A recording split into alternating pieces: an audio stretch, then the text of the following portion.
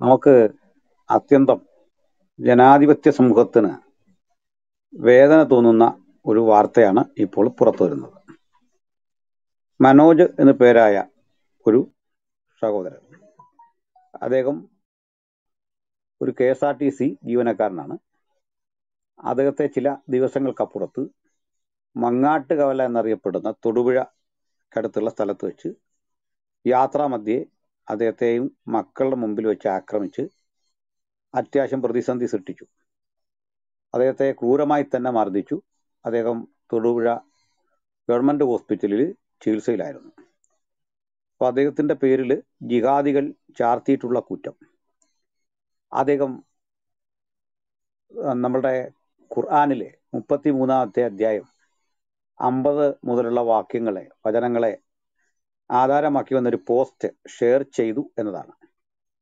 ആ കുറ്റം ചുമത്തി ആക്രമണം കഴിഞ്ഞു.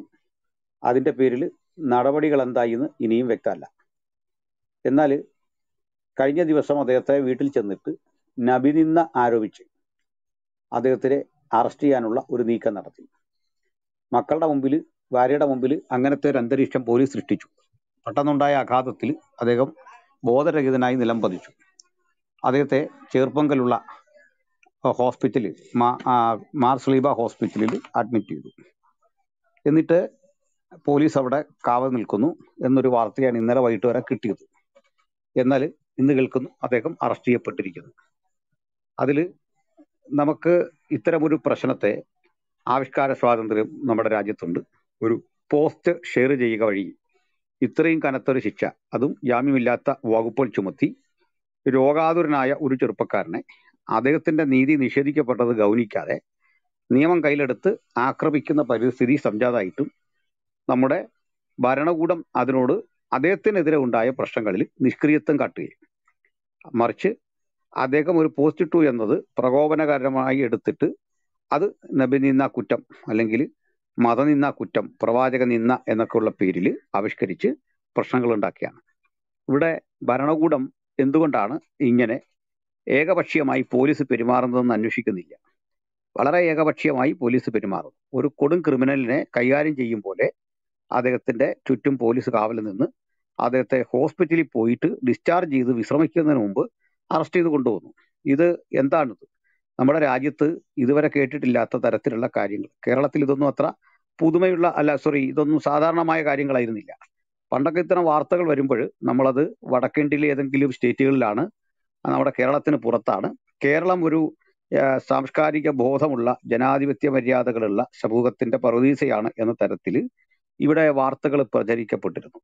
എന്നാൽ അത് ഇന്ന് നിഷ്പക്ഷ മനസ്സുകളെ ഏറെ വേദനിപ്പിക്കുന്ന ഒരു വാർത്തയായിട്ട് അത് മാറുന്നു. വാസ്തവത്തിൽ ഈ സംഭവത്തെ ഞാൻ മുൻകൂട്ടി അഡ്രസ്സ് ചെയ്തിരുന്നു. ഈ മനോജിന്റെ ആക്രമണം ഒറ്റപ്പെട്ടൊരു സംഭവമല്ല. ഒരു ഫേസ്ബുക്ക് പോസ്റ്റ് ഷെയർ ചെയ്ത ഒരു ഒരാൾ അദ്ദേഹം ആരുമാകട്ടെ ഫേസ്ബുക്ക് പോസ്റ്റ് ഷെയർ ചെയ്യുകയോ ഇടുകയോ ചെയ്തു കഴിഞ്ഞാൽ ബദലായി മറ്റൊന്ന് ഇട്ടുകൊണ്ട് ആശയയുദ്ധമാണ് നിർവഹിക്കേണ്ടത്.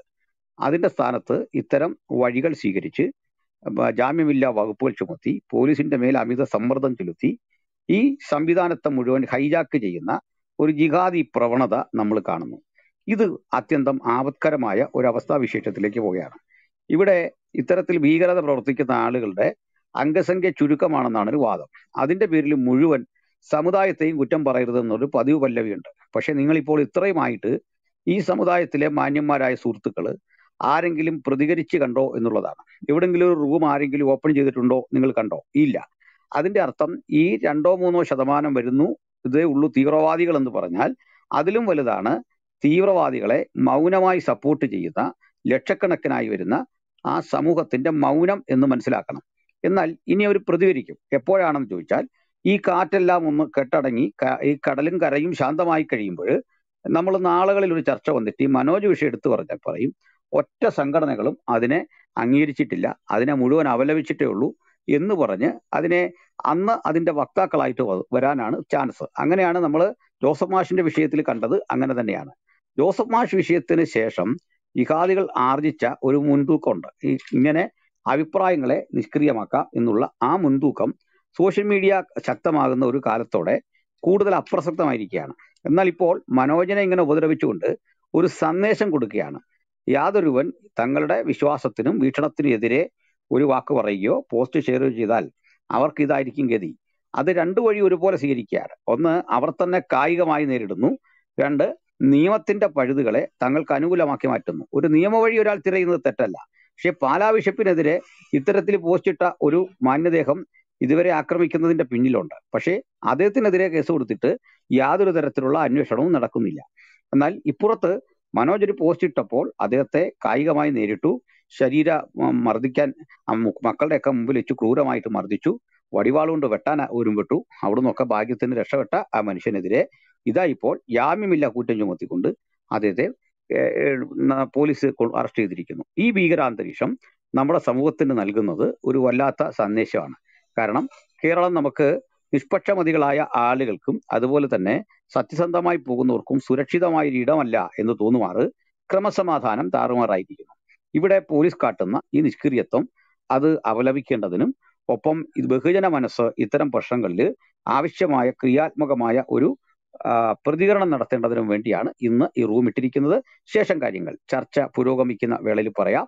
ഇതിൽ എല്ലാ സഹോദരങ്ങൾക്കും തങ്ങളുടെ പ്രതിഷേധം പറയാനും അഭിപ്രായ വ്യത്യാസങ്ങൾ പറയാനും ഒക്കെ ഉള്ള സാവകാശമുണ്ട്. അവരെ അതിലേക്ക് ഞാൻ സഹർഷം സ്വാഗതം ചെയ്യുന്നു. ഏതായാലും പ്രിയ സഹോദരൻ മനോജിന് നേരിട്ട ഈ ആപത്തിൽ അദ്ദേഹത്തിന് നേരിട്ട പ്രശ്നങ്ങളിൽ അദ്ദേഹത്തിന്റെ മക്കളും ഭാര്യയും ഒക്കെ അനുഭവിക്കുന്ന വ്യതകളിൽ ഹൃദയംഗമായ പക്ഷം ചേരുന്നതോടൊപ്പം ബഹുജന മനസ്സുകളിൽ ഇത്തരം കാര്യത്തെക്കുറിച്ചുള്ള അമർഷം അലതല്ലേണ്ടതാണ്. ആ അമർഷത്തിന്റെ പ്രതിഷേധ ജ്വാലകൾ ഉയർത്തിപ്പിടിച്ചുകൊണ്ട് അതിശക്തമായി തന്നെ ക്യാമ്പയിനുകൾ നടത്തിക്കൊണ്ടും ഏറ്റവും ജനാധിപത്യ രീതിയിൽ ഏറ്റവും ഭരണഘടനാപരമായിട്ട് ഏറ്റവും മാന്യമായിട്ട് അക്രമത്തിന്റെയോ അത്യാഹിതങ്ങളുടെയോ ഒന്നും വഴിയല്ലാതെ ഏറ്റവും അനുകരണീയമായ പ്രതിഷേധ മുറകളിലൂടെ ഇത് അധികാരികളുടെ സമക്ഷത്ത് എത്തിക്കാനും ഈ നീതി നിഷേധം അത് കണ്ടില്ലെന്നടിക്കുന്ന പോലീസിന്റെ നയങ്ങളെ അതിനോട് പ്രതിഷേധിക്കാനും ഈ ഒരു അവസരം നമുക്ക് വിനിയോഗിക്കാം.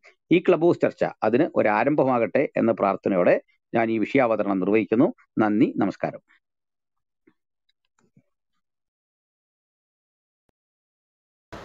അനിൽ പാസ്റ്ററെ? ആ ചെയ്തോളൂ. ആളുകളെ ആ ഏബൻ ബദർ ചെയ്തോളൂ പാസ്റ്ററെ. ഏബൻ? ഏബൻ ബദറെ ഏബൻ? ആ ഏബൻ ബദറെ മോഡ് ചെയ്യും മോഡ് ചെയ്തോ കേട്ടോ. എനിക്ക് ഞാൻ ഇടയ്ക്ക് വന്നോളാം. Okay okay okay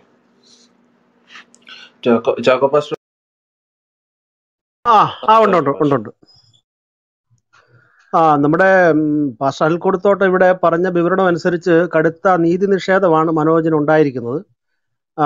ഇവിടുത്തെ ജിഹാദികൾ തന്നെ നീതി നടപ്പിലാക്കി.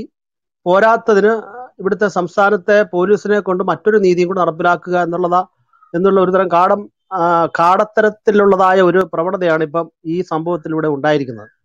വാസ്തവത്തിൽ ഈ ജിഹാദികളുടെ ഒരു തന്ത്രമാണ് ജനത്തെ ഭയപ്പെടുത്തുക എന്നുള്ളത്. മനസ്സിലാകുന്നുണ്ടോ ഇവിടെ നമ്മൾ ശ്രദ്ധിക്കേണ്ട ഒരു വിഷയമുണ്ട്. ഒരു ഒരു പതിറ്റാണ്ടിന് മുമ്പ് ഒരു പതിറ്റാണ്ടില്ല ഒരു നാ ഒരു അഞ്ചു വർഷത്തിന് മുമ്പ് വരെ ഇത്തരത്തിലുള്ളതായ ജിഹാദികളുടെ ഭയത്തെ മറികടക്കാൻ നിവൃത്തിയില്ലാതെ ഭയപ്പെട്ടു പോകുന്ന ഒരു സമൂഹമായിരുന്നു ഇവിടെ ഉണ്ടായിരുന്നത്. പ്രത്യേകിച്ച് ക്രൈസ്തവ സമൂഹം.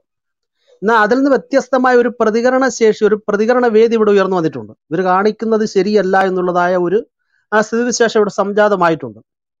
ഈ സമൂഹം പൊതുവെ എന്താണ് സാധുക്കളായ ആളുകളെ നിരപരാധികളെ ഭയപ്പെടുത്തി ഭയത്തിന്റെ മുൾമുനയിൽ നിർത്തിയാണ് ഇവരുടെ കാര്യങ്ങൾ സാധിച്ചുകൊണ്ടിരിക്കുന്നത്. ഈ കഴിഞ്ഞ എട്ടാം തീയതി എന്ന് പറഞ്ഞ കഴിഞ്ഞ ആഴ്ച ഇവിടെ പോപ്പുലർ ഫ്രണ്ട് നേതാക്കളുടെ വീടുകളിൽ ഇ ഡി റെയ്ഡ് നടത്തുകയുണ്ടായി. വളരെ വളരെ പ്രസിദ്ധമായ ഒരു വാർത്തയായിരുന്നു. നമ്മൾ പത്രദ്വാര ചാനൽ ദ്വാര കണ്ടതാണ്.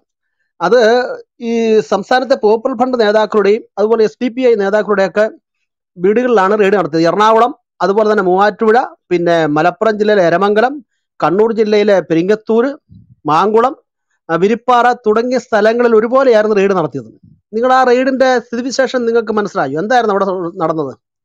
ഇവിടെ മന്ത്രിമാരെ വിളിച്ച് അവരുടെ ഓഫീസ് റെയ്ഡ് നടത്തിയിട്ടുണ്ട് ഇ ഡി. അതിനുള്ള സ്വാതന്ത്ര്യമുണ്ട്.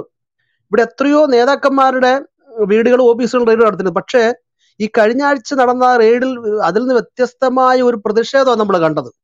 അതായത് ഈ റെയ്ഡ് നടക്കുന്നതായ ഭവനങ്ങളിലേക്ക് പോപ്പുലർ ഫ്രണ്ടും അതുപോലെ തന്നെ എസ് ഡി പി ഐയും സംഘടിച്ചെത്തുക. ആ വീടിന്റെ പരിസരത്ത് സംഘടിച്ചെത്തി അവർ ഇ ഡിക്കെതിരെ മുദ്രാവാക്യം വിളിച്ചു. അതായത് ആ മുദ്രാവാക്യം വിളികളുമായിട്ട് അവർ ശക്തമായ പ്രതിഷേധം അവരോട് നടത്തി. മാത്രമല്ല ഇ ഡിയുടെ സുരക്ഷാ ഉദ്യോഗസ്ഥയുടെ ഉദ്യോഗസ്ഥരുടെ വാഹനത്തിൽ നിന്ന് ഭക്ഷണം അടങ്ങിയതായ ബാഗ് മതിലിൽ കൂടി കൈമാറിയതിനെ തുടർന്ന് പോപ്പുലർ ഫ്രണ്ടുമായിട്ട് വലിയ വാഗ്വാദം ഇവിടെ ഉണ്ടായി. പക്ഷെ ഇതൊക്കെ മാധ്യമങ്ങൾ തമസ്കരിക്കുക ചെയ്തത്. എന്തൊരു കാടത്ത ഇവിടെ നടത്തുന്നത്? ഇ ഡിക്ക് വന്ന് റെയ്ഡ് ചെയ്യാനുള്ള ഇവിടെ? അങ്ങനെയാണെങ്കിൽ കെ ടി ജലീലിനെ പോലുള്ളവരെ റെഡി ചെയ്യരുതല്ലോ. ഇവിടെ ഇ ഡിക്ക് അതിനുള്ള സ്വാതന്ത്ര്യം പക്ഷെ ഇവരെന്താ ചെയ്യുന്നത്? ഇവർ ആളുകളെ സംഘടിപ്പിക്കണം. ഇത് അവരുടെ പ്രത്യേക അജണ്ടയാണ്. ആളുകളെ സംഘടിപ്പിച്ചുകൊണ്ട് റെയ്ഡിനെതിരെ അല്ലെങ്കിൽ ഇവിടെ നിയമത്തിനെതിരെ നിയമപാലകരുടെ പ്രവർത്തനങ്ങൾക്കെതിരായിട്ട് ആളുകളെ സംഘടിപ്പിച്ച് ഹോഹോ വിളി നടത്തി ഭയപ്പെടുത്തി കാര്യം സാധിക്കുന്ന ഒരു പ്രവണതയാണ് ഇസ്ലാമിസ്റ്റുകൾ അല്ലെങ്കിൽ ജിഹാദികൾ ചെയ്തുകൊണ്ടിരിക്കുന്നത്. അവസാനം പോലീസ് വന്ന് പ്രതിഷേധം പ്രതിഷേധക്കാരെ പോലീസിന്റെ സാന്നിധ്യത്തിൽ പ്രതിഷേധക്കാരെ അടിച്ചമർത്തിയോണ്ടാണ് ആ ഇഡിയുടെ പരിശോധന അവിടെ പൂർത്തീകരിച്ചത്. ഇതിപ്പോ കഴിഞ്ഞ ആഴ്ച നടന്ന കാര്യമാണ് അപ്പം ഇതുപോലെ തന്നെയാണ് ഈ കൈ മനോജിന്റെ വിഷയത്തിൽ നടന്നിരിക്കുന്നത്. ഇത് വാസ്തവത്തിൽ തുടങ്ങി വെച്ചത് മുഹമ്മദാണ്. ഈ വിഷയങ്ങളെല്ലാം കൊണ്ട് കേന്ദ്രീകരിക്കുന്ന മുഹമ്മദിലാണ്. അദ്ദേഹത്തിന്റെ ആ പ്രവർത്തനങ്ങളിൽ നിന്ന് നമുക്കിത് കൃത്യമായിട്ട് കാണാനായിട്ട് കഴിയും. അദ്ദേഹത്തെക്കുറിച്ച് അദ്ദേഹത്തിന്റെ സൈന്യം വരുന്നതിനെ കുറിച്ച് തന്നെ പല രാജ്യങ്ങളിലും പല ഗോത്രങ്ങളിലും അത് മുഹമ്മദിനെ കുറിച്ചുള്ളതായ ശബ്ദം മുഹമ്മദിന്റെ സ്വരം മുഹമ്മദ് എന്ന ആളത്വം കേൾക്കുമ്പോൾ തന്നെ ജനം ഭയപ്പെട്ടു എന്ന് പറയുന്നതായ നിരവധി ഹദീസുകളുണ്ട്. സഹീഹായ ബുഖാരി ഇരുന്നൂറ്റി പതിനേഴ് വായിക്കുന്ന ഇങ്ങനെയാണ് ജാബിർ പറയുന്നു. തിരുമേനി അരുളി ഒരു മാസം യാത്ര ചെയ്യേണ്ടത്ര ദൂരമുള്ള പ്രദേശങ്ങളിൽ താമസിക്കുന്ന ശത്രുക്കൾക്ക് പോലും എന്നെ കുറിച്ച് ഭയം ജനിപ്പിച്ച് അള്ളാഹു എന്നെ സഹായിച്ചു. മനസ്സിലാകുന്നുണ്ടോ? അപ്പം മുഹമ്മദിനെ കുറിച്ചുള്ളതായ ഭയം സാധുക്കളായ ആളുകളുടെ മേൽ ജനിപ്പിച്ചു ആളുകൾ നാട് വിട്ടു പോവുകയാണ്. അങ്ങനെയൊക്കെയുള്ള ഭീകര അന്തരീക്ഷം മുഹമ്മദിന്റെ കാലത്ത് സൃഷ്ടിച്ചിട്ടുണ്ട്. മുഹമ്മദ് നടത്തിയതായ പല യുദ്ധങ്ങളുടെയും പിന്നാമ്പുറം പരിശോധിച്ചു കഴിഞ്ഞാൽ ഇത്തരത്തിൽ സമൂഹത്തെ അല്ലെങ്കിൽ ഗോത്രത്തെ ആ ഗോത്രവർഗക്കാരെ ഭയത്തിന്റെ മുൾമുനയിൽ നിർത്തിയാണ് മുഹമ്മദ് പലതും പിടിച്ചെടുത്തത്. പല യുദ്ധങ്ങളും തൊണ്ണൂറ്റി ഒമ്പത് യുദ്ധങ്ങൾ അദ്ദേഹം നടത്തിയിട്ടുള്ളതായിട്ടും മുപ്പതെണ്ണത്തിൽ പ്രത്യക്ഷമായിട്ടും ബാക്കി ആ എഴുപതെണ്ണത്തിൽ പരോക്ഷമായിട്ടും പിന്തുണ പ്രഖ്യാപിച്ചതായിട്ടാണ് ഇസ്ലാമിക ചരിത്രഗ്രന്ഥം പറയുന്നത്. ഇതിലൊക്കെ തന്നെ ഭയപ്പെടുത്തിയാണ് കാര്യങ്ങൾ സാധിച്ചത്. അതേ രീതിയാണ് ഇവിടുത്തെ ജിഹാദികളെ നടപ്പാക്കുന്നത്. അപ്പൊ അതുകൊണ്ട് ഞാൻ പറഞ്ഞല്ലോ പ്രാരംഭത്തിൽ പറഞ്ഞ പോലെ ഒരു പത്ത് ഒരു പതിറ്റാണ്ടിന് മുമ്പേ ഇത്തരത്തിലുള്ളതായ ജിഹാദികളുടെ പ്രവർത്തനങ്ങൾ പ്രത്യേകിച്ച് ചിൻബാദ് വാദമെല്ലാം പോലെയുള്ള പുസ്തക പ്രസിദ്ധീകരണം അതിന്റെ പ്രചരണം നടക്കുന്ന സമയത്ത് മിസ്റ്റർ എം എം അക്ബറിനെ പോലെയുള്ള തിരുവല്ല ക്രൈസ്തവരുടെ ഈറ്റിൽ എന്ന് പറയാം. ക്രൈസ്തവ സമൂഹം ധാരാളം തിങ്ങിപ്പാറക്ക് തിരുവല്ലയിൽ ചെന്ന് ഇസ്ലാം വെല്ലുവിളിക്കുന്നു എന്ന് പറഞ്ഞുകൊണ്ട് വലിയ പോസ്റ്ററൊക്കെ അവിടെ ഒട്ടിച്ച് വലിയ വലിയ വമ്പൻ യോഗമൊക്കെ അദ്ദേഹം നടത്തി. മാത്രമല്ല അന്നും ക്രൈസ്തവ സമൂഹം ഒരു തരത്തിൽ പറഞ്ഞാൽ ഭയപ്പെടുകയായിരുന്നു. അതായത് പ്രതികരണ ശേഷി ഒരു യോഗം അവിടെ വെച്ചു എന്നുള്ളതിനേക്കാൾ ഉപരിയായിട്ട് ഇത്തരത്തിലുള്ളതായ ഒരു പ്രതികരണം ഉണ്ടായില്ല. എന്നാൽ ഇങ്ങനെയുള്ള പശ്ചാത്തലത്തിൽ ക്രൈസ്തവ സമൂഹം ഒന്നടങ്ക ഉണരണം എന്നാണ് എനിക്ക് ഈ വിഷയത്തെക്കുറിച്ച് പറയാനുള്ളത്. പ്രതികരിക്കാവുന്ന ഇടങ്ങളിൽ പ്രതികരിക്കണം. ഈ ഡൽഹി നിർഭയ ബലാത്സംഗ കേസ് പുറത്തു കൊണ്ടുവന്ന സോഷ്യൽ മീഡിയയാണ്. സോഷ്യൽ മീഡിയയിലുള്ള പ്രചരണമാണ് നിർഭയ കേസ് പെട്ടെന്ന് പുറത്തു കൊണ്ടുവന്നത്. ആൾക്കാത്ത അതിനൊരു നീതി ലഭിക്കുവാൻ ഇടയാത്തത് പല കാര്യങ്ങളും പൊതുമാധ്യമങ്ങൾ തമസ്കരിക്കുമ്പോൾ അവയെ ഏറ്റെടുത്തുകൊണ്ട് സോഷ്യൽ മീഡിയ രംഗത്ത് വരുന്നത് കൊണ്ട് പലതിനും ഉത്തരം ലഭിക്കുന്നുണ്ട് എന്ന വസ്തു നമ്മൾ മറന്നു പോകരുത് അതുകൊണ്ട് ഈ കാണത്തരത്തിലുള്ളതായ ഈ ആക്രമണത്തെ അതും ആ സൂറത്തിൽ അക്സാബിലെ ഒരു പോസ്റ്റ് ആരോ എഴുതിയ പോസ്റ്റ് ഫോർവേഡ് ചെയ്തു എന്നുള്ള കാരണം നിമിത്തം കൊച്ചു കുഞ്ഞുങ്ങളുടെ മുമ്പിൽ വെച്ച് അദ്ദേഹത്തെ മർദ്ദിക്കുക. മർദ്ദിച്ചതിന് ശേഷം വീണ്ടും കേസ് കൊടുക്കുക അദ്ദേഹത്തെ അറസ്റ്റ് ചെയ്യുക. അപ്പൊ മർദ്ദിച്ചവർക്ക് പേരുടെ പേരിൽ യാതൊരു ശിക്ഷാ നടപടികളും ഇവിടെ ഇല്ലേ? ഇത് എന്ത് നിയമമാണിത്? ഇത് താലിബാനിസത്തെ പിന്നെ പ്രോത്സാഹിപ്പിക്കുന്ന ഒരു സമീപനമല്ലേ ഇവിടുത്തെ സർക്കാർ കാണിക്കുന്നത്? ഇത് അഫ്ഗാനിസ്ഥാനാണോ? അതോ അങ്ങ് നൂറ് ശതമാനമുള്ളതായ സോമാലിയാണോ ഇത്? ഒന്നുമല്ലല്ലോ ഇത്. ഇവിടെ ഈ രാജ്യത്ത് ഈ കേരളത്തിൽ സംഭവിക്കുക എന്ന് പറയുന്നത് ഒരിക്കലും കടുത്ത നീതി നിഷേധമാണ്. ഇതിനെതിരെ ശക്തമായി പ്രതികരിക്കണം. ഇവിടുത്തെ സംസ്ഥാന ഗവൺമെന്റ് മതനിരപേക്ഷതയാണെന്നും ജനാധിപത്യ മൂല്യങ്ങൾ ഉൾക്കൊള്ളുന്നതാണെന്നൊക്കെ ഗീർവാണ് വഹിക്കുന്ന ഇവിടുത്തെ ഗവൺമെന്റ്. നിഷ്പക്ഷമായിട്ട് ഈ വിഷയം കൈകാര്യം ചെയ്തില്ല എങ്കിൽ ഇവിടുത്തെ നോക്കിക്കോ സി പി എം ഉൾപ്പെടെയുള്ളതായ ഇവിടുത്തെ രാഷ്ട്രീയ പാർട്ടികൾ നോക്കിക്കോ ഇവിടെ മറ്റൊരു ബംഗാളാകും മറ്റൊരു ത്രിപുരയാകും. ഇവിടുത്തെ തീവ്രവാദികളെ വെള്ളപൂശി അവരെ സുഖിപ്പിച്ചുകൊണ്ട് ആണ് മുന്നോട്ട് പോകുന്നതെന്ന് കഴിഞ്ഞ രണ്ട് മൂന്ന് സംഭവം രണ്ട് മൂന്ന് രണ്ട് മൂന്ന് സംഭവങ്ങളിൽ കൃത്യമായിട്ട് വെളിപ്പെട്ടു വന്നു. കലാൽ വിഷയത്തിൽ പിണറായി വിജയൻ എടുത്ത തീരുമാനം അതും ജിഹാദികൾക്ക് പിന്തുണ പ്രഖ്യാപിക്കുന്നതാണ്. അതുപോലെ പല കാര്യങ്ങളും. അതുകൊണ്ട് ഇവിടുത്തെ സംസ്ഥാന ഗവൺമെന്റ് നീതിയുക്തമായിട്ട് നടപടികൾ സ്വീകരിക്കത്തക്ക രീതിയിൽ ആ അനീതിക്ക് കൂട്ടു നിൽക്കാതെ അനീതി അനീതിയാണെന്ന് കണ്ടുകൊണ്ട് അതിനെ ചോദ്യം ചെയ്യുകയും അതിനെതിരെ നടപടിയെടുക്കുകയും ചെയ്തില്ല എങ്കിൽ വലിയ താമസമില്ലാതെ ഞാൻ പറഞ്ഞതുപോലെ വീണ്ടും പറയുന്നത് ത്രിപുര ആവർത്തിക്കും ബംഗാൾ ആവർത്തിക്കും ഇവിടെ ശൂന്യതയിൽ പോലും ഇവിടുത്തെ ഗവൺമെന്റ് അല്ലെങ്കിൽ ഇവിടുത്തെ രാഷ്ട്രീയ പാർട്ടികൾ കാണത്തില്ല എന്ന് മാത്രമാണ് എനിക്ക് ഈ വിഷയത്തിൽ പറയാനുള്ളത്. ഓക്കെ താങ്ക് യു അടുത്തത് ഗിബോറച്ചാനാണ്. ഗിബോറച്ച സംസാരിച്ചു? ജിമിച്ചാൻ ഒരു കാര്യം പറയാവേ. ഇത് നമ്മുടെ പാലാ ബിഷപ്പിനെതിരെ ശക്തമായ വർഗീയ പരാമർശങ്ങൾ അടങ്ങിയ ഫേസ്ബുക്ക് പോസ്റ്റ് ഷെയർ ചെയ്ത ഷെയർ ചെയ്യല്ല ഫോസ്ബുക്ക് ഫേസ്ബുക്ക് ഫേസ്ബുക്കിൽ വളരെ ആക്ഷേപകരമായി പാലാ ബിഷപ്പിനെതിരെയും ക്രിസ്തീയ വിശ്വാസത്തിനെതിരെയും ആക്ഷേപകരമായ വാക്കുകൾ എഴുതിവിട്ട ഒരു വ്യക്തി അദ്ദേഹത്തിന്റെ പേര് ഞാൻ സത്താർ എന്നാണ് തോന്നുന്നു. സത്താർ അതായത് വേറൊരു ഉൽപ്പം കൂടെ ഉണ്ട് ഇനീഷ്യലുണ്ട് അത് ഞാൻ മറന്നുപോയി. ഈ വ്യക്തി ആ അതന്നെ സത്താർ പാലന്തൂർ സത്താർ പാലന്തൂരിനെതിരെ സത്താർ പാലന്തൂരിനെതിരെ ഇതുവരെ ഒരു കേസും ഇവിടെ കേസല്ല ഈ പോലീസ് ഒരു നടപടിയും സ്വീകരിച്ചിട്ടില്ല. അദ്ദേഹത്തിനെതിരെ കേരളത്തിലുള്ള പതിനാല് ജില്ലകളിലും അദ്ദേഹത്തിനെതിരെ കേസുണ്ട്. സത്താർ പാലന്തൂരിനെതിരെ കേരളത്തിലുള്ള പതിനാല് ജില്ലകളിലും കേസ് കൊടുത്തിട്ട് ദിവസങ്ങളായി. എന്നാൽ ഇതുവരെയും അദ്ദേഹത്തെ അദ്ദേഹത്തിനെതിരെ ചെറുവിരൽ അനക്കാൻ കേരളത്തിലെ പോലീസ് തയ്യാറായിട്ടില്ല എന്ന് പറയുമ്പോൾ കേരള പോലീസ് പച്ച വെളിച്ചത്തെ എത്രത്തോളം സപ്പോർട്ട് ചെയ്യുന്നെന്നും നമുക്ക് ഉറപ്പാക്കാം. കാരണം ഇവരുടെ ഇടയിൽ പച്ച വെളിച്ചം എന്ന് പറയുന്ന ഒരു വാട്സപ്പ് ഗ്രൂപ്പുണ്ട് ഈ വാട്സപ്പ് ഗ്രൂപ്പിന്റെ വർക്ക് എന്താണെന്ന് ചോദിച്ചു കഴിഞ്ഞാൽ ജിഹാദി വർക്കുകളെ സപ്പോർട്ട് ചെയ്യുക എന്നുള്ളതാണ്. അപ്പോൾ നമ്മൾ ഏറ്റവും അധികം ഗൗരവമേറിയ ചിന്തിക്കേണ്ട വിഷയമാണ് കേരളത്തിലുള്ള ക്രിസ്ത്യാനികളും ഹിന്ദുക്കളും ആർക്കാണ് വോട്ട് ചെയ്ത് വിജയിപ്പിക്കുന്നത്? വോട്ട് ചെയ്ത് വിജയിപ്പിച്ച ഇവർ ആരെയാണ് സപ്പോർട്ട് ചെയ്യുന്നത്?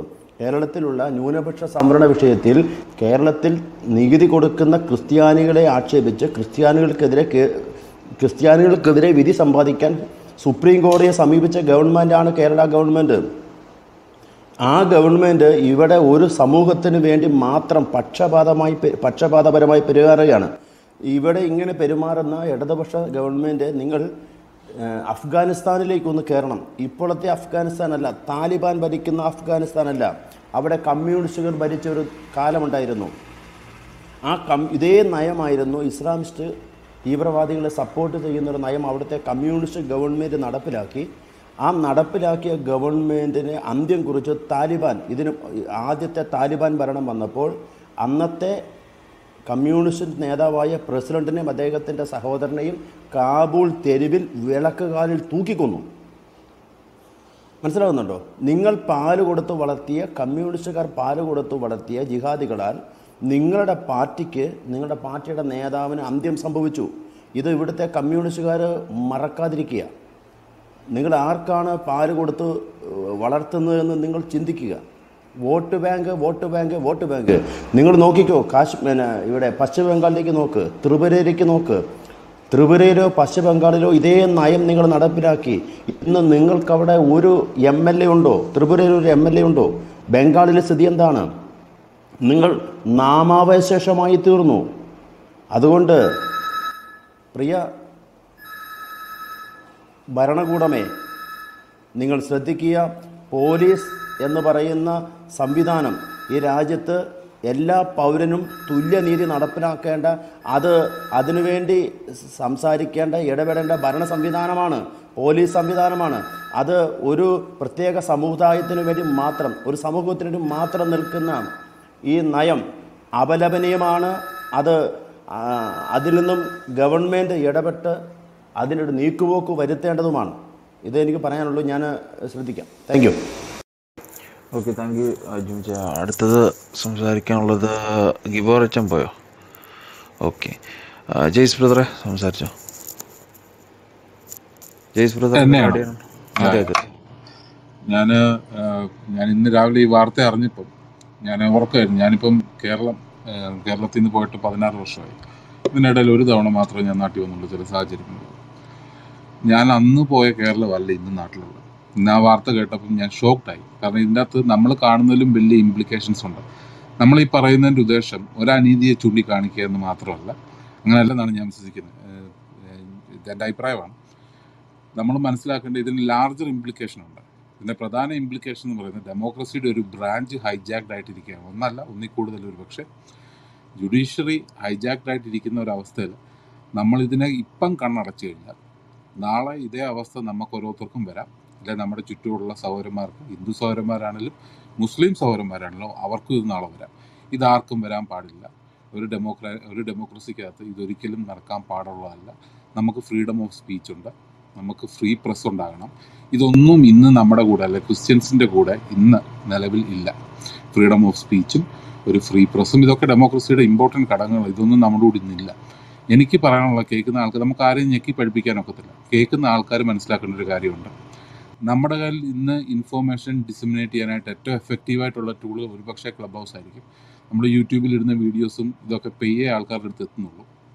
നിങ്ങളല്ല ഓരോരുത്തരും നമ്മുടെ സഹോദരന്മാരെയും നമ്മുടെ വീട്ടിലുള്ള ആൾക്കാരെയും നമ്മുടെ ബന്ധുക്കളെയും ക്ലബ് ഹൗസിലേക്ക് കൊണ്ടുവരിക ഒന്ന്. രണ്ടാമത്തെ ഇതിനെതിരെ ഉള്ള പ്രതിഷേധം ക്ലബ് ഹൗസിൽ മാത്രം കൊണ്ട് ഒരു പ്രയോജനമില്ല നമ്മൾ അഞ്ഞൂറ് പേര് ഇവിടെ നിന്ന് സംസാരിച്ചുകൊണ്ട് പ്രയോജനം ഉണ്ടാകത്തില്ല.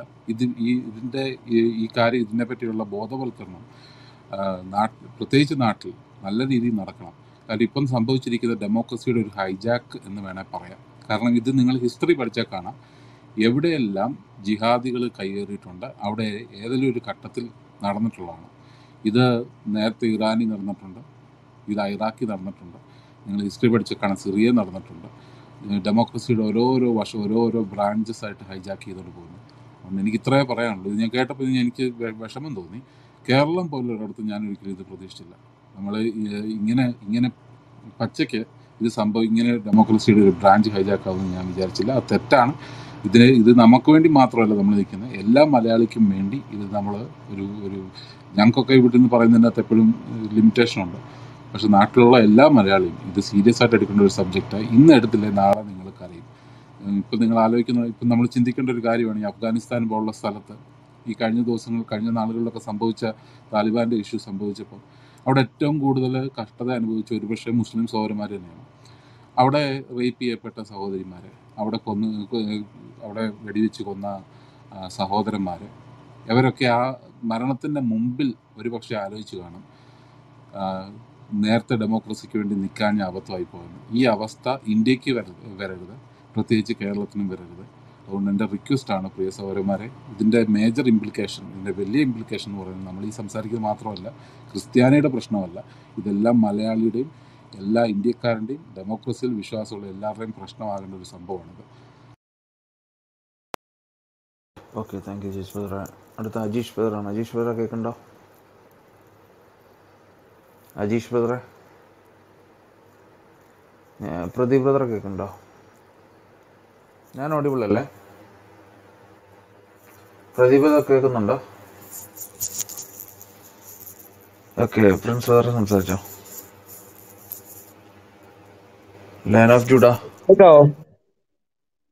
ഓക്കെ വളരെ വേദനയും അതുപോലെ തന്നെ നമ്മുടെ ആവിഷ്കാര സ്വാതന്ത്ര്യത്തിന് മേലുള്ള ഒരു കടന്നുകയറ്റമായിട്ടൊക്കെ നമുക്കത് കാണാൻ കഴിയും. നമുക്ക് വ്യക്തമായിട്ട് ഇതിനൊരു രാഷ്ട്രീയവൽക്കരിച്ച് കാണാൻ കഴിയില്ല. രാഷ്ട്രീയത്തിനകത്ത് അല്ലെങ്കിൽ ചില ജിഹാദി മനോഭാവമുള്ളവരെ കടന്നുകൂടിയതിന്റെ ഏറ്റവും വലിയ തെളിവായിട്ട് നമുക്കിതിനെ കാണാൻ കഴിയും. എന്താ വാദിയെ പ്രതിയാക്കുക എന്നൊക്കെ നമ്മൾ നാട്ടിൽ പറയാറുണ്ട്. പ്രത്യേകിച്ച് അത് ഇരുപത്തൊന്നാം നൂറ്റാണ്ടിൽ പ്രത്യേകിച്ച് ഇങ്ങനൊരു വിഷയത്തിന് ഉണ്ടാവുക എന്ന് പറഞ്ഞു കഴിഞ്ഞാൽ അത് ചിന്തകൾക്കും അതീതമാണ്. ഇത് ഇതിങ്ങനെ ഇരിക്കുമ്പോൾ തന്നെ തൊട്ടപ്പുറത്ത് നവനാസ്തികര് ഇത്തരം ജിഹാദികളെ വെള്ളപൂശാൻ വേണ്ടി ഈ ക്ലബ് ഹൗസിനകത്ത് റൂമുകൾ ഇട്ടതും നമ്മൾ ശ്രദ്ധിക്കേണ്ടതുണ്ട്. അപ്പം ക്രിസ്ത്യാനികളെ ആക്രമിക്കുന്ന ഒരു പൊതുവിലൊരു വികാരം പ്രത്യേകിച്ച് നാസ്തികരുടെ ഇടയിലും അത്തരം ജിഹാദികളുടെ ഇടയിലും ഒക്കെ കണ്ടുവരുന്നുണ്ട്. അപ്പം അതിന്റെ ഭാഗമായിട്ട് തുടക്കത്തിൽ അനിൽ അനിൽക്കും അയൽക്കുടി തൊട്ടം പാസ്റ്റർ ഓർപ്പിച്ചതുപോലെ ഭയപ്പെടുത്താൻ വേണ്ടിയിട്ട് ജോസഫ് മാഷിന്റെ കൈകളും കാലുകളും വെട്ടിയപ്പോൾ അവർക്ക് പേടിപ്പിക്കുക എന്നുള്ളത് ചിലർക്ക് ആവശ്യം കുപ്രസിദ്ധിയാണല്ലോ. അങ്ങനെ കുപ്രസിദ്ധിയിലൂടെ ആണെങ്കിലും ഒരു ഭയമുണ്ടാക്കിയെടുക്കാൻ അവർക്ക് സാധിച്ചു എന്നുള്ള യാഥാർത്ഥ്യമാണ്. അത് ഏതുവരെ എന്ന് ചോദിച്ചു കഴിഞ്ഞാൽ സോഷ്യൽ മീഡിയ എല്ലാ ജനങ്ങളുടെ ഇടയിലേക്ക് എത്തിപ്പെടുന്നത് വരെ. ഇന്ന് ക്ലബ് ഹൗസിനകത്ത് ഏറ്റവും അധികം ചർച്ച ചെയ്യപ്പെടുന്ന ഒരു വ്യക്തിയാണ് ഈ പറഞ്ഞത് ഒരു വിഷയമാണ് ഇത്തരം വിഷയങ്ങളൊക്കെ അല്ലെങ്കിൽ ഇസ്ലാം മതവുമായി ബന്ധപ്പെട്ട വിഷയങ്ങളൊക്കെ. അപ്പം ഇന്ന് വളരെയധികം എന്താ പറയുക ആഴത്തിൽ തന്നെ പലരും ഇത്തരം വിമർശനങ്ങളൊക്കെ ഉന്നയിക്കുന്നുണ്ട്. എന്നാൽ അതിനെയൊക്കെ പിടിച്ചടക്കാൻ വേണ്ടിയിട്ടെന്നോണം നൂറ്റി അൻപതോളം വ്യക്തികൾ ചേർന്ന് പത്തും പതിനൊന്നും വയസ്സുള്ള രണ്ട് കുട്ടികളുടെ ഇടയിലിട്ട് ഒരു പിതാവിനെയൊക്കെ മർദ്ദിച്ചു. അതും ഈ കേരളത്തിൽ. അവരെ സ്നേഹത്തിന്റെ പ്രചാരകരാണ് സമാധാനത്തിന്റെ വെള്ളരിപ്രാവുകളാണ് സ്നേഹത്തെക്കുറിച്ച് വാനോളം പറയുന്നവരാണ്. എല്ലാവരെയും ഒരുപോലെ സ്നേഹിക്കണമെന്നും സാഹോദര്യം വിളയണമെന്നും ഉറക്കെ ഉറക്കെ പ്ര- പ്രഘോഷിക്കുന്നവരാണ്. ഇത്തരം ആളുകളിൽ നിന്നാണ് ഏകദേശം നൂറ്റി അൻപതോളം വരുന്ന വ്യക്തികൾ. അതിനിടയിൽ ദൈവദൂതനെ പോലെ ഒരു എന്താ പറയുന്ന ഒരു പോലീസുകാരൻ താൻ ഡ്യൂട്ടിയിലായിരിക്കുക എന്നൊരു പോലീസുകാരൻ ഡ്യൂട്ടിയിലല്ലായിരുന്നു സോറി. അങ്ങനെ ഒരു പോലീസുകാരൻ പെട്ടെന്ന് അതിനിടയിൽ പ്രത്യക്ഷപ്പെടുകയും അദ്ദേഹത്തിന്റെ ശരീരത്തിൽ ഇടികളും മറ്റുമൊക്കെ കിട്ടിയെങ്കിലും അദ്ദേഹം എങ്ങനെയോ അവിടെ ഒരു ദൈവദൂതനെ പോലെ ഈ വ്യക്തിയെ രക്ഷിച്ചെടുത്തു എന്നുള്ളതൊക്കെ നമ്മൾ കണ്ടതാണ്. അങ്ങനെ അദ്ദേഹം ആശുപത്രിയിലായ വ്യക്തിയെ ആ ആശുപത്രി കിടക്കയിൽ നിന്ന് തന്നെ എന്താ പറയുന്ന അറസ്റ്റ് ചെയ്യുന്ന ഒരു കാര്യം കേട്ട് സത്യം പറഞ്ഞാൽ എല്ലാവരും നിങ്ങളെ പോലെ തന്നെ ഞാനും ഞെട്ടിത്തരിച്ചിരുന്നു പോയി എന്നുള്ളതാണ്. അപ്പം നമ്മുടെ കേരളത്തിൽ ഇങ്ങനെ നോർത്ത് ഇന്ത്യയിലും മറ്റുമൊക്കെ നമ്മൾ കേട്ടിട്ടുണ്ട്. വ്യാജ ഏറ്റുമുട്ടൽ എന്നൊക്കെ പറഞ്ഞ് നമ്മൾ കേട്ടിട്ടുണ്ട്. അതൊക്കെ നമുക്കറിയാം. അത്തരം ആളുകളെയൊക്കെ പലരും രാഷ്ട്രീയത്തിന് വേണ്ടിയിട്ട് കൊന്നൊടുക്കിയതും കേസിൽ അകപ്പെട്ട രാഷ്ട്രീയ നേതാക്കന്മാർ കുരുങ്ങും എന്നുള്ള കണ്ടീഷൻ വന്നപ്പോൾ ഓരോരുത്തരെയായിട്ട് കൊന്നൊടുക്കിക്കൊണ്ടിരിക്കുന്നതൊക്കെ നമ്മൾ കഴിഞ്ഞ ദിവസങ്ങളിൽ മാധ്യമങ്ങളിലൂടെ കണ്ടതും കേട്ടതും അറിഞ്ഞതും ഒക്കെയാണ് അങ്ങനെ ഒരു നോർത്ത് ഇന്ത്യൻ കാണുന്ന ഒരു പ്രവണത ഇന്ന് കേരളത്തിൽ സംജാതമായോ? അതും ഈ ഇരുപത്തൊന്നാം നൂറ്റാണ്ടിൽ എന്നുള്ളത് വളരെയധികം ചിന്തിക്കേണ്ട ഒരു വിഷയമാണ്. അപ്പം ഇങ്ങനൊരു മതത്തിന്റെ പേരിലുള്ള ഇങ്ങനെ എന്താ പറയുന്ന മനുഷ്യന്റെ മനുഷ്യത്വത്തിന് മേലുള്ള ഒരു കടന്നുകയറ്റം അത് എതിർക്കപ്പെടേണ്ടതാണ്. കേരള സമൂഹം അതിനെതിരായിട്ട് ഒറ്റക്കെട്ടായി പ്രതിഷേധിക്കണം. ഇതൊരു വാർത്താ പ്രാധാന്യം. അല്ലെങ്കിൽ മൊത്തത്തിൽ നമ്മുടെ എല്ലാവരുടെയും എന്താ പറയുന്ന ആവിഷ്കാര സ്വാതന്ത്ര്യത്തിന് മേലുള്ള ഒരു കടന്നുകയറ്റമാണ്.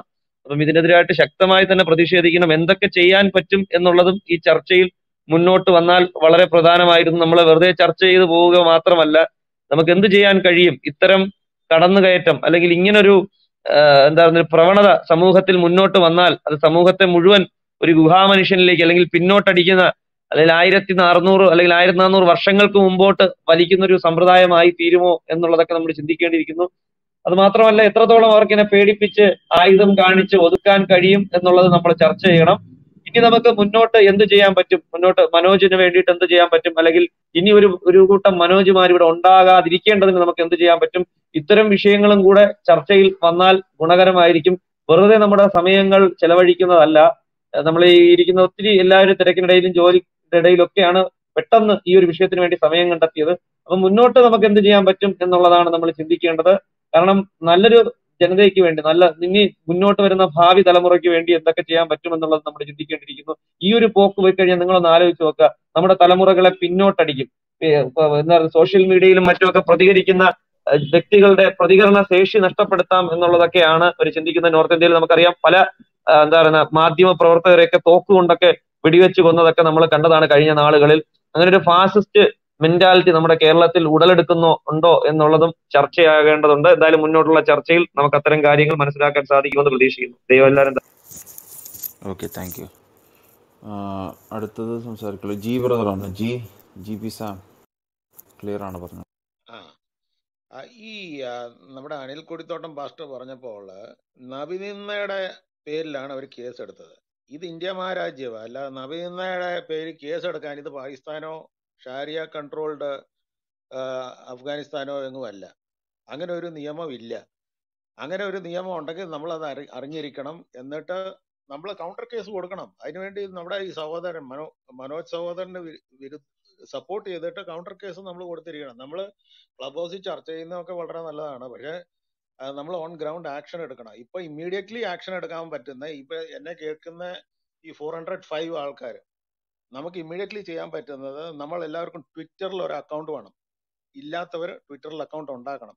എന്നിട്ട് at Kerala police at the Kerala police at C C M O Kerala at P M O India ഇത് ഇത് ഡയറക്ട്ലി പ്രധാനമന്ത്രിയുടെ ഓഫീസിലും സി എം ഒയുടെ ഓഫീസിലും ഒക്കെ ഡയറക്റ്റ് പോയി അറ്റാക്ക് ചെയ്യുന്നതാണ്. ഇത് നമ്മൾ ഇത്രയും ഭയങ്കരമായിട്ട് ലോഡ് ചെയ്തിട്ട് നമ്മൾ അങ്ങോട്ടങ്ങ് ട്വിറ്റർ അങ്ങ് അടിച്ചു വിടുവാണെങ്കിൽ ഇവർ കാണാതിരിക്കാൻ പറ്റത്തില്ല.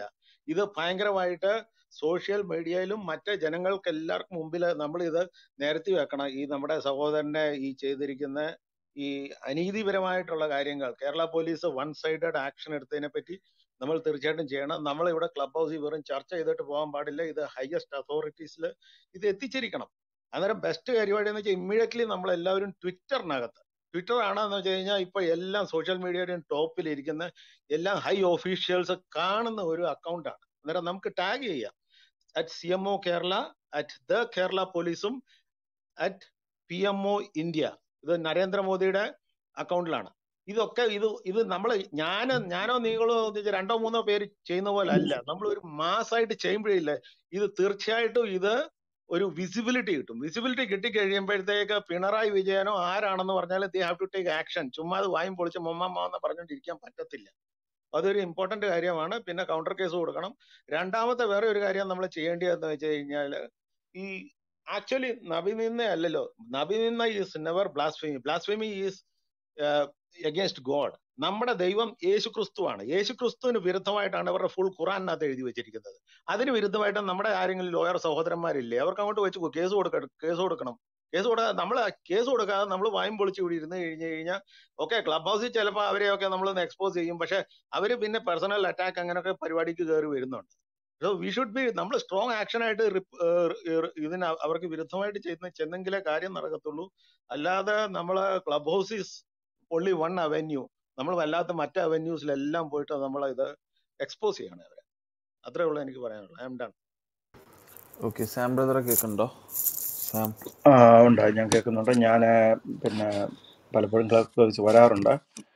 പിന്നെ കൊടുത്തോട്ടം സാറിനെ പോലുള്ളവരായിരിക്കില്ല നിന്ന് സംസാരിക്കാനുള്ള ഭാഗതയുള്ള ആളല്ല ഞാനെങ്കിലും ഞാൻ വിദേശത്താണ്. യൂറോപ്പിൽ താമസിക്കുന്ന ആളാണ്. അപ്പം വളരെ കാലങ്ങളായി നമ്മൾ നാടിന്റെ മാനസിക ഒരു നാട് സ്വന്തം ദേശത്തിലെ നമ്മുടെ ജനത്തിന്റെ ഒരു മാനസികാവസ്ഥ എത്രമാത്രം വികൃതമാകുന്നു എന്ന് കണ്ടു മനസ്സിലാക്കാൻ കഴിയുന്നു എന്നുള്ളതാണ് ഒരു വാസ്തവം. ഇപ്പം വളരെ ഇപ്പം ഇടയ്ക്കാരോ പറഞ്ഞു ചിൻബാദ് പാലം എന്റെ അറിവ് ശരിയാണ്. മൂന്ന് മാസത്തോളം അതിൽ അവരെ അറസ്റ്റ് ചെയ്ത് ജയിലിലിട്ടിരുന്നു. അതിൽ ഒരു ക്രൈസ്തവനെങ്കിലും അവരെ ഇറക്കി അത് ആ കേസ് പഠിച്ച് പുറത്തിറക്കിക്കൊണ്ട് വരാൻ എത്രയോ ലോയേഴ്സ് ഉണ്ട്.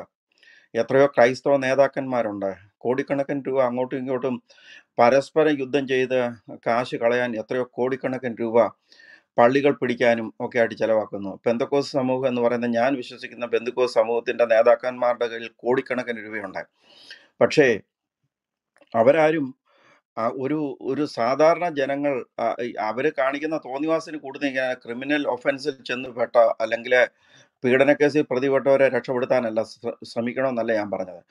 വിശ്വാസത്തിന്റെ പേരിൽ ത്യാഗം സഹിക്കുന്നവരെ കള്ളക്കേസിൽ കൊടുക്കുന്നവരെ അവർക്ക് പിന്നിൽ ഒരു പോലീസ് പ്രൊട്ടക്ഷൻ കൊടുക്കാൻ അവരുടെ കുടുംബത്തിന്റെ ഒരു പരിരക്ഷ കൊടുക്കാനോ ഒരു സമൂഹം ഇന്നുവരെയും ക്രൈസ്തവ സമൂഹം തയ്യാറായി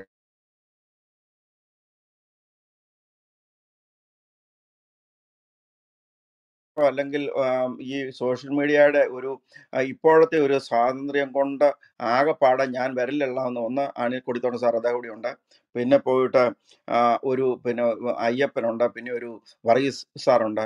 അങ്ങനെ മൂന്നോ നാലോ പേരേ ഉള്ളൂ പിന്നെ ഒരു സെബാസ്റ്റ്യൻ ഉണ്ട് ഇങ്ങനെ മൂന്നോ നാലോ പേരേ ഉള്ളൂ. അല്ലാത്തവരാരും പ്രതികരിക്കാൻ നല്ല മിടുക്കന്മാരും കഴിവുള്ളവരും സഭാ നേതാക്കന്മാരും ഉണ്ട്. പക്ഷേ അവരാരും അവരെല്ലാം നല്ല പിന്നെ അല്പം വില കുറഞ്ഞു പറഞ്ഞ വീങ്ങിയൊക്കെ കഴിച്ച് നല്ല കംഫർട്ടായിട്ടുള്ള വണ്ടിയൊക്കെ ഉപയോഗിച്ച് അവരും അവരുടെ മക്കളും അമേരിക്കയിലും ഒക്കെ ജീവിച്ച് അങ്ങനെ അങ്ങ് പോവുകയാണ്. ഇതിനകത്ത് വിശ്വാസികൾ എന്ന് പറയുന്ന അവന്റെ ദശാംശം മേടിച്ച് ജീവിക്കുന്നവൻ വിശ്വാസത്തിന്റെ പേരിൽ അവന്റെ ചോട്ടിലെ മണ്ണ ഒലിച്ചു പോവുകയാണെന്ന് അവൻ അറിയുന്നില്ല അറിയാഴികയല്ല. ഞങ്ങൾക്ക് എന്താ ഛേദം ഈ ടി. ജി. മോഹൻദാസ് എന്ന് പറയുന്ന ആർ എസ് എസിന്റെ നേതാവ് ഇപ്പൊ അദ്ദേഹം ഒരു ഒരു നല്ല പ്രഭാഷണം നിങ്ങൾക്ക് അറിയാം അദ്ദേഹത്തിന്റെ കെയർ ഓഫിൽ അഡ്വക്കേറ്റ് രാംകുമാർ സാറാണ് ഈ ചിൻബാദ് പാലത്തിൽ എന്ന് പറയുന്ന ജയിലിൽ കിടന്നവരെ ഇറക്കിയെന്നാണ് ഞാൻ അറിഞ്ഞ അതിന്റെ വാസ്തവം എനിക്ക് അറിയത്തില്ല ഞാൻ പുറത്താകുന്നതുകൊണ്ട് ഞാനിങ്ങനെ വായിച്ചും പറഞ്ഞുള്ള അറിവ് മാത്രമേ ഇതിന്റെ ഒന്നും വാസ്തവം എനിക്കറിയില്ല. പക്ഷേ ഇത് നമ്മളിങ്ങനെ ക്ലബ് ഹൗസിൽ വന്നിരുന്ന് ദിവസങ്ങളോളം നീണ്ട നിർത്ത ചർച്ചകൾ മുന്നോട്ട് പോയി. ആൾക്കാരെ ഒന്ന് എന്നാ പറയുന്നു ബൂസ്റ്റ് ചെയ്യാൻ കഴിയുന്നു എന്നുള്ളത് സത്യമാണെങ്കിലും നമ്മൾ ക്രിയേറ്റീവായിട്ട് എന്ത് ചെയ്യാൻ പറ്റൂ എന്ന് പറയും ഇപ്പൊ കൗണ്ടർ കൗണ്ടർ കേസ് കൊടുക്കണം. ആര് കൗണ്ടർ കേസ് കൊടുക്കും? അതിന്റെ ഉത്തരവാദിത്വം ആരാണ്? ഇതിന്റെ പിന്നിൽ സാമ്പത്തിക ആവശ്യമുണ്ട്. ഇപ്പൊ ഇസ്ലാമിക് ഇസ്ലാമിക് ടെററിസം നടക്കുന്ന എങ്ങനെയാന്ന് ചോദിച്ചാൽ ഞാൻ പത്ത് പന്ത്രണ്ട് വർഷം സൗദി അറേബ്യ ജോലി ചെയ്ത ആളാണ്. അവിടുന്ന് യൂറോപ്പിലായിട്ട് പതിരും ഞാനിത് നോക്കി കണ്ടുകൊണ്ടിരിക്കുന്ന മനസ്സ് ഞാനെന്നല്ല എന്നെപ്പോലെ പോലെ ആയിരങ്ങൾ കണ്ടു നിസ്സഹായതയോടെ നോക്കി മനസ്സിലാക്കിക്കൊണ്ടിരിക്കുന്ന കാര്യങ്ങൾ ഒന്നര ഒരു മിനിറ്റ് പറഞ്ഞ് ഞാൻ തീർക്കാം. അവിടെ പിന്നെ ഇസ്ലാമിക് റിലീഫ് ഓർഗനൈസേഷൻ എന്നൊരു സംഘടനയുണ്ട്. ആ ഒരു സംഘടന അല്ല നൂറുകണക്കിന് സംഘടനകളുണ്ട്. അതിൽ അറിയാവുന്ന അവിടെ എല്ലാം പള്ളികളുടെ സൈഡിൽ അത് വെച്ചിട്ടുണ്ട് ഇസ്ലാമിക് റിലീഫ് ഓർഗനൈസേഷൻ. വെള്ളിയാഴ്ച തോറും കോടിക്കണക്കിന് രൂപ അതിനകത്ത് വന്നിറങ്ങുന്നത്. അതിനുള്ള തുണികളെ മെഡിസിനുകളെ ഇങ്ങനെയെല്ലാം പൈസ ഈ പൈസ മുഴുവൻ പോകുന്നത് ഇവർ പറയുന്നത് ഈ പാവപ്പെട്ടവരെ സഹായിക്കാൻ. ഒരു പാവപ്പെട്ടവരെയല്ല ഇത് മുഴുവൻ ടെററിസ്റ്റുകളുടെ കയ്യിലേക്കാണ് പൈസ ചെന്നുകൊണ്ടിരിക്കുന്നത് പിന്നെ കേരളത്തിൽ മാത്രം കേരളത്തിലെ ചില ഒന്ന് രണ്ട് സ്വർണക്കടകൾ ആരുടെയും പേര് പറയുന്നില്ല. പിന്നെ കേരളത്തിൽ കിടക്കുന്ന കോടിക്കണക്കിന് വിദേശ രാജ്യങ്ങൾ ഗൾഫ് മേഖലയിൽ ജീവിക്കുന്നവരുടെ നല്ല ഒരു ശതമാനം പണം ഈ ഈ ടെററിസ്റ്റുകളുടെ കയ്യിലാണ് വരുന്നത്. അവരുടെ പണമുണ്ട്. അവരുടെ പിന്നിൽ പിന്നെ വലിയ പിന്നെ സ്വാധീന ശക്തികളുണ്ട് രാഷ്ട്രീയ ശക്തികളുണ്ട്. അതുകൊണ്ട് ഈ ക്രൈസ്തവരെന്ന് പറയുന്ന ആകെപ്പാടെ ക്രൈസ്തവന്റെ ഒരു പരോക്ഷമായിട്ട് സപ്പോർട്ട് ചെയ്യുന്ന കേരള കോൺഗ്രസ് എന്നൊക്കെ ചുമ്മാ വെറുതെ പറയുന്ന ഒരു കാര്യമില്ല അവർക്ക് അവരുടെ കാര്യം നടക്കണം. അച്ഛന്മാർക്ക് കോളേജ് പണിയണം സ്കൂൾ പണിയണം. അല്ലെങ്കിൽ പിന്നെ കുറേ ക്രിസ്ത്യാനികൾക്ക് സ്കൂളും കോളേജും പണിയണം. അവന് കാശുണ്ടാക്കണം എന്നുള്ളത്. അല്ലാതെ ഒരു ക്രൈസ്തവ സമൂഹത്തിന്റെ സെക്യൂരിറ്റിക്ക് വേണ്ടി അത് കാരണം അവൻ ഇൻസെക്യൂരിറ്റി ആ ഫീൽ ചെയ്യുന്നത് ഒന്നും ചെയ്യില്ല. അവനെ അണ്ടർ എസ്റ്റിമേറ്റ് ചെയ്യുകയാണ്. അവനെ അവനെ ചുട്ടിക്കൊടു ഒന്ന് പറഞ്ഞ രണ്ടാമത്തേനെ നീ സ്വർഗത്തിൽ പോകുമായിരുന്നു അല്ലെങ്കിൽ നീ പിന്നെ പാസ്റ്റർമാരെയോ അല്ലെങ്കിൽ അല്ലെങ്കിൽ പിന്നെ അച്ഛന്മാരെയോ വൈദികരെയോ വിമർശിച്ചു പോയി. നീ സ്വർഗത്തിൽ ബൈബിൾ കൃത്യമായി വായിക്കുന്നവന് വിമർശിക്കാം. അതിന്റെ പരിധിക്കുന്നവനുണ്ട് അവരെ അപമാനിക്കരുത്. വിമർശിക്കുന്നതിന് ഒരു തെറ്റുമില്ല. അതുകൊണ്ട് നമ്മൾ ഒരു കാര്യം മനസ്സിലാക്കേണ്ടത് ഇനിയും വിമർശിക്കേണ്ടതിന് അതിന്റെ നിലവാരത്തിലും ഒരു ബൈബിളിന്റെ സ്റ്റാൻഡേർഡിലും നിലവാരത്തിലും നിന്ന് ഞാൻ തീർക്കാം ഞാൻ തീർക്കാം അല്ലല്ല. വിഷയത്തിൽ നിന്ന് മാറ്റി വിഷയത്തിൽ സംസാരിക്കും.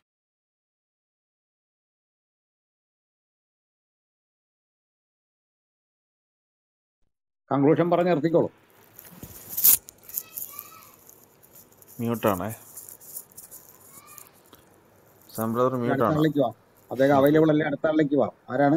Thomas Thomas. അതിന് മുന്നേ സൽമാൻ ബ്രദർ ഉണ്ട്. സൽമാൻ ബ്രദർ സംസാരിച്ചില്ല. സൽമാൻ ബ്രദർ പറഞ്ഞോളൂ. ഹലോ. ഒരു മിനിറ്റ് തോമസ് ബ്രദറെ വരാം. ഒരു സാറേ ഞാൻ പറഞ്ഞു തീർത്തില്ല കേട്ടോ. എന്നാ കംപ്ലീറ്റ് ചെയ്യുക കംപ്ലീറ്റ് ചെയ്യുക ഓക്കെ. അപ്പൊ അതിനു വേണ്ടിയിട്ട് ഇനി ഒരു നിയമ സംവിധാനങ്ങൾ ഉണ്ടാകാൻ ബൈ പോളിസി രൂപീകരിച്ച ഒരു നിയമ സംവിധാനം ഒരു ഏകോപന ക്രിസ്ത്യൻ കൗൺസിൽ രൂപീകരിക്കാനുള്ള ഒരു സംവിധാനം. ഉണ്ടെന്ന് പറഞ്ഞിട്ട് കാര്യമില്ല. ഈ ഒരു കാര്യത്തിന് വേണ്ടി മാത്രം. ഒരു കേസ് ഉണ്ടായാൽ നമ്മുടെ സഹോദരങ്ങൾക്ക് ഒരു പ്രശ്നം ഉണ്ടായാൽ ഇപ്പം ഇന്നിപ്പം നാളെ ഈ അനിൽ കൊടിത്തോട്ടം പോലെ സാറിനെ പോലെ ഉള്ളവർക്കൊക്കെ വധഭീഷണികളുണ്ട്. അവരെ ഏത് സമയത്ത് കിട്ടിയാലും ഇപ്പൊ അവരെ ഇരുത്തിക്കൊണ്ട് തന്നെ പറയുന്നതിൽ എനിക്ക് വിഷമമുണ്ട്. ഈ ഇവരെയൊക്കെ കിട്ടിയാൽ ഇവർ തീർക്കത്തൊക്കെ തരുത് ഇവരൊക്കെ അത് സൂക്ഷിച്ചതിന് അവർ നിൽക്കുന്നത് നമുക്ക് നല്ല ബോധ്യമുണ്ട്. നാളെ ഇവർക്കൊരു പ്രശ്നം ഉണ്ടായാൽ നമ്മൾ ഇവരുടെ കൂടെ നിൽക്കുമോ ഇവർ മരണം മുന്നേ കണ്ടുകൊണ്ടാണ് ഇവിടെ നിന്ന് പ്ര- പ്രസ്താവിക്കുന്നത് ഇവിടെ നിന്ന് ഈ സോറി ഈ ഇത് അതുകൊണ്ട് നിയമപരമായിട്ട് ഇപ്പൊ ഒരു പിന്നെ പിന്നെ നമ്മുടെ കത്തോലിക്ക സമൂഹത്തിന് ഒരു ഒന്ന് രണ്ട് കാസ എന്നൊക്കെ പറയുന്ന ഒന്ന് രണ്ട് സംവിധാനങ്ങളുണ്ട്. ഒരു ഒരു യൂണിറ്റിയോടുകൂടി ഒരു ക്രിസ്ത്യൻ കൗൺസിൽ രൂപീകരിച്ച് നമുക്കെതിരെ ഒരു കേസ് ഉണ്ടായാൽ അല്ലെങ്കിൽ ഒരാൾ ജയിലിൽ കിടന്നാൽ അവരെ എങ്ങനെ പ്രൊട്ടക്ട് ചെയ്യണം? നിയമപരമായ സംവിധാനം എങ്ങനെ ഉണ്ടാക്കണമെന്ന്? ഒരു ക്രിസ്ത്യൻ കൗൺസിൽ രൂപീകരിച്ച് അതിനുള്ള സാമ്പത്തികമായ കാര്യങ്ങളും അതിനുള്ള നിയമ സംവിധാനങ്ങളും ഉണ്ടാക്കാൻ നിങ്ങൾ എത്രയും വേഗം ഒരു ശ്രമം നടത്തണമെന്ന് ഞാൻ പറഞ്ഞുകൊണ്ട് നിർത്തുന്നു. ഓക്കെ താങ്ക് യു തോമസ് സംസാരിച്ചോളൂ. ഇതിനകത്ത് നമുക്ക് ചെയ്യാവുന്നത് അദ്ദേഹത്തിന്. നമുക്കറിയാം മൂന്നാൽ ദിവസമായിട്ട് ആശുപത്രി കിടന്നയാളെ എനിക്ക് ആളുടെ കറക്റ്റ് വിവരം അറിയത്തില്ല. ആളിപ്പോ റിമാൻഡിലാണോ അതോ അറസ്റ്റ് മാത്രം രേഖപ്പെടുത്തി വിട്ടിരിക്കുകയാണോ എന്ന് ഫോളോ അപ്പ് ചെയ്തിട്ടില്ല. സോറി ഏതായാലും ഇങ്ങനെ ഒരു അവരൊന്ന് പേടിപ്പിച്ച് നോക്കുകയാണ്. നമ്മൾ എന്ത് റിയാക്ഷൻ എന്താണ്? നമ്മൾ തീർച്ചയായിട്ടും നമ്മൾ റിയാക്ട് ചെയ്യണം. ഇവിടെ ഒരു ബിഷപ്പിനെതിരെ വന്നപ്പോൾ നമ്മളെല്ലാം റിയാക്ട് ചെയ്തു. അത് കഴിഞ്ഞ് അതിന്റെ പുറകെ പല പല പ്രശ്നങ്ങൾ വന്ന് അവർക്ക് എന്നും പ്രശ്നങ്ങളാണ്. അവരായിട്ട് ഓരോ പ്രശ്നങ്ങൾ അവർ തന്നെ കുത്തിപ്പൊക്കുകയാണ് നിങ്ങൾ എപ്പോഴും സ്ഥിതി ചോദിക്കുക. ആരും ഒന്നും മിണ്ടായിരുന്നു കഴിഞ്ഞാൽ അവരൊരു പ്രശ്നമായിട്ട് വരും. എവിടുന്നെങ്കിലും എന്തെങ്കിലും ഒരു പ്രശ്നം കൊണ്ടുവരുമോ ഒന്നെങ്കിൽ കരുനാഗപ്പള്ളിയിൽ ഇത് അല്ലെങ്കിൽ പത്തനംതിട്ടയിൽ ഒരു പ്രസംഗം. നോക്കുക ഓരോ ദിവസം ഓരോ പ്രശ്നങ്ങൾ. അല്ലെങ്കിൽ ആലുവയിൽ ഒരു പ്രശ്നം. ഇങ്ങനെ ഓരോ പ്രശ്നങ്ങൾ അവരുണ്ടാക്കുക. അതിന് എനിക്ക് തോന്നുന്നു ഇവർ ഇങ്ങനെ ഒരു പ്രശ്നം ഇട്ട് നോക്കിയിട്ട് നമ്മളുടെ റിയാക്ഷൻ എന്താണ്? പൊതുജനത്തിന്റെ റിയാക്ഷൻ എന്താണെന്നുള്ളതാണ് അവർ നോക്കുന്നത്. എന്നാണ് എനിക്ക് മനസ്സിലാക്കുന്നത്. അല്ലാതെ തീർച്ചയായിട്ടും മനോജിന് നമ്മൾ ഒരു സപ്പോർട്ട് ആവശ്യമാണ്. എനിക്ക് തോന്നുന്നു പ്രോസിന്റെ കാസാടെ മറ്റു മെമ്പറാന്ന് തോന്നുന്നു. അങ്ങനെ അവർക്ക് പൈസ സാമ്പത്തികമായിട്ട് എന്തെങ്കിലും സഹായിക്കണമെങ്കിൽ അവരുടെ ഇതുണ്ടായിരുന്നു. അക്കൗണ്ട് നമ്പരും എല്ലാവരും കൂടെ പബ്ലിഷ് ചെയ്തിട്ടുണ്ടായിരുന്നു. നിങ്ങൾ നമ്മൾ സഹായിക്കണം. പിന്നെ അതുപോലെ തന്നെ നിയമപരമായിട്ടുള്ള എന്തെങ്കിലും സഹായം ആവശ്യമുണ്ടെങ്കിൽ തീർച്ചയായിട്ടും കൊടുക്കണം. അവർ വെറുതെ ബിഷപ്പ് എന്തോ ഒരു വാക്ക് ബിഷപ്പ് ഹൗസിലോ അല്ലെങ്കിൽ ഒരു പള്ളിയിലിരുന്നോ പറഞ്ഞതിനെതിരെ കേസ് കൊടുത്തവരും ഞാൻ പാലായ്ക്കടുത്ത് താമസിക്കുന്നതിനോട് പാലായിക്കൂടെ കടന്ന പ്രകടനങ്ങളും എല്ലാം ഞങ്ങൾ കണ്ടതാണ്. എന്തൊക്കെ തെറിയ വിളിച്ചു പറഞ്ഞുകൊണ്ട് പൊക്കൊണ്ടിരുന്നത് പാലക്കാര് ഒട്ടും മോശക്കാരൊന്നുമല്ല. പക്ഷേ സംയമനം പാലിക്കുന്നു. എല്ലാരും ചോദിച്ചു എന്താ പാലക്കാരുടെ ഉശിരൊക്കെ പോയോ? എന്ന് ചോദിച്ചൊരു സമയമുണ്ട്. ഈയിടെ അടുത്ത കാലത്തൊക്കെ വീണ്ടും വീണ്ടും ഓരോരുത്തരും ചോദിക്കുന്നുണ്ട്. പാലക്കാരുടെ ഉശിരി പോയിട്ടൊന്നും അല്ല കാരണം തല്ലാനാണെങ്കിൽ അറിയാവുന്നവർ തന്നെയാണ് പാലക്കാർ ഇന്നും മോശമൊന്നുമല്ല. പക്ഷെ നമ്മളൊരു ക്രിസ്ത്യാനിയായി പോയി നമ്മൾ തിരിച്ചു തല്ലിയ ഒരു പരിചയമില്ല.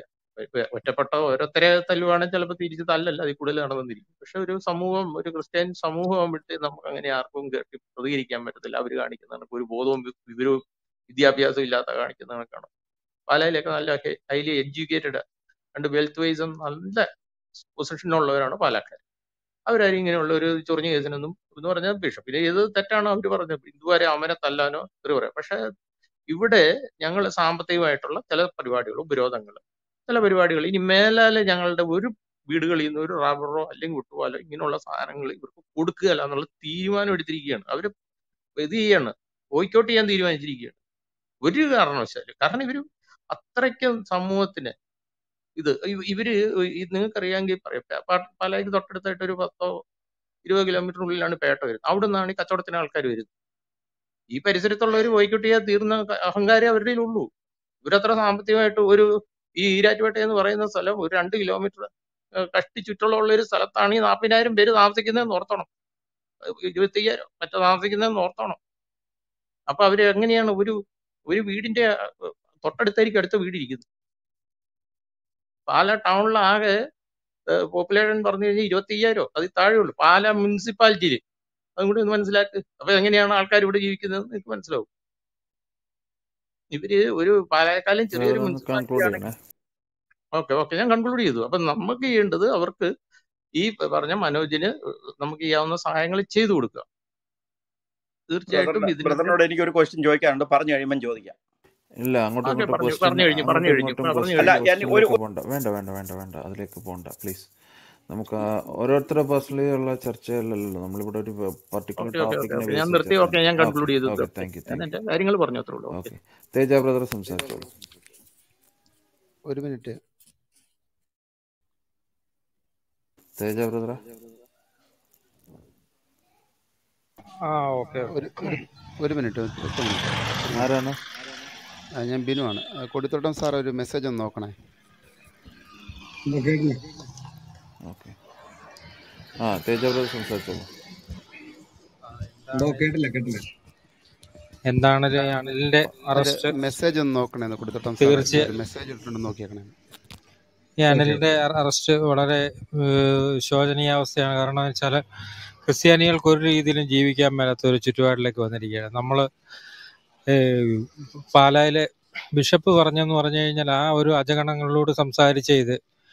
അത് അതിനെ എടുത്തു വെച്ചിട്ട് അതിനെ ന്യായീകരിച്ച് അതിനെ വെളുപ്പിച്ച് ഒക്കെ ഇത്രയും പ്രശ്നമുണ്ടായി. ഈ മനോജിനെ ക്രൂരമായി ദേഹോപദ്രവം ഏൽപ്പിക്കുകയും അവന്റെ കുഞ്ഞുങ്ങളെ വരെ തല്ലുകയും ചെയ്തിട്ട് അവനെതിരെ കൊണ്ട് കേസ് കൊടുത്തിരിക്കുന്ന ഈ കിരാതമായ നടപടിക്ക് ശക്തമായി നമ്മൾ പ്രതിഷേധിക്കേണ്ടതാണ്. തീർച്ചയായിട്ടും. അതുപോലെ തന്നെ മനോജിന് മനോജ് ബ്രദറിന് വേണ്ട സഹായങ്ങളും ചെയ്തു കൊടുക്കേണ്ടതാണ്. ഇപ്പൊ ഇത് ഇവരുടെ ഒരു എന്താ പറയുന്ന ഒരു അസഹിഷ്ണുത. അതായത് ഇന്നിപ്പോ രാവിലെ തന്നെ ഇപ്പൊ നമ്മളിവിടെ ഒരു ഗ്രൂപ്പ് ഇട്ടിരുന്നു. അതായത് നമ്മുടെ തബ്ലീഹിന്റെ ഇതിന്റെ ഗ്രൂപ്പ് ഇട്ടിരുന്നു. കോപ്റ്റിക് ബ്രദർ വന്ന് സംസാരിച്ചു. യൂസഫ് യഹിയ അവിടെ വന്നു. യൂസഫ് യഹിയ വന്നിട്ട് അവന്റെ ആ ഒരു അസഹിഷ്ണുത നോക്കണം. അവനെ ഒരു ആറേഴ് തെറിയ അവിടെ ഇരുന്ന് വിളിച്ച് അറബിയിൽ പക്ഷെ അവന്റെ തന്തയ്ക്കും തള്ളയ്ക്കും ഞങ്ങൾക്കും വിളിക്കേണ്ടി വന്നു. കാരണം അറബി തന്നെ. എന്നിട്ട് നാക്കെ കുരിശും വരച്ചു. കാരണം വേറൊന്നുമല്ല. ഇവനെയൊക്കെ അതിന് ഒരു കാര്യമില്ലാതെ അദ്ദേഹം അദ്ദേഹത്തിന്റെ ഒരു എന്തോ മാനസികാവസ്ഥ വെളിപ്പെടുത്തിയപ്പം ഇവനൊന്നും അത് സൂചിച്ചില്ല. എന്നിട്ട് അവനെ നല്ല രീതിയിൽ കോപ്റ്റിക്കിനെ തെറി പറഞ്ഞു. പക്ഷെ അവിടെ ഇരുന്നവരെല്ലാം ഗൾഫ് ഞാൻ ഉൾപ്പെടെയുള്ളവർ ഗൾഫിലുള്ളവരായതുകൊണ്ട് ഞങ്ങളൊക്കെ അങ്ങോട്ട് തെറി പറഞ്ഞ് അവനെ അവിടെ നിന്ന് ഇറങ്ങി ഓടുകയാണ് ആ വിഷയത്തിൽ നിന്ന് മാറി നമ്മുടെ ആ വിഷയത്തിലേക്ക് ഇല്ല ഇല്ല ഓക്കെ. അല്ല ഞാൻ ഇതുമായിട്ട് ബന്ധപ്പെട്ട് സംസാരിച്ചെന്നുള്ളേ ഉള്ളൂ. കാരണം ഇതെല്ലാം ഇവരുടെ ജിഹാദികളുടെ പരിപാടിയാണല്ലോ. അപ്പം ഇത്രേ ഉള്ളൂ എനിക്ക് പറയാൻ. അതായത് ഇനിയും നമ്മൾ വളരെയധികം സൂക്ഷിക്കുക. നമ്മൾ ഇനിയും എന്ത് പേടിക്കേണ്ട കാര്യമില്ല. ശക്തമായിട്ട് തന്നെ നമ്മുടെ ആശയപരമായിട്ട് നമ്മൾ എതിർക്കുക. അത്രേ ഉള്ളൂ. Thank you. സൗരന്മാരെ ഒരു കാര്യം ഒന്ന് പറഞ്ഞോട്ടെ നമ്മൾ വൈകാരികമായിട്ട് ഒരു പ്രശ്നത്തെ അഭിസംബോധന ചെയ്യുകയല്ല ചെയ്യുന്നത്. മറിച്ച് നമുക്ക് മുമ്പിൽ ഒരു യാഥാർത്ഥ്യം നമ്മുടെ കൺമുമ്പിൽ കാണുന്നു. ആ പ്രശ്നത്തെ ആദ്യം ഇത്തരം ക്ലബ് ചർച്ചകളിലൂടെ സജീവമാക്കി ഈ പ്രശ്നത്തിന്റെ പ്രതിഷേധത്തെ സജീവമാക്കി നിർത്തുക. ഒന്ന്. രണ്ടാമത് ഇപ്പോൾ ചില അഭിപ്രായങ്ങൾ ഉരുത്തിരിഞ്ഞു വന്നിട്ടുണ്ട്. അതൊക്കെ നമുക്ക് ആഭ്യന്തരമായി ചർച്ച ചെയ്ത് നിഗമനത്തിൽ എത്തേണ്ടതുമാണ് പല സഹോദരങ്ങൾ ആ വഴിക്ക് തിരിഞ്ഞിട്ടുണ്ട്. ഞാൻ പലരെ ബന്ധപ്പെട്ടിരുന്നു. അവരൊക്കെ ചെയ്യേണ്ട ഉത്തരവാദിത്തങ്ങൾ ചെയ്യുന്നുമുണ്ട്. അങ്ങനെയുള്ള ഒരു ഭയമൊന്നും ഇവിടെ ഇല്ല. കേരള പോലീസ് പിടിച്ചോണ്ട് പോയിട്ട് കൊല്ലാൻ പറ്റുമോ? ഒന്നും പറ്റില്ല. അതൊന്നും ഇപ്പൊ നടക്കാൻ പോകുന്ന കാര്യമൊന്നുമല്ല. അതവിടെ നിൽക്കട്ടെ. എന്നാൽ ഈ പോലീസിനെ തന്നെ കുറ്റം പറയാനാവില്ല. ഈ പോലീസിൽ നമ്മുടെ കേരള പോലീസിന്റെ സ്ഥിതി അറിയാലോ. വലിയ സമ്മർദ്ദങ്ങളിലാണ്. ആ സമ്മർദ്ദം ഒരു രാഷ്ട്രീയ സമ്മർദ്ദമാണ്. അവർക്കത് നടപ്പിലാക്കിയേ പറ്റൂ. അപ്പൊ അവരത് കൊണ്ടുവന്നു. പിന്നെ അതിനകത്ത് ഒരു തന്ത്രം. ചിലർക്ക് അറിയില്ല വിഷയം എന്താണെന്ന് പറഞ്ഞ മെസ്സേജ് വരുന്നത്. അതുകൊണ്ട് ഞാൻ മൊത്തത്തിൽ പറയാം. കഴിഞ്ഞ ചില ദിവസങ്ങൾക്കപ്പുറത്ത് മനോജ് എന്ന പേരായിട്ടുള്ള ഞങ്ങളുടെ ഒരു സഹോദരൻ അദ്ദേഹം കെ എസ് ആർ ടി സിയിലെ ഒരു ജീവനക്കാരനാണ്. അദ്ദേഹം രണ്ട് കുഞ്ഞുങ്ങളും ഒരുമിച്ച് തൊടുപുഴ വഴി യാത്ര ചെയ്ത് വരുമ്പോൾ മങ്ങാട്ടുകവല എന്നൊരു സ്ഥലമുണ്ട്. അവിടെ വെച്ച് ഒരു വട്ടം ഇത്തരത്തിലെ തീവ്രവാദികൾ കയറുന്നു. അദ്ദേഹത്തെ വലിച്ചിഴച്ച് വണ്ടിയിൽ നിന്ന് താഴെ ഇറക്കി കൊണ്ടുവന്ന് ഉപദ്രവിക്കുന്നു. വല്ലാത്ത പ്രക്ഷുബ്ധാവസ്ഥ സൃഷ്ടിച്ച് ഒറ്റവാക്കി പറഞ്ഞാൽ മർദ്ദിച്ച് അവശനാക്കിയിട്ട് അദ്ദേഹത്തെ കയ്യേറ്റം ചെയ്ത് അദ്ദേഹം തലനാരിഴയ്ക്ക് രക്ഷപ്പെട്ട് തൊടുപുഴയിലെ ഹോസ്പിറ്റലിൽ ചികിത്സയിലാകുന്നു ചികിത്സ കഴിഞ്ഞ് വീട്ടിലെത്തി വിശ്രമിക്കുന്ന വേളയിൽ അദ്ദേഹത്തിന്റെ മുമ്പിൽ വെച്ച് മക്കളുടെ മുമ്പിൽ വെച്ച് ചെയ്തുകൊണ്ട് ആ മക്കൾക്കും എല്ലാം വലിയ മാനസിക ആഘാതം ഈ വിഷയത്തിലുണ്ട്. അങ്ങനെ നിൽക്കുന്ന ഘട്ടത്തിൽ അദ്ദേഹത്തിനെതിരെ മതനിന്ന കുറ്റം ചുമത്തിയിട്ട് ഇന്ന് അറസ്റ്റ് നടന്നിരിക്കുന്നു. ഈ മതനിന്ന കുറ്റം ചുമത്തി കഴിഞ്ഞ ദിവസം പോലീസ് അറസ്റ്റ് ചെയ്യാൻ വരുമ്പോൾ പരിശീലനായി കിടന്ന ആ ചെറുപ്പക്കാരൻ പോലീസിനൊപ്പം പോകാനുള്ള യാത്രയിൽ എഴുന്നേറ്റപ്പോഴേക്ക് തല ഇറങ്ങി വീണു. ആകെ തകർന്നു പോയി. വീണ്ടും അദ്ദേഹത്തെ കൊണ്ട് ചേർപ്പുങ്കലെ മാൽ ശ്രീവ ഹോസ്പിറ്റലിൽ അഡ്മിറ്റ് ചെയ്തു. ഈ ശ്രീവ ഹോസ്പിറ്റലിന്റെ മുമ്പിൽ പോലീസ് ഇദ്ദേഹത്തെ പുറത്തു പോകാൻ അനുവദിക്കാതെ ഡിസ്ചാർജ് ഇപ്പൊ കിട്ടുന്നു. അപ്പോൾ അറസ്റ്റ് ചെയ്യാൻ പാകത്തിന് ഒരു കൊടും കുറ്റവാളിയെ എങ്ങനെ കൈകാര്യം ചെയ്യണം? ആ രൂപത്തിൽ ഇങ്ങനെ കാത്തു നിൽക്കുകയാണ്. നമുക്കറിയാം നമ്മുടെ രാജ്യത്ത് ഇദ്ദേഹം ഒരു സർക്കാർ ഉദ്യോഗസ്ഥനാണ് അദ്ദേഹം ഒന്നും ഇട്ടിട്ടൊന്നും പോകാൻ പോകുന്നില്ല. അദ്ദേഹത്തിനെതിരെ വകുപ്പ് തല അതിന് തെറ്റിയെങ്കിൽ വകുപ്പ് തല നടപടിയുണ്ട് അദ്ദേഹത്തിന് ഒരു മെമ്മ കൊടുത്തിട്ട് വിളിപ്പിക്കാം. ഫോൺ ചെയ്ത് വിളിക്കാം. ഇദ്ദേഹം എങ്ങാണ്ട് ചാടി ഇപ്പൊ പോകും. അത്തരത്തിൽ എന്തോ ക്രൂര കുറ്റം ചെയ്ത ഒരാളെ പോലെ ഒരു ഫേസ്ബുക്ക് പോസ്റ്റ് ഷെയർ ചെയ്തു എന്ന കുറ്റമാണ് അദ്ദേഹത്തിന്റെ പേരിലുള്ളത്. അപ്പോൾ ഇങ്ങനെ ഒരു പ്രതിസന്ധി നമ്മുടെ മുമ്പിൽ നിൽക്കുന്നു. അപ്പൊ ആക്രമിച്ച ഇദ്ദേഹത്തെ ഉപദ്രവിച്ച മനുഷ്യർക്കെതിരെ എന്താണ് അറസ്റ്റ് നടന്നോ?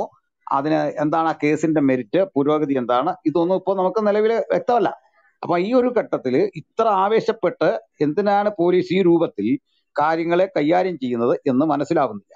അപ്പോൾ ഇവിടെ ചിലര് അതിലേക്ക് കാര്യം മനസ്സിലായ ആളുകൾ പ്രതികരിച്ചു. എന്നാൽ ഈ പ്രതികരണങ്ങളിൽ എപ്പോഴും നമ്മൾ ശ്രദ്ധിക്കേണ്ടത് വൈകാരികമായി നമുക്ക് ഈ പ്രശ്നത്തെ അഡ്രസ് ചെയ്യാൻ വയ്യ. മറിച്ച് ഇത് പോലീസും നമ്മളും തമ്മിലുള്ള അല്ലെങ്കിൽ നമ്മുടെ രാജ്യത്തെ ഭരണകൂടം നീതി നടപ്പിലാക്കുന്നതിൽ കാട്ടുന്ന ഒരു അലംഭാവവും ചിലരോട് കാണിക്കുന്ന പ്രത്യേക മമതയും അതിന്റെ പിന്നിലെ സമ്മർദ്ദമാണോ സാമ്പത്തികമായ ഓഫറാണോ എന്തായിരുന്നാലും അതിന്റെ വിക്ടിംസ് ആയിട്ട് ഒരുപറ്റ ആളുകൾ ഇവിടെ മാറുന്നു. ഈ ഒരു പ്രതിസന്ധിയെ എങ്ങനെയാണ് നമ്മൾ പൊതുജന സമക്ഷവും എത്തിക്കേണ്ടതെന്നും എല്ലാ മനുഷ്യരുടെയും സഹായം. ഇതിന് നമുക്ക് ഹൈന്ദവ ക്രൈസ്തവ ഇസ്ലാമിക സഹോദരങ്ങളിലെ ജനാധിപത്യ ബോധമുള്ള സകലരും ചേർന്ന് ഈ നരനായാട്ടിനെതിരെ പ്രതിഷേധിക്കേണ്ടതുണ്ട്. നമുക്ക് ഈ സഹോദരന്റെ ജാമ്യത്തിൽ ഉത്കണ്ഠയുണ്ട്. കാരണം അദ്ദേഹത്തിനെതിരെ ചുമത്തിയ വകുപ്പുകളെ കുറിച്ചൊന്നും ഞാൻ എഫ് ഐ ആറിന് വേണ്ടി ശ്രമിച്ചുകൊണ്ടിരിക്കുകയാണ് കോപ്പി കിട്ടാൻ വേണ്ടിയിട്ട്. അതൊക്കെ വന്നു കഴിഞ്ഞാൽ കുറെ കൂടി കാര്യങ്ങൾ വ്യക്തത വരും. ഏതായാലും നമ്മുടെ സഹോദരന്മാർ ഇടപെടുന്നുണ്ട്. ഇത് നമ്മൾ ചർച്ച ചെയ്യാൻ കാരണം ഇപ്പൊ മനോജിന്റെ ആ പ്രാണനാപത്ത് വരുന്നു എന്നതിനൊക്കെ അപ്പുറത്ത് അല്ലെങ്കിൽ മൂവരാൾ സൂചിപ്പിച്ച പോലെ നമുക്കൊക്കെ ഇതിന്റെ കാര്യങ്ങൾ നേരിടാൻ ഉള്ള പ്രശ്നങ്ങൾ ഇതുപോലെ വരാൻ സാധ്യതയുണ്ട് എന്നതിനപ്പുറത്ത് ഇത് ഇങ്ങനെ പോയി കഴിഞ്ഞാൽ എങ്ങനെയാണ് ഒക്കുന്നത്? അതിനൊരു അന്തിമമായ ഒരു ഒരു കാര്യം വേണ്ടേ? ഒരു ജനാധിപത്യ രാജ്യമല്ലേ നമ്മൾ പാകിസ്ഥാനിലൊന്നുമല്ല താമസിക്കുന്നത്. നാം വോട്ട് ചെയ്യുന്ന നമുക്കും നിർണായകമായ സ്വാധീനമുള്ള ജനാധിപത്യം പുലരുന്ന ഭരണഘടനയുള്ള ഒരു രാജ്യത്ത് ഇത്തരത്തിലെ ജിഹാദികൾക്ക് ഇങ്ങനെ തേർവാഴ്ച നടത്താൻ കഴിയുന്ന അന്തരീക്ഷം എന്താണ്? ഇത് പഠിക്കണം ഇത് പരിശോധിക്കണം. ഈ പ്രതിഷേധം എല്ലായിടങ്ങളിൽ നിന്നും ഉണരണം അതാണ് നമ്മൾ ചെയ്യുന്നത്. അതിനെ തികച്ചും ഒരു സങ്കുചിതമായൊരു ബോധത്തോടെ കാണണ്ട. മതപരമായ ഒരു വീക്ഷണത്തിലും കാണേണ്ടതില്ല. നമ്മുടെ ജനാധിപത്യപരമായ ആവശ്യമാണിത്. ഇതേക്കുറിച്ചുള്ള ഒരു ചർച്ച. ഞാൻ നോക്കായിരുന്നു. ഇവിടെ വലിയൊരു ഇരട്ടത്താപ്പ് ആണ് പലപ്പോഴും ജിഹാദികളെ സപ്പോർട്ട് ചെയ്യുന്ന ആളുകൾ സ്വീകരിക്കുന്നത്. എന്താണെന്നറിയണ്ടേ ഈ ജോസഫ് മാഷിന്റെ കൈവെട്ടുമ്പോൾ കാലമേറെ കഴിഞ്ഞിട്ട് പറയാണ് കൈവെട്ടിയ മനുഷ്യനെ കൊണ്ടുവന്ന് തദ്ദേശ സ്വയംഭരണ തെരഞ്ഞെടുപ്പിൽ വിജയിപ്പിച്ച് അതുപോലെ അവരെ കേസ് നടത്താൻ പല മഹലുകളിലൂടെ പള്ളി പിരിവ് നടത്തിയിട്ട് ലക്ഷങ്ങൾ പിരിച്ചെടുത്തിട്ട് കേസും നടത്തി ഒക്കെ കഴിഞ്ഞ് അദ്ദേഹത്തെ വിജയിപ്പിച്ചെടുത്തിട്ട് പറയുന്ന കാര്യം കേൾക്കട്ടെ. ഒറ്റ മുസ്ലിം സംഘടന ഇവനെ അനുകൂലിച്ചില്ല. പിന്നെന്താ ചെയ്തേ? ഇതേപോലെ നാളെ മനോജിനെ കുറിച്ചും പറയാനിരിക്കുകയാണ്. മനോജിനെ ആക്രമിച്ചത് മോശമായി പോയി ഞാൻ അതിനെ അപലപിക്കുന്നു. പക്ഷേ ഇവരുടെ ഒന്നും വായിൽ നിന്ന് ആക്കില്ലേ? ഇത്ര ജനാധിപത്യവാദികൾ. ക്ലബ് ഹൗസിൽ കയറിയിരുന്ന തുരുതുര ജനാധിപത്യത്തെക്കുറിച്ച് ഇസ്ലാം അതല്ല അത് സമാധാനമാണെന്ന് നിരന്തരം പറഞ്ഞു വരുന്ന ആൾക്കാരില്ലേ? എന്തേ ഇവരെ കാണുന്നില്ലാത്തത്? എന്തേ സംസാരിക്കാൻ തയ്യാറില്ലാത്തത്? മനോജിന് സംഭവിച്ച ഈ പ്രതിസന്ധിയെക്കുറിച്ച് ഒരക്ഷരം ഉരിയാടിയ ഒറ്റ ആളെ കാണിച്ചു തരാമോ കാര്യക്ഷമതയോടെ ഈ ഒരു പ്രശ്നത്തെയാണ് ഈ ഇരട്ടത്താപ്പിനെ കൂടി ഞങ്ങൾ പൊതുജന സമക്ഷം വെളിവാക്കാനാണ് ഈ ഘട്ടം ഉപയോഗിക്കുന്നത്. നിങ്ങളിലേക്ക് ഇനിയും ചർച്ചകൾ കൊണ്ടുവരുന്നു. ചർച്ചയിലേക്ക് വരുന്ന ആളുകൾ പരമാവധി പരിമിത സമയത്തിനുള്ളിൽ കാര്യങ്ങൾ പറഞ്ഞ് ഉപശമകരിക്കാൻ ശ്രമിക്കണം. ഇതര പ്രാദേശിക പ്രശ്നങ്ങളോ വിഷയങ്ങളോ അല്ല നമുക്ക് വേണ്ടത്. ഈ ഒരു വിഷയത്തിൽ ഫോക്കസ് ചെയ്ത് നിന്ന് സംസാരിക്കാനായിട്ട് ഉത്സാഹിക്കണം. Okay okay thank you first ആരാണ്? നമ്മൾ അങ്ങോട്ടും ഇങ്ങോട്ടും one to one conversation sir ഇപ്പൊ പറഞ്ഞ ഒരു കാര്യത്തെ പറ്റി അല്ലെങ്കിൽ പിന്നെ അത് പ്രസക്തമല്ലാതാവും. പ്രസക്തമല്ലാതാകും ഞാൻ പിന്നീട് പറഞ്ഞാൽ ഓക്കെ പറയാൻ പറ്റുമെങ്കിൽ പറയാം. പറയൂ പറയൂ. പറഞ്ഞോ ഓക്കെ. പറയൂ പറയൂ ആ പറയൂ. സാർ ഇപ്പൊ കൊടുത്തോട്ടെ സാർ ഇപ്പൊ പറഞ്ഞു നമ്മൾ വൈകാരികമായി പ്രതികരിക്കരുതെന്ന്. ഇപ്പം ഈ പൂച്ചയ്ക്ക് എന്താ പൊന്നിരിക്കുന്നിടത്ത് കാര്യമെന്ന് ചോദിക്കരുത്. അങ്ങനെ ചോദിക്കില്ല എന്ന് കരുതുന്നു. ഓക്കെ. അപ്പോൾ സാർ ഇപ്പോൾ പറഞ്ഞു വൈകാരികമായി പ്രതികരിക്കരുതെന്ന് അപ്പോൾ വൈകാരികമായി ഒരു വിഭാഗം പ്രതികരിക്കും ഇപ്പോൾ ഒരു പട്ടി നിങ്ങളെ കടിക്കാൻ വരുമ്പോൾ പട്ടിയോട് പട്ടി എന്നെ കടിക്കരുത് എന്ന് പറഞ്ഞ് സമാധാനം പറയണോ? അതാണോ സാർ ഉദ്ദേശിക്കുന്നത്? ഞാൻ നല്ല അർത്ഥത്തിലാണ് പറഞ്ഞ കേട്ടോ. എന്റെ വാക്കുകൾ ചിലപ്പം തെറ്റായിട്ട് മനസ്സിലാക്കും. അതുകൊണ്ട് ഞാൻ പറഞ്ഞതേ ഉള്ളൂ. അപ്പോൾ നമ്മൾ ഒരു വിഭാഗം വൈകാരികമായി പ്രതികരിക്കുമ്പോൾ നമ്മൾ അതിന് അതിന് അതിന് മറുപടി എന്ന് പറഞ്ഞാൽ വൈകാരികമായി പ്രതികരിച്ചേ പറ്റൂ. കരയുന്ന കുഞ്ഞിനെ പാലുള്ളൂ. അതാ ലോക നിയമം. ഇത്രയും ഞാൻ പറഞ്ഞു നിർത്തുന്നു. ഞാൻ പറഞ്ഞത് വ്യക്തമായി എന്ന് കരുതുന്നു. അല്ല എനിക്ക് നിങ്ങളുടെ നല്ല ഉദ്ദേശശുദ്ധിയൊക്കെ ഞാൻ ബഹുമാനിക്കുന്നു. പക്ഷെ അതിൽ കാണേണ്ട ഒരു കാര്യം എന്ന് പറഞ്ഞാൽ ക്രിസ്ത്യാനിത്വത്തിന് എന്തോന്നൊരു പുതുമയുള്ള കാര്യമല്ല. നമ്മൾ ഇതുപോലെ എത്രയോ കാര്യങ്ങൾ കണ്ടിരിക്കുന്നു. അപ്പൊ ഞങ്ങൾക്കൊക്കെ ഇതിനും വലിയ പ്രശ്നമല്ല. ഇവർ പോസ്റ്റ് ഇട്ടതിന് ഇത്രയും പ്രശ്നമാണെങ്കിൽ ഇവർക്ക് ഈ പോസ്റ്റ് ഇട്ടപ്പോ ഇത്ര ഇവർ ദുർബലരാകുകയാണെങ്കിൽ ഇതിനപ്പുറത്ത് ചെയ്യണ്ടേ ഞങ്ങളെയൊക്കെ? പക്ഷെങ്കിൽ ഇതൊന്നും കണ്ട് പേടിയൊന്നും ഇല്ല ഇത് ഇന്നും വരും. അല്ലെ? പിന്നെ ഈ ഗ്രൂപ്പ് ഇടുവോ? അപ്പോ ഇത് ക്രിസ്ത്യാനിത്വത്തിന് നല്ല മെയ്വഴക്കമാണ്. ഇതിനെ ഇത്തരം കാര്യങ്ങളെ ശീലിച്ച് ഹാൻഡിൽ ചെയ്ത് നല്ല മെയ്വഴക്കമുള്ളവരാണ്. രണ്ടായിരം വർഷത്തെ കരുത്തുള്ളവരാണ്. ഇത് ഇന്നലെ ഉണ്ടായ സാധനമൊന്നുമല്ല. ഇത് തീയിൽ കുരുത്ത സംഗതിയാണ്. അങ്ങനെ അതിനൊന്നും പൊളിക്കാനൊന്നും ഒരു ചെറിയ ഒരാൾ വന്നിട്ട് ഗുണ്ടാപ്പട വണ്ടി തെരഞ്ഞെടുത്ത് ഏതാണ്ടൊക്കെ കാണിച്ചു. ഇതൊന്നും ഇവിടെ മൈൻഡ് ചെയ്യുന്ന കാര്യമൊന്നുമല്ല. ഇതൊന്നും ഒരു സംഭവമല്ല. തീച്ചൂളക്കകത്തുനിന്ന് കയറി വന്ന ആളുകളാണ്. ചുണ്ണാമ്പു ചൂളകളെ അതിജീവിച്ചു വന്ന ആളുകളാണ്. അത് മാർസിച്ചുകാർ പറഞ്ഞല്ലോ ചോരച്ചാൽ നീന്തി കടന്നു എന്നൊക്കെ ഇവർ പറഞ്ഞ പോലെയൊക്കെ അപ്പുറത്ത് അപ്പുറത്ത് അപ്പുറത്ത് ജനകോടികളെ നഷ്ടപ്പെട്ട മാർഗമാണിത് ലോകത്തിന്റെ അഞ്ചു വൻകരകളിലും അതിക്രൂരമായി പീഡിപ്പിക്കപ്പെട്ടിട്ട് അതിനെ അതിജീവിച്ച് മുമ്പോട്ട് വന്ന മാർഗമാണ്. മുന്നൂറ് കൊല്ലം നീണ്ടു നിന്ന പീഡകൾ പത്ത് റോമൻ ചക്രവർത്തിമാർ അഴിച്ചുവിട്ടിട്ട് ഒടുവിലെ റോമൻ ചക്രവർത്തിമാർ കൊത്തളത്തിൽ കയറി നിന്നുകൊണ്ട് തിരിച്ച് അവിടെയൊക്കെ ഈ തിരുവെഴുത്ത് നിരത്തി വെച്ച മാർഗം ഇത്. വോൾട്ടയർ ഈ മാർഗത്തിനെതിരെ വാക്കുകൂട്ടി ശബ്ദിച്ചു. ബൈബിൾ ഒരു മുത്തശ്ശി കഥയാകും എന്ന് പറഞ്ഞ് സംസാരിച്ച ചരിത്രമുണ്ട്. ആ വോൾട്ടയറുടെ വീട് വിലയ്ക്ക് വാങ്ങി ബൈബിൾ സൊസൈറ്റി ആരംഭിച്ച പ്രസ്ഥാനമാണിത്. ലക്ഷക്കണക്കിന് ബൈബിൾ അടിച്ച് അവിടെ നിന്ന് വിതരണം ചെയ്ത വിധത്തിൽ കാലം ചരിത്രപരമായ നീതി അതിനോട് പുലർത്തിക്കൊണ്ട് ഇടപെട്ട മാർഗമാണിത് അല്ലാതെ അതിപ്പോ വന്നിട്ട് ഒരു ജിഹാദി വന്നിട്ട് രണ്ട് ബഹളം വെച്ചിട്ട് ഒരു കള്ളക്കേസും കൊടുത്ത് അതിന്റെ മുമ്പ് വഴി പ്രകടനം നടത്തിയാലൊന്നും മുട്ടുമടക്കുന്ന അല്ലത് ക്രിസ്ത്യാനിത്വം. ക്രിസ്ത്യാനിത്വത്തിന്റെ ചങ്കുറപ്പ് അത് അതിന്റെ ആർദ്രതയിലും കരുണയിലും ഒക്കെ തന്നെയാണ്. പക്ഷെങ്കിൽ ഇപ്പുറത്തിൽ നമുക്കെപ്പോഴും ഇക്കാര്യത്തിൽ പ്രതികരിക്കാൻ ക്രൈസ്തവൻ എന്നുള്ള പരിമിതിയല്ല ക്രൈസ്തവൻ എന്നുള്ള ശക്തിയാണ്. ക്രൈസ്തവൻ ഒരു പരിമിതിയല്ല അതൊരു ശക്തിയാണ്. കാരണം നമുക്ക് ലോകത്തെവിടെ ചെന്ന് കഴിഞ്ഞാലും കിട്ടാവുന്ന ഒരു സ്വീകാര്യതയുടെ കാരണം നമുക്കൊരു ഗുരു ഉണ്ട് നമുക്കൊരു മാസ്റ്റർ ഉണ്ട് നമുക്കൊരു ഗൈഡ് ഉണ്ട് നമുക്കൊരു മെന്റർ ഉണ്ട് മാതൃകാ യോഗ്യനായ ഒരു കർത്താവുണ്ട്. ആ കർത്താവ് നമ്മുടെ കൂടെ നിൽക്കുന്നില്ലേ? യുദ്ധം വിജയിക്കുക നമ്മൾ ഇത്രയും രണ്ടായിരം ആണ്ട് വിജയിച്ചെന്തുണ്ടാ കർത്താവ് കൂടെ ഉള്ളതുകൊണ്ടാണ്. കർത്താവ് കൂടെ ഉള്ള നമ്മുടെ യുദ്ധങ്ങളിൽ കർത്താവ് കൂടെ നിൽക്കണം. അപ്പൊ ബാക്കിയെല്ലാം അതിന്റെ കൂടെ നടന്നോളും. നമുക്ക് നമ്മുടേതായ പ്രതിഷേധവും പ്രതികരണവും ഒക്കെ ഉണ്ട്. ഒരു ജനാധിപത്യത്തിലെ രാജ്യത്തിലെ പൗരൻ എന്ന നിലയിലാണ് നമ്മൾ ഇപ്പോൾ ഈ പ്രതിഷേധം അറിയിക്കുന്നത്. അത് മറ്റുള്ളവർക്ക് ആരും മുസ്ലിമിന് പോലും ഇത് ഭവിക്കരുത്. അതിനു വേണ്ടിയാണ്. ഓക്കെ കണ്ടിന്യൂ ചെയ്തോളൂ. ബാക്കി ആളുകളിലേക്ക് സാർ ഒരു കാര്യം കൂടെ ഒരു കാര്യം കൂടെ. ഞാനൊരു ക്രിസ്ത്യാനിയായിട്ടോ ഹിന്ദുവായിട്ടോ അല്ല പറഞ്ഞ ഞാൻ ഒരു മനുഷ്യനായിട്ടാ. നമ്മളെല്ലാവരും മനുഷ്യനായിട്ട് ജനിച്ചു വീഴുന്നു. അതിനുശേഷമാണ് ക്രിസ്ത്യാനിയായിട്ടും ഹിന്ദുവായിട്ടും മുസ്ലിമായിട്ട് പരിവർത്തനം ചെയ്യുന്നത്. ഇപ്പൊ അനിൽക്കൊടുത്തോളം സാർ ഒരു എന്റെ മകനായി ഞാനൊരു ഹിന്ദു ജനിച്ച എന്റെ മകനായിട്ട് ജനിച്ച സാർ ഒരു ഹിന്ദുവായിട്ട് ജീവിച്ചേനെ. അപ്പൊ അത്രേ ഉള്ളൂ. അപ്പൊ ആ ഒരു കാര്യത്തിൽ ഡിബേറ്റ് വേണ്ട. ഓക്കെ നിർത്തി. ഓക്കെ അടുത്ത ഒരു കാര്യം പോവാം. ഒരു സെക്കൻഡ് ഒരു സെക്കൻഡ്. ഒരു മിനിറ്റ് ഒന്ന് മ്യൂട്ട് ചെയ്യാവും. ഓരോരുത്തരും വൺ ടു വൺ ആയിട്ട് പോകണ്ട പ്ലീസ് ഓക്കെ അടുത്ത ആൾക്കാരിലേക്ക് പോകുമ്പോൾ പ്രത്യേകം ശ്രദ്ധിക്കുക. നമ്മൾ ആരും ഇമോഷണലി ആയിട്ട് സംസാരിക്കാൻ നിൽക്കണ്ട. നമ്മൾ ഈ വിഷയത്തിൽ നിന്ന് മാറിപ്പോവുകയും ചെയ്യരുത് എന്ന് അപേക്ഷിച്ചുകൊണ്ട് അടുത്ത ആളിലേക്ക് പോവാണ്. സജി സംസാരിച്ചോളൂ സജി. ഹലോ ഞാൻ പറഞ്ഞു കേൾക്കുന്നുണ്ടല്ലോ അല്ലേ? ക്ലിയർ ആണ് ക്ലിയർ ഓക്കെ ഞാൻ അനിൽ കൊടുത്തോട്ട് സാറ് എനിക്ക് മുന്നേ സംസാരിച്ചു. അപ്പൊ അദ്ദേഹത്തിന്റെ അഭിപ്രായം തന്നെ ആദ്യം തന്നെ പറയണമെന്ന് ഞാൻ വിചാരിച്ചു. നമ്മളിതിനെ വൈകാര്യമായിട്ട് ഒരു മതപരമായിട്ട് ഒരു വിഷയമായിട്ടല്ല ഇതിന് വ്യക്തമായ രാഷ്ട്രീയത്തോടു കൂടിയാണ് നമ്മൾ ഈ വിഷയത്തെ കൈകാര്യം ചെയ്യണം നമുക്ക് എഴുതേണ്ടത് കാരണം ഇതുമായി ബന്ധപ്പെട്ട് എനിക്ക് പറയാനുള്ളത് ഈ പൊളിറ്റിക്കൽ ഇസ്ലാം നമ്മുടെ പിന്നെ രാഷ്ട്രീയ രംഗത്തും നമ്മുടെ ഭരണരംഗത്തും ഈ പറഞ്ഞ പോലീസിന്റെ ഒക്കെ രംഗത്ത് പിന്നെ വ്യാപിച്ചതിന്റെ ഒക്കെ ഒരു ദുരന്ത ഫലം ആണ് ഇപ്പൊ ഈ പറഞ്ഞ അക്രമം. ഞാൻ ഈ പിന്നെ ടോപ്പിക് മനോജിന്റെ അറസ്റ്റ് ഇങ്ങനെ നടന്നതെന്ന് ഈ ചർച്ചയിൽ നിന്നാണ് ഞാൻ മനസ്സിലാക്കുന്നത്. അത് പിന്നെ സത്യം പറയൽ പിന്നെ അങ്ങനെ ഒരു സംഭവം നടന്നിട്ടുണ്ട് എങ്കിൽ അത് വല്ലാത്തൊരു ഭയം സൃഷ്ടിക്കുകയാണ്.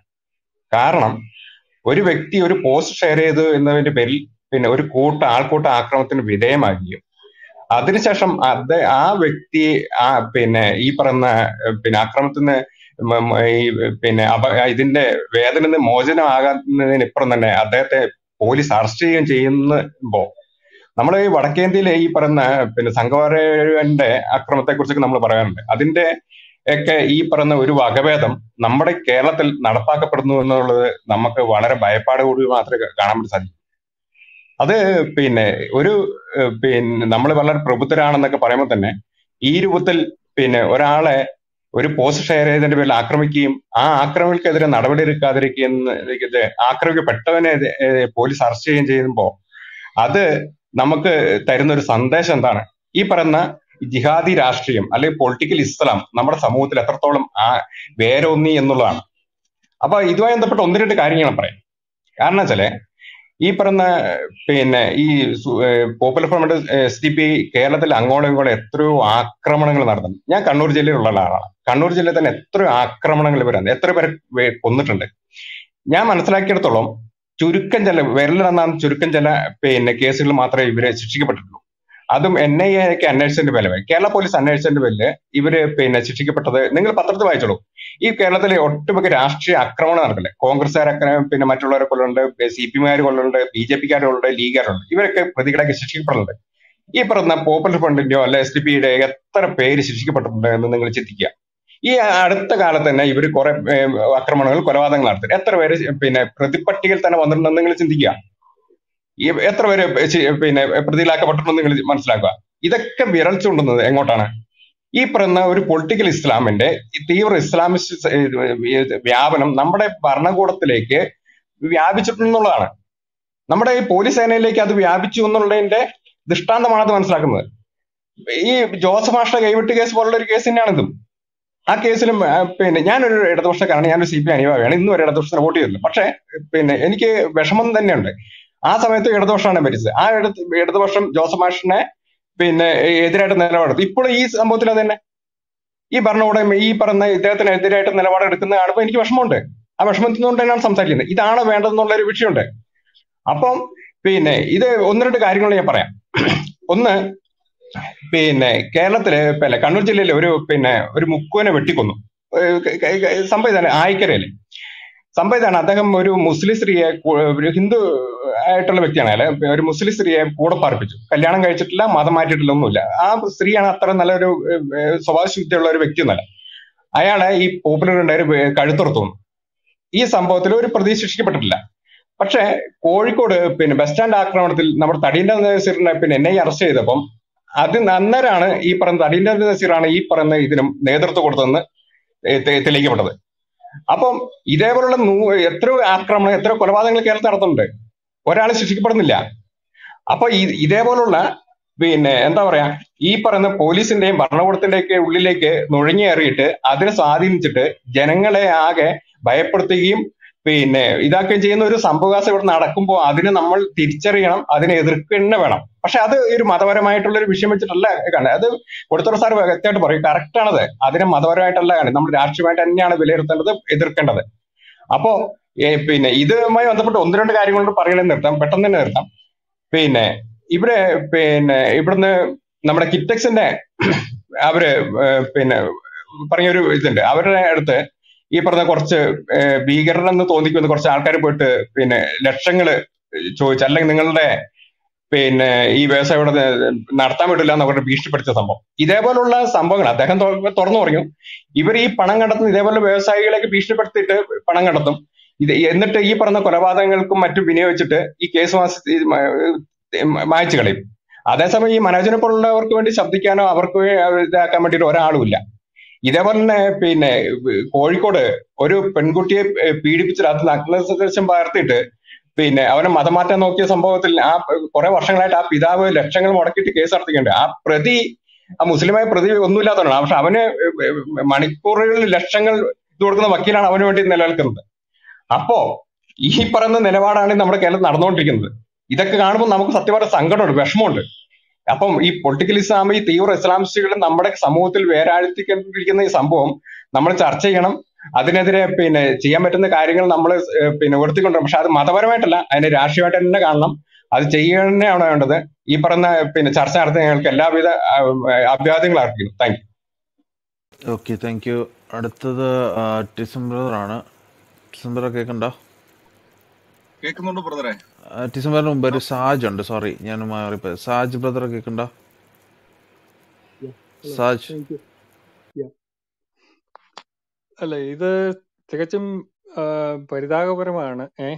ഒരു ഒരു കൂട്ടം ആൾക്കാര് ഒരാളെ ഒരാ ഒരാളെ കൊല്ലാൻ വന്നു.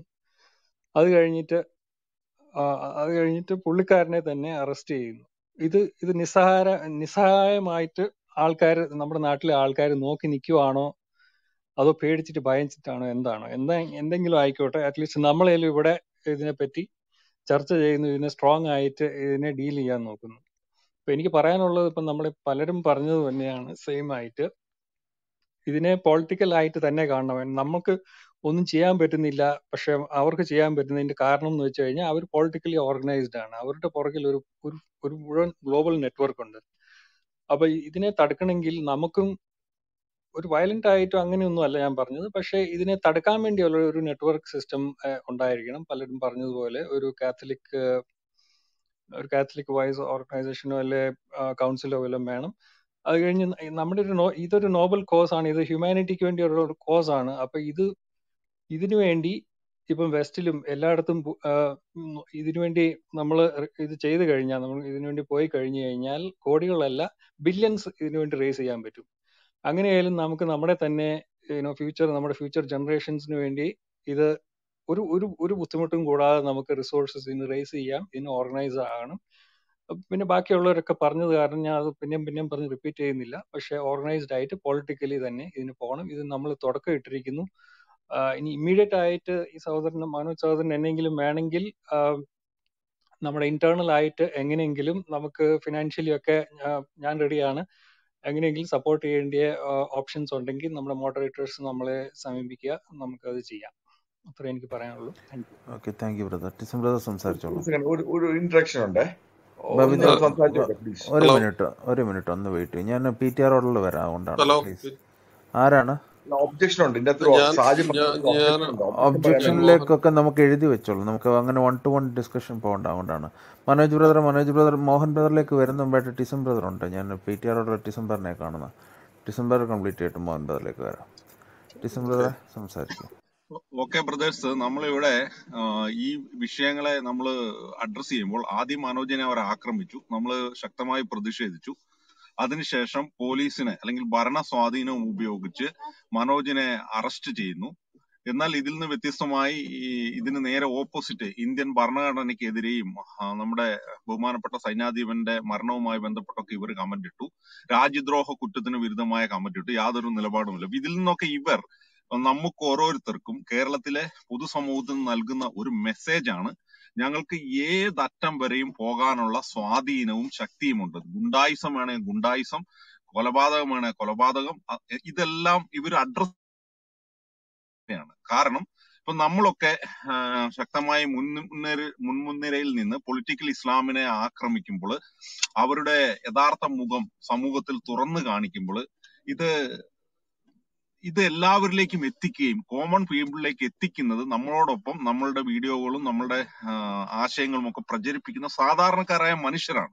അപ്പൊ ഇവരെ പേടിപ്പിച്ച് നിർത്തിയാൽ നമ്മളെയൊക്കെ സപ്പോർട്ട് ചെയ്യുന്ന ആൾക്കാർ നമ്മൾ ഇനി ഒന്നും എന്ത് ചെയ്തു കഴിഞ്ഞാലും അല്ലെങ്കിൽ അയൽക്കൂടത്തോളം പാസ്റ്ററിനെയോ അനിൽകുമാർ അയ്യപ്പൻ ബ്രദറിനെയോ മുന്നിൽ നിന്ന് നയിക്കുന്ന ആളുകളെ ഒന്നും എന്ത് ചെയ്താലും അവർ നമ്മൾ മരി മരണം വരെ വഹിക്കാൻ തയ്യാറാണ്. പക്ഷെ വേറൊരു മാറ്റം ഉണ്ടാകില്ല എന്ന് അവർക്കറിയാം. അപ്പൊ നമ്മളെയൊക്കെ സപ്പോർട്ട് ചെയ്യുന്ന സോഷ്യൽ മീഡിയയിലും ഫേസ്ബുക്കിലൂടെയൊക്കെ സപ്പോർട്ട് ചെയ്യുകയും ഇത് പ്രചരിപ്പിക്കുകയും ചെയ്യുന്ന ആളുകളെ പേടിപ്പിക്കുക. ഇന്നൊരു മനോജ് ആണെങ്കിൽ നാളെ എനിക്കും ഇത് സംഭവിക്കാമെന്ന ഒരു ഭീതി സാധാരണക്കാരുടെ മനസ്സിൽ ഉണ്ടാക്കുക എന്നതാണ് ഇവരുടെ ലക്ഷ്യം. അത് ഇതിനെ കൗണ്ടർ ചെയ്യുക എന്നുള്ളത് വളരെ വളരെ ഇമ്പോർട്ടന്റ് ആയ ഒരു കാര്യമാണ്. അപ്പൊ അതുകൊണ്ട് എനിക്ക് പറയാനുള്ളത് ഇങ്ങനെ ഈ പൊളിറ്റിക്കൽ ഇസ്ലാമിനെയും എതിരെയും ഇസ്ലാമിക തീവ്രവാദത്തിനെതിരെയും പ്രവർത്തിക്കുന്ന ആളുകൾക്ക് ലീഗലിയും ഫൈനാൻഷ്യലിയും എല്ലാ രീതിയിലും ഒരു സപ്പോർട്ട് കൊടുക്കാനുള്ള ഒരു വേദി ഒരു സിസ്റ്റം ഒരു സംഘടനാ സംവിധാനം നമ്മൾ സൃഷ്ടിച്ചെടുക്കണം. ഇതിനെക്കുറിച്ച് ഇതിന്റെ നേതൃത്വത്തിലിരിക്കുന്ന ആളുകളെല്ലാം വളരെ വിദ കൃത്യമായി ചിന്തിക്കുകയും ഒരു കൃത്യമായ ഒരു സംഘടനാ സംവിധാനം രൂപപ്പെടുത്തുകയും ചെയ്യേണ്ടത് വളരെ അത്യാവശ്യമാണ് എന്നാണ് എനിക്ക് നിങ്ങളോട് പറയാനുള്ളത്. അല്ലെങ്കിൽ ഇവർ ഇനി അടുത്ത ആൾക്കെതിരെയും അടുത്ത ആൾക്കെതിരെയും പേടിപ്പിക്കും. ഇപ്പൊ സാധാരണ ഇപ്പൊ മനോജിന്റെ ഒരു വിഷയം കേരളം മൊത്തം അറിഞ്ഞപ്പോൾ ഇനി എസ് ടി ഡി പിക്കെതിരെയോ പോപ്പുലർ ഫ്രണ്ടിനെതിരെയോ വളരെ ന്യായവും യുക്തവുമായ ഒരു മെസ്സേജ് ഇടാൻ പോലും ആളുകൾ പേടിക്കും. കാരണം ഇവരെങ്ങനെയാ പ്രതികരിക്കുന്നത് പറയാൻ പറ്റില്ല. അതേസമയം പേടിയില്ലാത്ത ആളുകൾ ഉണ്ട്. വളരെ കുറച്ചു പേരേ ഉള്ളൂ. അവർ ശക്തമായി ഇന്ന് സോഷ്യൽ മീഡിയയിലുണ്ട്. ഇപ്പൊ നമ്മളെ പോലെയൊക്കെയുള്ള ആളുകൾക്ക് യേശുക്രിസ്തുവിന് വേണ്ടി മരിക്കാൻ തയ്യാറായി പോകുന്ന ആളുകളാണ്. ഇനി ഒരൊറ്റ പോയിന്റും കൂടെ ഞാനൊന്ന് വളരെ പ്രധാനപ്പെട്ട ഒരു കാര്യമാണ്. അത് പൊളിറ്റിക്സ് അല്ല ആത്മീയതയാണ്. ഇപ്പൊ അനിൽ കൊടുത്തോടം പാസ്റ്റർ പറഞ്ഞ ക്രിസ്ത്യാനി ക്രിസ്ത്യാനി ക്രിസ്തുവിനോടൊപ്പമാണ് ഫൈറ്റ് ചെയ്യുന്നത്. അപ്പം ഈ ഇതിന് തകർച്ചയും നമ്മൾ പൊളിറ്റിക്കലായും ആശയപരമായും നേരിടുമ്പോൾ പോലും ഓരോ ക്രിസ്ത്യാനിക്കും അറിയാം നമ്മൾ നടത്തുന്ന ഓരോ സഹനവും സഫറിങ്ങും നീതിക്കും ന്യായത്തിനും സമാധാനത്തിനും ജനാധിപത്യത്തിനും വേണ്ടിയൊക്കെ നമ്മൾ നടത്തുന്ന ഓരോ സഹനവും ദൈവത്തിന്റെ കൃപ ഈ ലോകത്തിലേക്ക് ഇടപെടുവാനും തിന്മയ്ക്കെതിരെ ശക്തമായി ഇടപെടുമെന്നും റോമ സാമ്രാജ്യത്തെ തകർത്തതുപോലെ ലോകത്തിൽ അനേകം സ്ഥലങ്ങളിൽ സഫറിങ്ങിലൂടെ ക്രിസ്ത്യാനിറ്റി ഈ ലോകത്തിൽ വിജയം വരിച്ചതുപോലെ നമ്മളുടെ ഓരോ സഹനവും ഓരോ പ്രവർത്തനവും അത് ദൈവാത്മാവിന് ഈ ലോകത്തിൽ ഇടപെടാൻ നമ്മളുടെ പ്രാർത്ഥനയാണ് എന്ന് ക്രിസ്ത്യാനികൾക്ക് നല്ല ബോധ്യമുണ്ട്. അപ്പൊ ക്രിസ്തു മതത്തിന്റെ ആ വിശ്വാസത്തിൽ നിന്നുകൊണ്ടാണ് നമ്മൾ വൈകാരികമായി പ്രതികരിക്കാതിരിക്കുന്നത്. നമ്മൾ സഹ സഹന സമരം യേശു ക്രിസ്തു ക്രൂശിൽ ചെയ്തതുപോലെ സഹന സമരം ചെയ്യുമ്പോൾ ദൈവം ഇടപെടും എന്ന തിരിച്ചറിവാണ് നമുക്കുള്ളത്. ഞാൻ അവസാനിപ്പിക്കുന്നു. Thank you. Okay thank you. Anil Anilkumar വെച്ചാൽ കേൾക്കണ്ടോ ആ ഉണ്ട് ബ്രദറെ ഉണ്ട് ഉണ്ട് ഉണ്ട് ഉണ്ട്. സംസാര സംസാരിച്ചോളൂ. ബ്രദറെ ഇത് സത്യം പറഞ്ഞു കഴിഞ്ഞാൽ കേരളത്തിന്റെ പേരൊക്കെ മാറ്റേണ്ട സമയമായെന്ന് തോന്നുന്നു. എന്തെങ്കിലും സ്ഥാൻ കൂടി ചേർത്ത് പറയണം. മാപ്പിള സ്ഥാൻ എന്നൊക്കെ പറയേണ്ടുന്നൊരു സ്ഥിതിയിലായെന്ന് തോന്നുന്നു കേരളത്തിന്റെ അവസ്ഥ. അതല്ലെങ്കിൽ ഇതേപോലെയൊക്കെ ഉള്ള കാര്യങ്ങൾ ഇങ്ങനെ നടക്കുമോ? ആ അറസ്റ്റ് ചെയ്ത് എന്ന് എപ്പോഴാണെന്ന് കണ്ടോ? ക്രിസ്ത്യാനിസ്ഥാൻ എന്ന് പറയാം. ക്രിസ്ത്യാനിസ്ഥാൻ അല്ല ഇതിപ്പോ?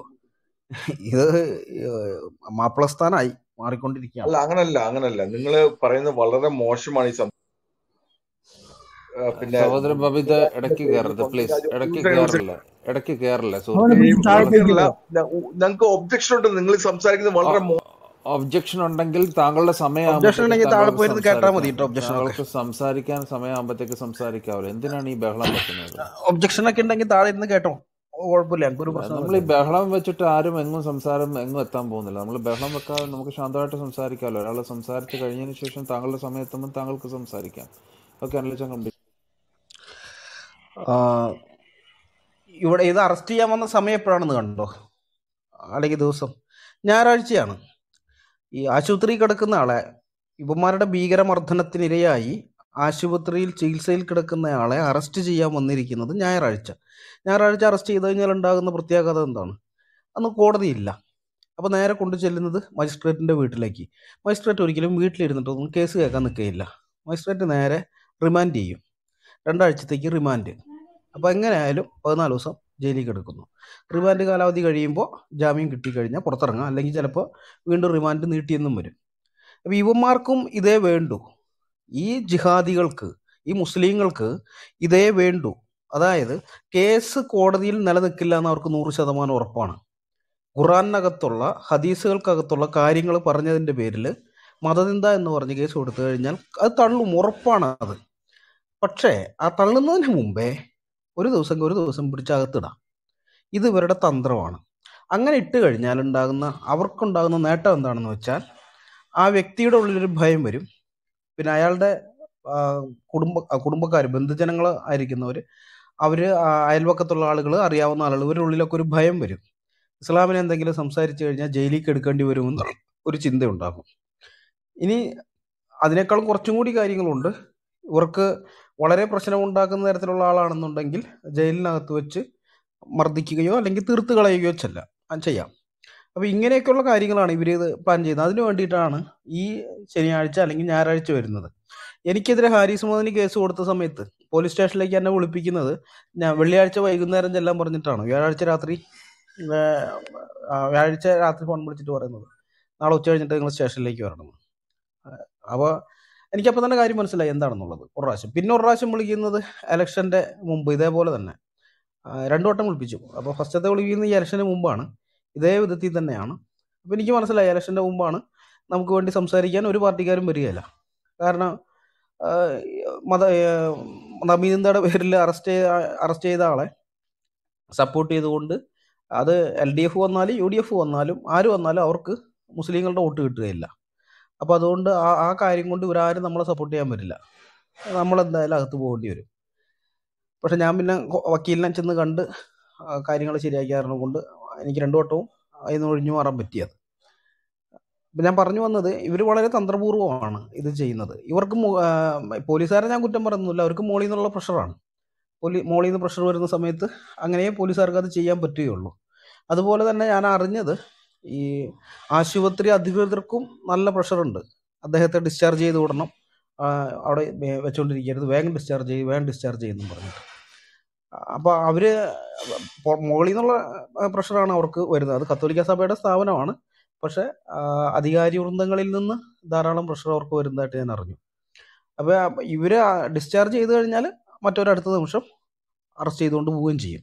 അപ്പോൾ അതിനു വേണ്ടി തന്നെയാണ് അറസ്റ്റ് ചെയ്യിപ്പിക്കാൻ വേണ്ടിയിട്ട് ഇന്നലെ മുതലേ ഇന്നലെ അവിടെ അഡ്മിറ്റ് ആക്കിയ സമയം മുതലേ പ്രഷറാണ്. രണ്ടാമത് അഡ്മിറ്റ് ആക്കിയല്ലോ. ഈ തളർന്നു വീണ് കഴിഞ്ഞതിന് ശേഷം. ഡിസ്ചാർജ് ചെയ്ത് ഡിസ്ചാർജ് ചെയ്യുന്നു പറഞ്ഞിട്ട്. അപ്പോൾ ആലോചിച്ച് നോക്ക്. ഇങ്ങനെയൊക്കെയുള്ള കാര്യങ്ങൾ. ഇത് പോലീസിന്റെ വക പിന്നെ രാഷ്ട്രീയക്കാരുടെ വക ഒക്കെ പ്രഷറുകൾ മുകളിലേക്ക് വന്നുകൊണ്ടിരിക്കണം അവരുടെ മേലെ. ആശുപത്രിക്കാർ പക്ഷേ അവരുടെ പേഷ്യന്റെ ഇതിൽ അവർ നിൽക്കണം അവർ പറഞ്ഞില്ല ആൾ ഇങ്ങനെ ഇപ്പം ഡിസ്ചാർജ് ചെയ്യാൻ പറ്റുന്നൊരു സിറ്റുവേഷനിലല്ല ഉള്ളത് എന്ന് ഡോക്ടർമാർ പറയുന്നത് കൊണ്ട് ആശുപത്രി അധികൃതർ പറഞ്ഞു ആ പറ്റിയല്ല ആളുടെ അസുഖം മാറി കഴിയുമ്പോൾ ഡിസ്ചാർജ് ചെയ്യും. അത്ര തന്നെ എന്നും പറഞ്ഞ് അവർ നിൽക്കുന്നു ഇത് നമ്മൾ അറിയാത്ത പല കളികളും ഇതിന്റെ പുറകിൽ നടക്കുന്നുണ്ട്. പുറമേക്ക് നമ്മൾ അറിയാത്ത പലതും. ഇത് ആദ്യത്തെ സംഭവമൊന്നും അല്ല ഇത്. ഞങ്ങൾക്ക് ഇങ്ങനെയുള്ള കുറേ കേസുകൾ നേരിട്ടുള്ള പരിചയമുണ്ട്. ഇതിനു മുമ്പ് നമ്മുടെ പല സഹോദരങ്ങളെയും ഇതേപോലെ തന്നെ കേസിൽ കുടിക്കിയ സമയത്ത് അതിലൊക്കെ ഇടപെട്ടപ്പോൾ നമുക്കറിയാം ഇത്. എവിടെ എങ്ങനെയൊക്കെ ഇവർ കളിക്കുമെന്നുള്ളത് പക്ഷേ അന്ന് പണ്ട പണ്ടൊക്കെ ഇവർ പിന്നെയും വിജയിച്ചിരുന്നു. പക്ഷേ ഇനി അതങ്ങനെ വിജയിക്കുമെന്ന് തോന്നുന്നൊന്നുമില്ല. ഇനി അങ്ങനെ വിജയിക്കാൻ ഞങ്ങൾ സമ്മതിക്കുകയില്ല അവിടെ ഇതേപോലത്തെ കേസുകളൊക്കെ ചെയ്യുന്ന സമയത്ത് ഞങ്ങൾ ചെയ്യുന്ന പരിപാടി എന്ന് പറയുന്നത് മനോജ് വ്രതന്റെ കാര്യം കഴിയട്ടെ. അത് കഴിഞ്ഞതിന് ശേഷം ഇസ്രാ മുഹമ്മദിനൊക്കെ ഞങ്ങൾ ഒന്നും കൂടി അറിയിക്കറ്റി തരാം. ഈ ഇത് കഴിഞ്ഞിട്ടേ. സോഷ്യൽ മീഡിയ എന്ന് പറഞ്ഞൊരു സാധനം ഉണ്ടല്ലോ. അത് ഈ മുസ്ലിങ്ങൾ വിചാരിക്കുന്നതിനേക്കാളും വലിയ ആയുധമാണ്. മനസ്സിലായ? നിങ്ങൾ ഇത്രയും നാളും ഇതൊക്കെ അറബിയിൽ മതി അറബിയിൽ വായിക്കണം? അങ്ങനെയാണ് ഇങ്ങനെയാണ് ചക്കര ചക്കരയാണ് തേനാണ് എന്നൊക്കെ പറഞ്ഞുകൊണ്ട് നടന്ന സാധനം ഉണ്ടല്ലോ. അത് കാളകൂട വിഷമാണെന്ന് നിങ്ങളെയും ഞങ്ങൾ ബോധ്യപ്പെടുത്തി തരും പൊതുസമൂഹത്തിനെയും ഞങ്ങൾ ബോധ്യപ്പെടുത്തും. കുറേ ബോധ്യപ്പെടുത്തിയിട്ടുണ്ട് ഇനിയും അത് ചെയ്യും ചെയ്യാതിരിക്കുകയില്ല. ഇങ്ങനെയുള്ള കാര്യങ്ങൾ കൊണ്ട് ഞങ്ങൾ പിന്മാറുമെന്നാണ് നിങ്ങൾ ചിന്തിക്കുന്നതെങ്കിൽ അത് നിങ്ങളുടെ അറിവില്ലായ്മയാണ് നിങ്ങളുടെ വിവരക്കേടാണ്. അല്ലാതെ വേറെ ഒന്നുമില്ല ഞങ്ങളിവിടെ എന്താണ് ചെയ്യുന്നത്? നിങ്ങളുടെ പുസ്തകത്തിനകത്തുള്ള കാര്യങ്ങളല്ലേ ചങ്ങാതി പറയുന്നത്? ഞങ്ങൾ നുണയൊന്നും പറയുന്നില്ലല്ലോ. ഇല്ലാത്ത കാര്യങ്ങളും എല്ലാം പറയുന്നുണ്ടോ? നിങ്ങളുടെ പുസ്തകത്തിനകത്ത് നിങ്ങളുടെ പ്രവാചകനെക്കുറിച്ച് നിങ്ങളുടെ ആളുകൾ എഴുതി വെച്ചിരിക്കുന്ന കാര്യങ്ങളല്ലേ ഞങ്ങൾ വായിക്കുന്നുള്ളൂ. അത് നിങ്ങൾക്ക് നാണക്കേടായിട്ട് തോന്നുന്നെങ്കിൽ നിങ്ങളുടെ വിശ്വാസം അത്രമാത്രം വൃത്തികെട്ടതാണെന്നാണ് അർത്ഥം. നിങ്ങളുടെ പ്രവാചകൻ അത്ര വൃത്തികെട്ട ആളായിരുന്നു അർത്ഥം. ആ സത്യം പറയുമ്പോൾ ഞങ്ങളുടെ നേരെ നിങ്ങൾ കുരച്ചാടി വന്നിട്ട് എന്ത് കാര്യം? മുഖം നന്നല്ലാത്തതിന് എന്തിനാണ് നിങ്ങൾ കണ്ണാടി തല്ലി പൊട്ടിക്കാൻ നോക്കുന്നതെന്നേ? എന്ത് കാര്യം അതുകൊണ്ട്? ഇനിയെങ്കിലും നിങ്ങളുടെ അവസ്ഥ നിങ്ങൾ മനസ്സിലാക്കുക നിങ്ങൾ എത്തിപ്പെട്ടിരിക്കുന്ന ദുർഗതി എങ്ങനെയുള്ളതാണെന്ന്. നിങ്ങൾക്ക് ഒരു വിധത്തിലും ഡിഫെൻഡ് ചെയ്യാൻ പറ്റാത്ത ഒരാളാണ് ഈ മുഹമ്മദ് എന്ന് പറയുന്നത്. നിങ്ങൾ ഒരു സൈഡിൽ ഡിഫെൻഡ് ചെയ്യാൻ നോക്കുമ്പോൾ മറു സൈഡ് പൊളിഞ്ഞു വീഴും. അവിടെ ഡിഫെൻഡ് ചെയ്യാൻ പോകുമ്പോൾ മറ്റേ ഭാഗം പൊളി. അതുപോലത്തെയാണ് വൃത്തികേടുകൾ ഇഷ്ടം പോലെ പുസ്തകങ്ങളിൽ ഇതൊക്കെ എഴുതി വെച്ചിട്ടുണ്ടല്ലോ നിങ്ങളുടെ ആളുകൾ അന്നത്തെ കാലത്തെ സംസ്കാരത്തിൽ ഇതൊക്കെ വലിയ കാര്യമായിരുന്നു. മറ്റവന്റെ ഒരു ആളുകളെ ഒരു കൂട്ടത്തെ ആക്രമിക്കുന്നത് അവിടെയുള്ള ആണുങ്ങളെ കൊല്ലുന്നത് അവരുടെ പെണ്ണുങ്ങളെ പിടിച്ചെടുക്കുന്നത് ഏറ്റവും കൂടുതൽ വെപ്പാട്ടിമാരും ഭാര്യമാരും ഞങ്ങളുടെ നേതാവിനാണുള്ളതെന്നൊക്കെ പറയുന്നതിൽ ഓരോ ഗോത്രവും അഭിമാനം കൊണ്ടിരുന്നൊരു കാലഘട്ടമാണത്. അറേബ്യയിലുള്ള ഈ കാട്ടറബികളുടെ ഇടയിൽ ഓരോരോ ഗോത്രത്തലവൻ ഏറ്റവും കൂടുതൽ ഭാര്യമാരും വെപ്പാട്ടിമാരും. അത് അവരുടെ ഗോത്രത്തിൽ നിന്ന് കിട്ടിയതല്ല.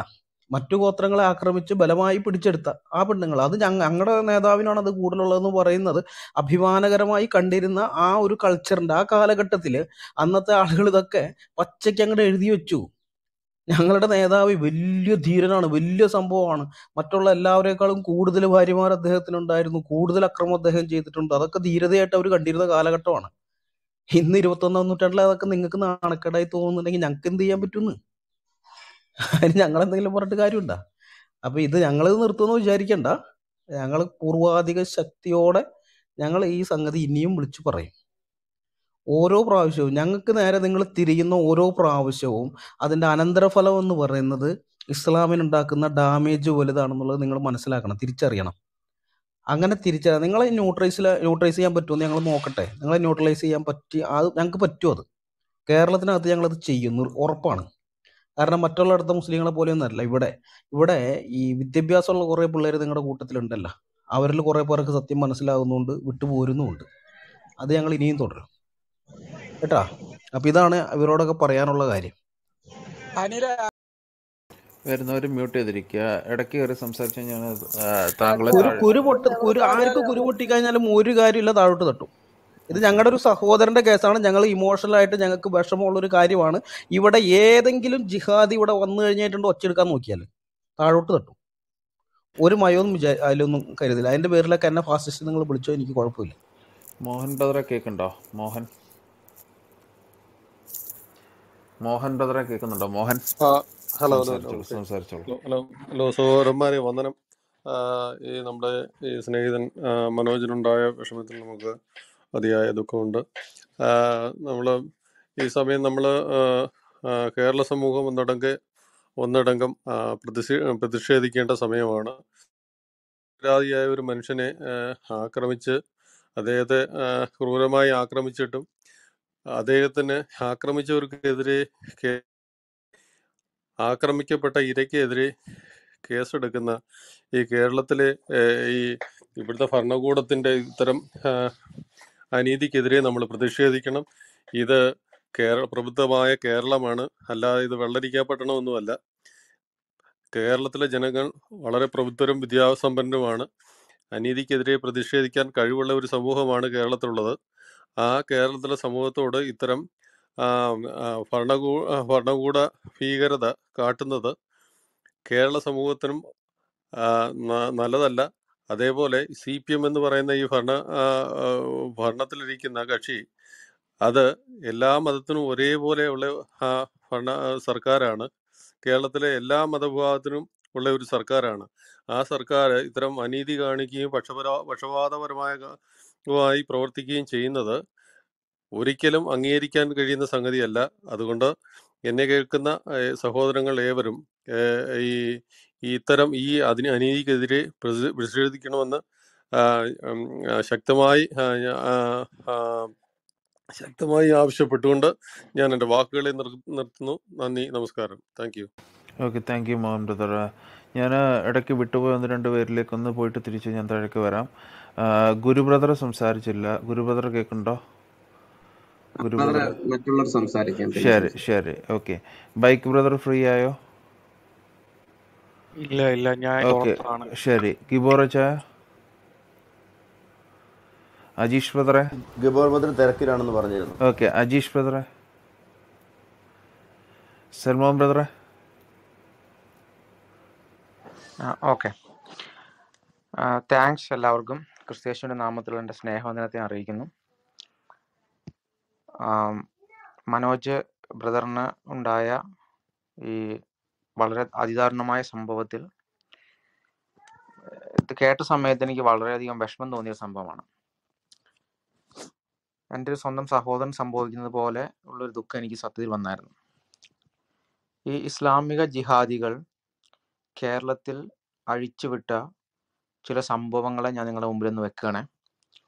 രണ്ടായിരത്തി പത്ത് ഏപ്രിൽ ഒന്നിലാണ് ജോസഫ് മാഷിന്റെ കൈവെട്ടിയത് നമുക്കറിയാം. ഇപ്പോൾ മനോജിന്റെ അക്രമം. ഇനി ഞാൻ ഇവിടെ റിപ്പോർട്ട് ചെയ്യാത്ത ചില സംഭവങ്ങൾ ഞാൻ പറയാം. രണ്ടായിരത്തി പതിനെട്ട് ഒന്നിൽ ഒന്ന് പത്തൊമ്പതിൽ ശ്യാമപ്രസാദ് എന്ന് പറയുന്ന ഒരു വ്യക്തിയെ എസ് ടി പി ഐ കൊല്ലുന്നുണ്ട്. രണ്ടായിരത്തി ഇരുപതിൽ ആറ് ഇരുപത്തി മൂന്നിൽ ആറാം മാസം ഇരുപത്തി മൂന്നാം തീയതി വിനോദ് എന്ന് പറയുന്ന ഒരു വ്യക്തിയെ എസ് ടി പി ഐക്കാർ കൊല്ലുന്നുണ്ട്. രണ്ടായിരത്തി ഇരുപത്തൊന്നിൽ രണ്ട് ഇരുപത്തിനാലിൽ രണ്ടാം മാസം ഇരുപത്തിനാലാം തീയതി നന്ദു കൃഷ്ണനെ എസ് ഡി എഫ് ഐക്കാർ കൊല്ലുന്നുണ്ട്. രണ്ടായിരത്തി ഇരുപ ഇരുപത്തൊന്ന് പതിനൊന്ന് പതിനഞ്ചിൽ സഞ്ജിത്ത് എന്ന് പറയുന്ന ആളെ കൊല്ലുന്നുണ്ട്.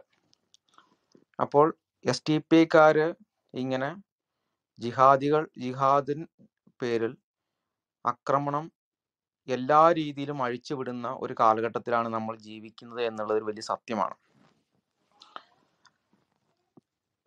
എനിക്ക് പലപ്പോഴും തോന്നിയിട്ടുള്ളത് ഈ ഇന്ത്യ പാകിസ്ഥാൻ ക്രിക്കറ്റ് മത്സരത്തിന്റെ അവസാനത്തെ ഓവറിൽ കറണ്ട് പോയാൽ എങ്ങനെ ഇരിക്കും? ക്ലൈമാക്സ് സമയത്ത് കറണ്ട് പോയ ഒരു വ്യക്തിയുടെ മാനസികാവസ്ഥയാണ് ഇപ്പോൾ അവർക്ക്.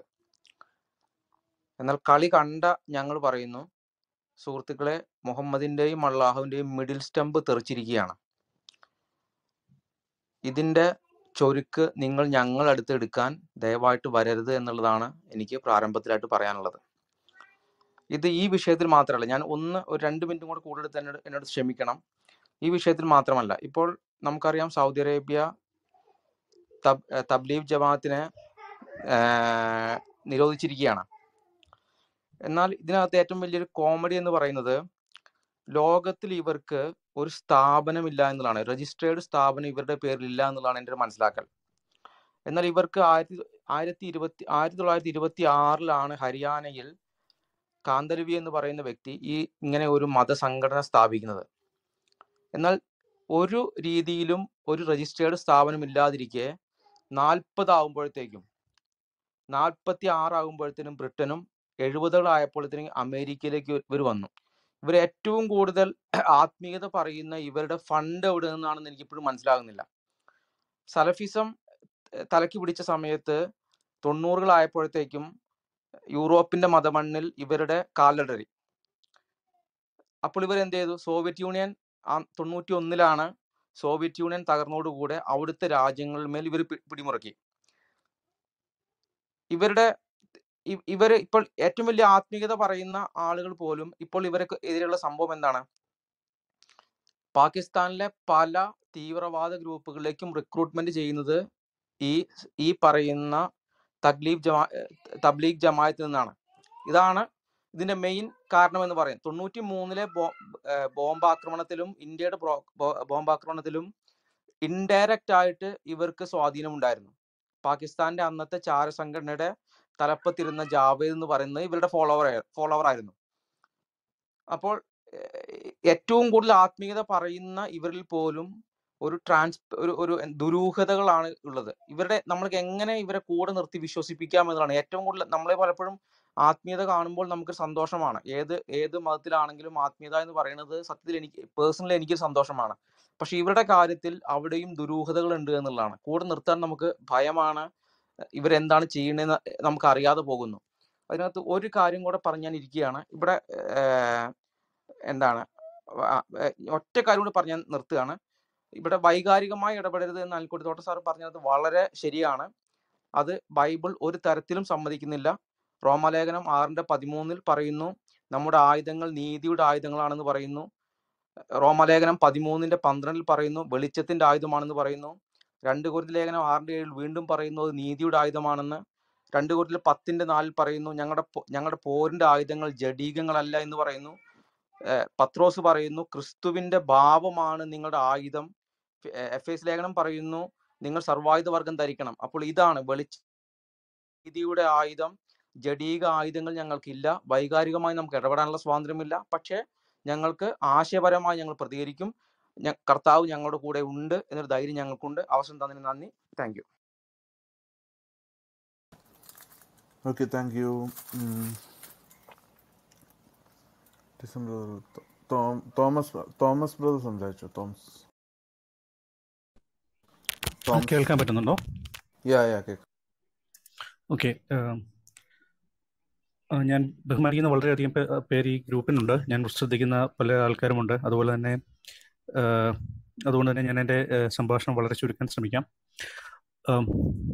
നമ്മളിവിടെ നമ്മളിവിടെ സംസാരിക്കുന്നതെന്ന് പറഞ്ഞാൽ ഒരു ഒരു നീതി നിഷേധമാണ്. അപ്പം ആ ഒരു നീതി നിഷേധത്തിൽ ഞാൻ കാണുന്നത് ഒരു വ്യക്തിയിൽ വ്യക്തിയിൽ അടിസ്ഥാനപ്പെടുത്തി ഒന്നല്ല മനോജ് എന്ന വ്യക്തിയല്ല ഇവിടെ കാണുന്നത്. അവിടെ ഒരു ഇത് ഇനിയും ആവർത്തിക്കപ്പെടുന്ന ഇത് പണ്ട് തൊട്ടേ ഉള്ള ഒരു ഒരു ഒരു സംഭവമാണ്. അപ്പോൾ അതിനെ എങ്ങനെ നമുക്ക് അത് സംഭവിച്ചു? ഓൾറെഡി ഓൾറെഡി നീതി നിഷേധം നടന്നു കഴിഞ്ഞു. അത് എങ്ങനെ അതിജീവിക്കാം? അല്ലെങ്കിൽ അതുപോലുള്ള ആക്രമണങ്ങളെ ഇനി എങ്ങനെ നേരിടാം എന്നുള്ളതാണ് എന്റെ എന്റെ മനസ്സിൽ കൂടെ കടന്നു പോകുന്ന കാര്യം. ഇവിടെ ഒരു കാര്യം വളരെ വ്യക്തം ഒരു കാര്യം വളരെ വ്യക്തമാണ്. നമുക്ക് നീതി നീതി നടപ്പാക്കി തരേണ്ട പോലീസ് പോലീസ് പോലീസിൽ നിന്ന് നീതി നിഷേധമാണ് ഒരു ഒരു ഒരു ഒരു സഹോദരനെ കിട്ടുന്നത്.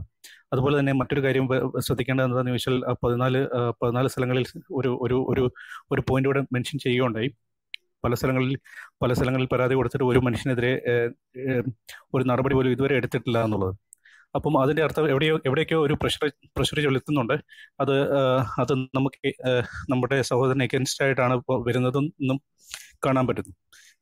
ഏതായാലും സംഭവിച്ചു പോയി. ഇനി എന്ത് എന്നുള്ള ചോദ്യത്തിന് വേണ്ടി ഇനി എന്ത് എന്നുള്ള ചോദ്യത്തെ പറ്റി നമ്മൾ കൂടുതൽ ചിന്തിക്കണമെന്നാണ് എന്റെ ഒരു എന്റെ ഒരു നിഗമനം. നമുക്ക് എങ്ങനെ അദ്ദേഹത്തിന് അദ്ദേഹമല്ല ഇതുപോലെ ഇതുപോലെ നീതി നിഷേധം നടത്തുന്ന ആൾക്കാർ അത് അത് അത് മതപരമായിട്ട് ചിന്തിക്കേണ്ട. അതിന് അത് അതിനും അപ്പുറം എങ്ങനെ നമുക്ക് അവർക്ക് ലീഗലി സപ്പോർട്ട് ചെയ്യാൻ പറ്റും എന്നതിനെ പറ്റി ഗൗരവമായി ചിന്തിക്കണം എന്നുള്ളതാണ് എന്റെ ഒരു അഭിപ്രായം.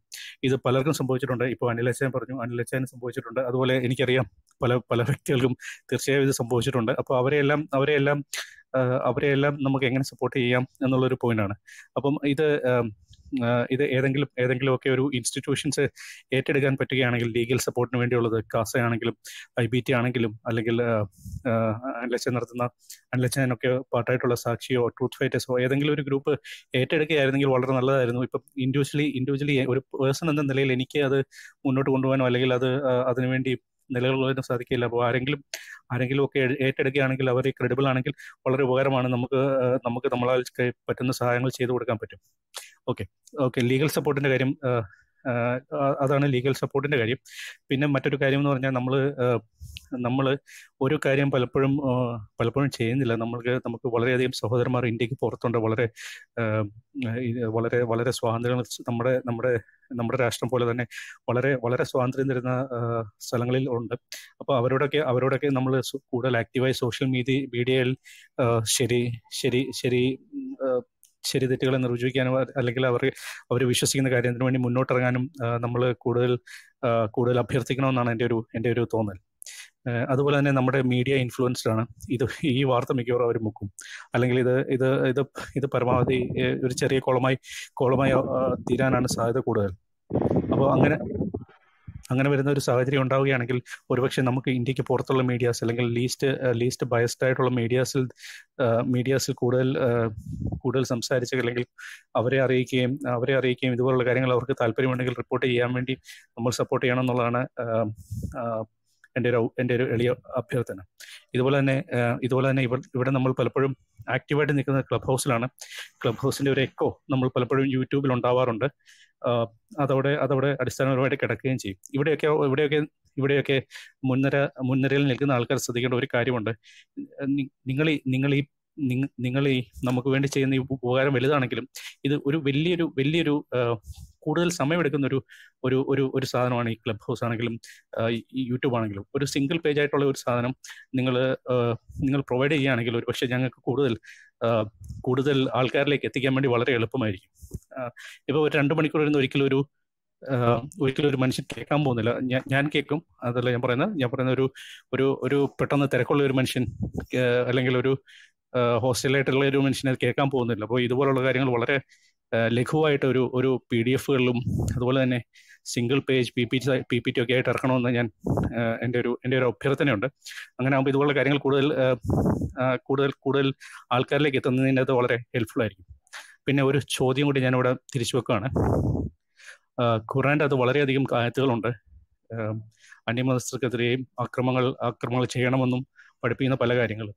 ഇപ്പം മനോജിനെ പോലെ മനോജിനെ പോലെ അവർ വ്യക്തിപരമായിട്ട് ആക്രമിക്കുകയാണെങ്കിൽ ഇതുപോലുള്ള പുസ്തകങ്ങളിലെ ഇതുപോലുള്ള മോശം കാര്യങ്ങളെ നമുക്കും നമുക്കും നമുക്കും കോടതി മുറികളിൽ കോടതി മുറികളിൽ ചൂണ്ടിക്കാണിച്ചുകൂടെ? അതുപോലുള്ള ഇതുപോലുള്ള സാധനങ്ങൾ നിരോധിക്കണമെന്നും പറഞ്ഞ് നമുക്കും പ്രക്ഷോഭങ്ങൾ അയച്ചു വിട്ടുകൂടെ? എന്നൊരു ചോദ്യം വെച്ചുകൊണ്ട് ഞാൻ നിർത്തുന്നു. നന്ദി. ഓക്കെ തോമസ് ബ്രദറെ ലാസ്റ്റ് പറഞ്ഞ കാര്യത്തിൽ പ്രക്ഷോഭം നമ്മുടെ പാത പാതയല്ല എന്ന് പറഞ്ഞുകൊണ്ട് ഞാൻ ആ ഭാഗത്ത് നിന്ന് നിർത്തുന്നു.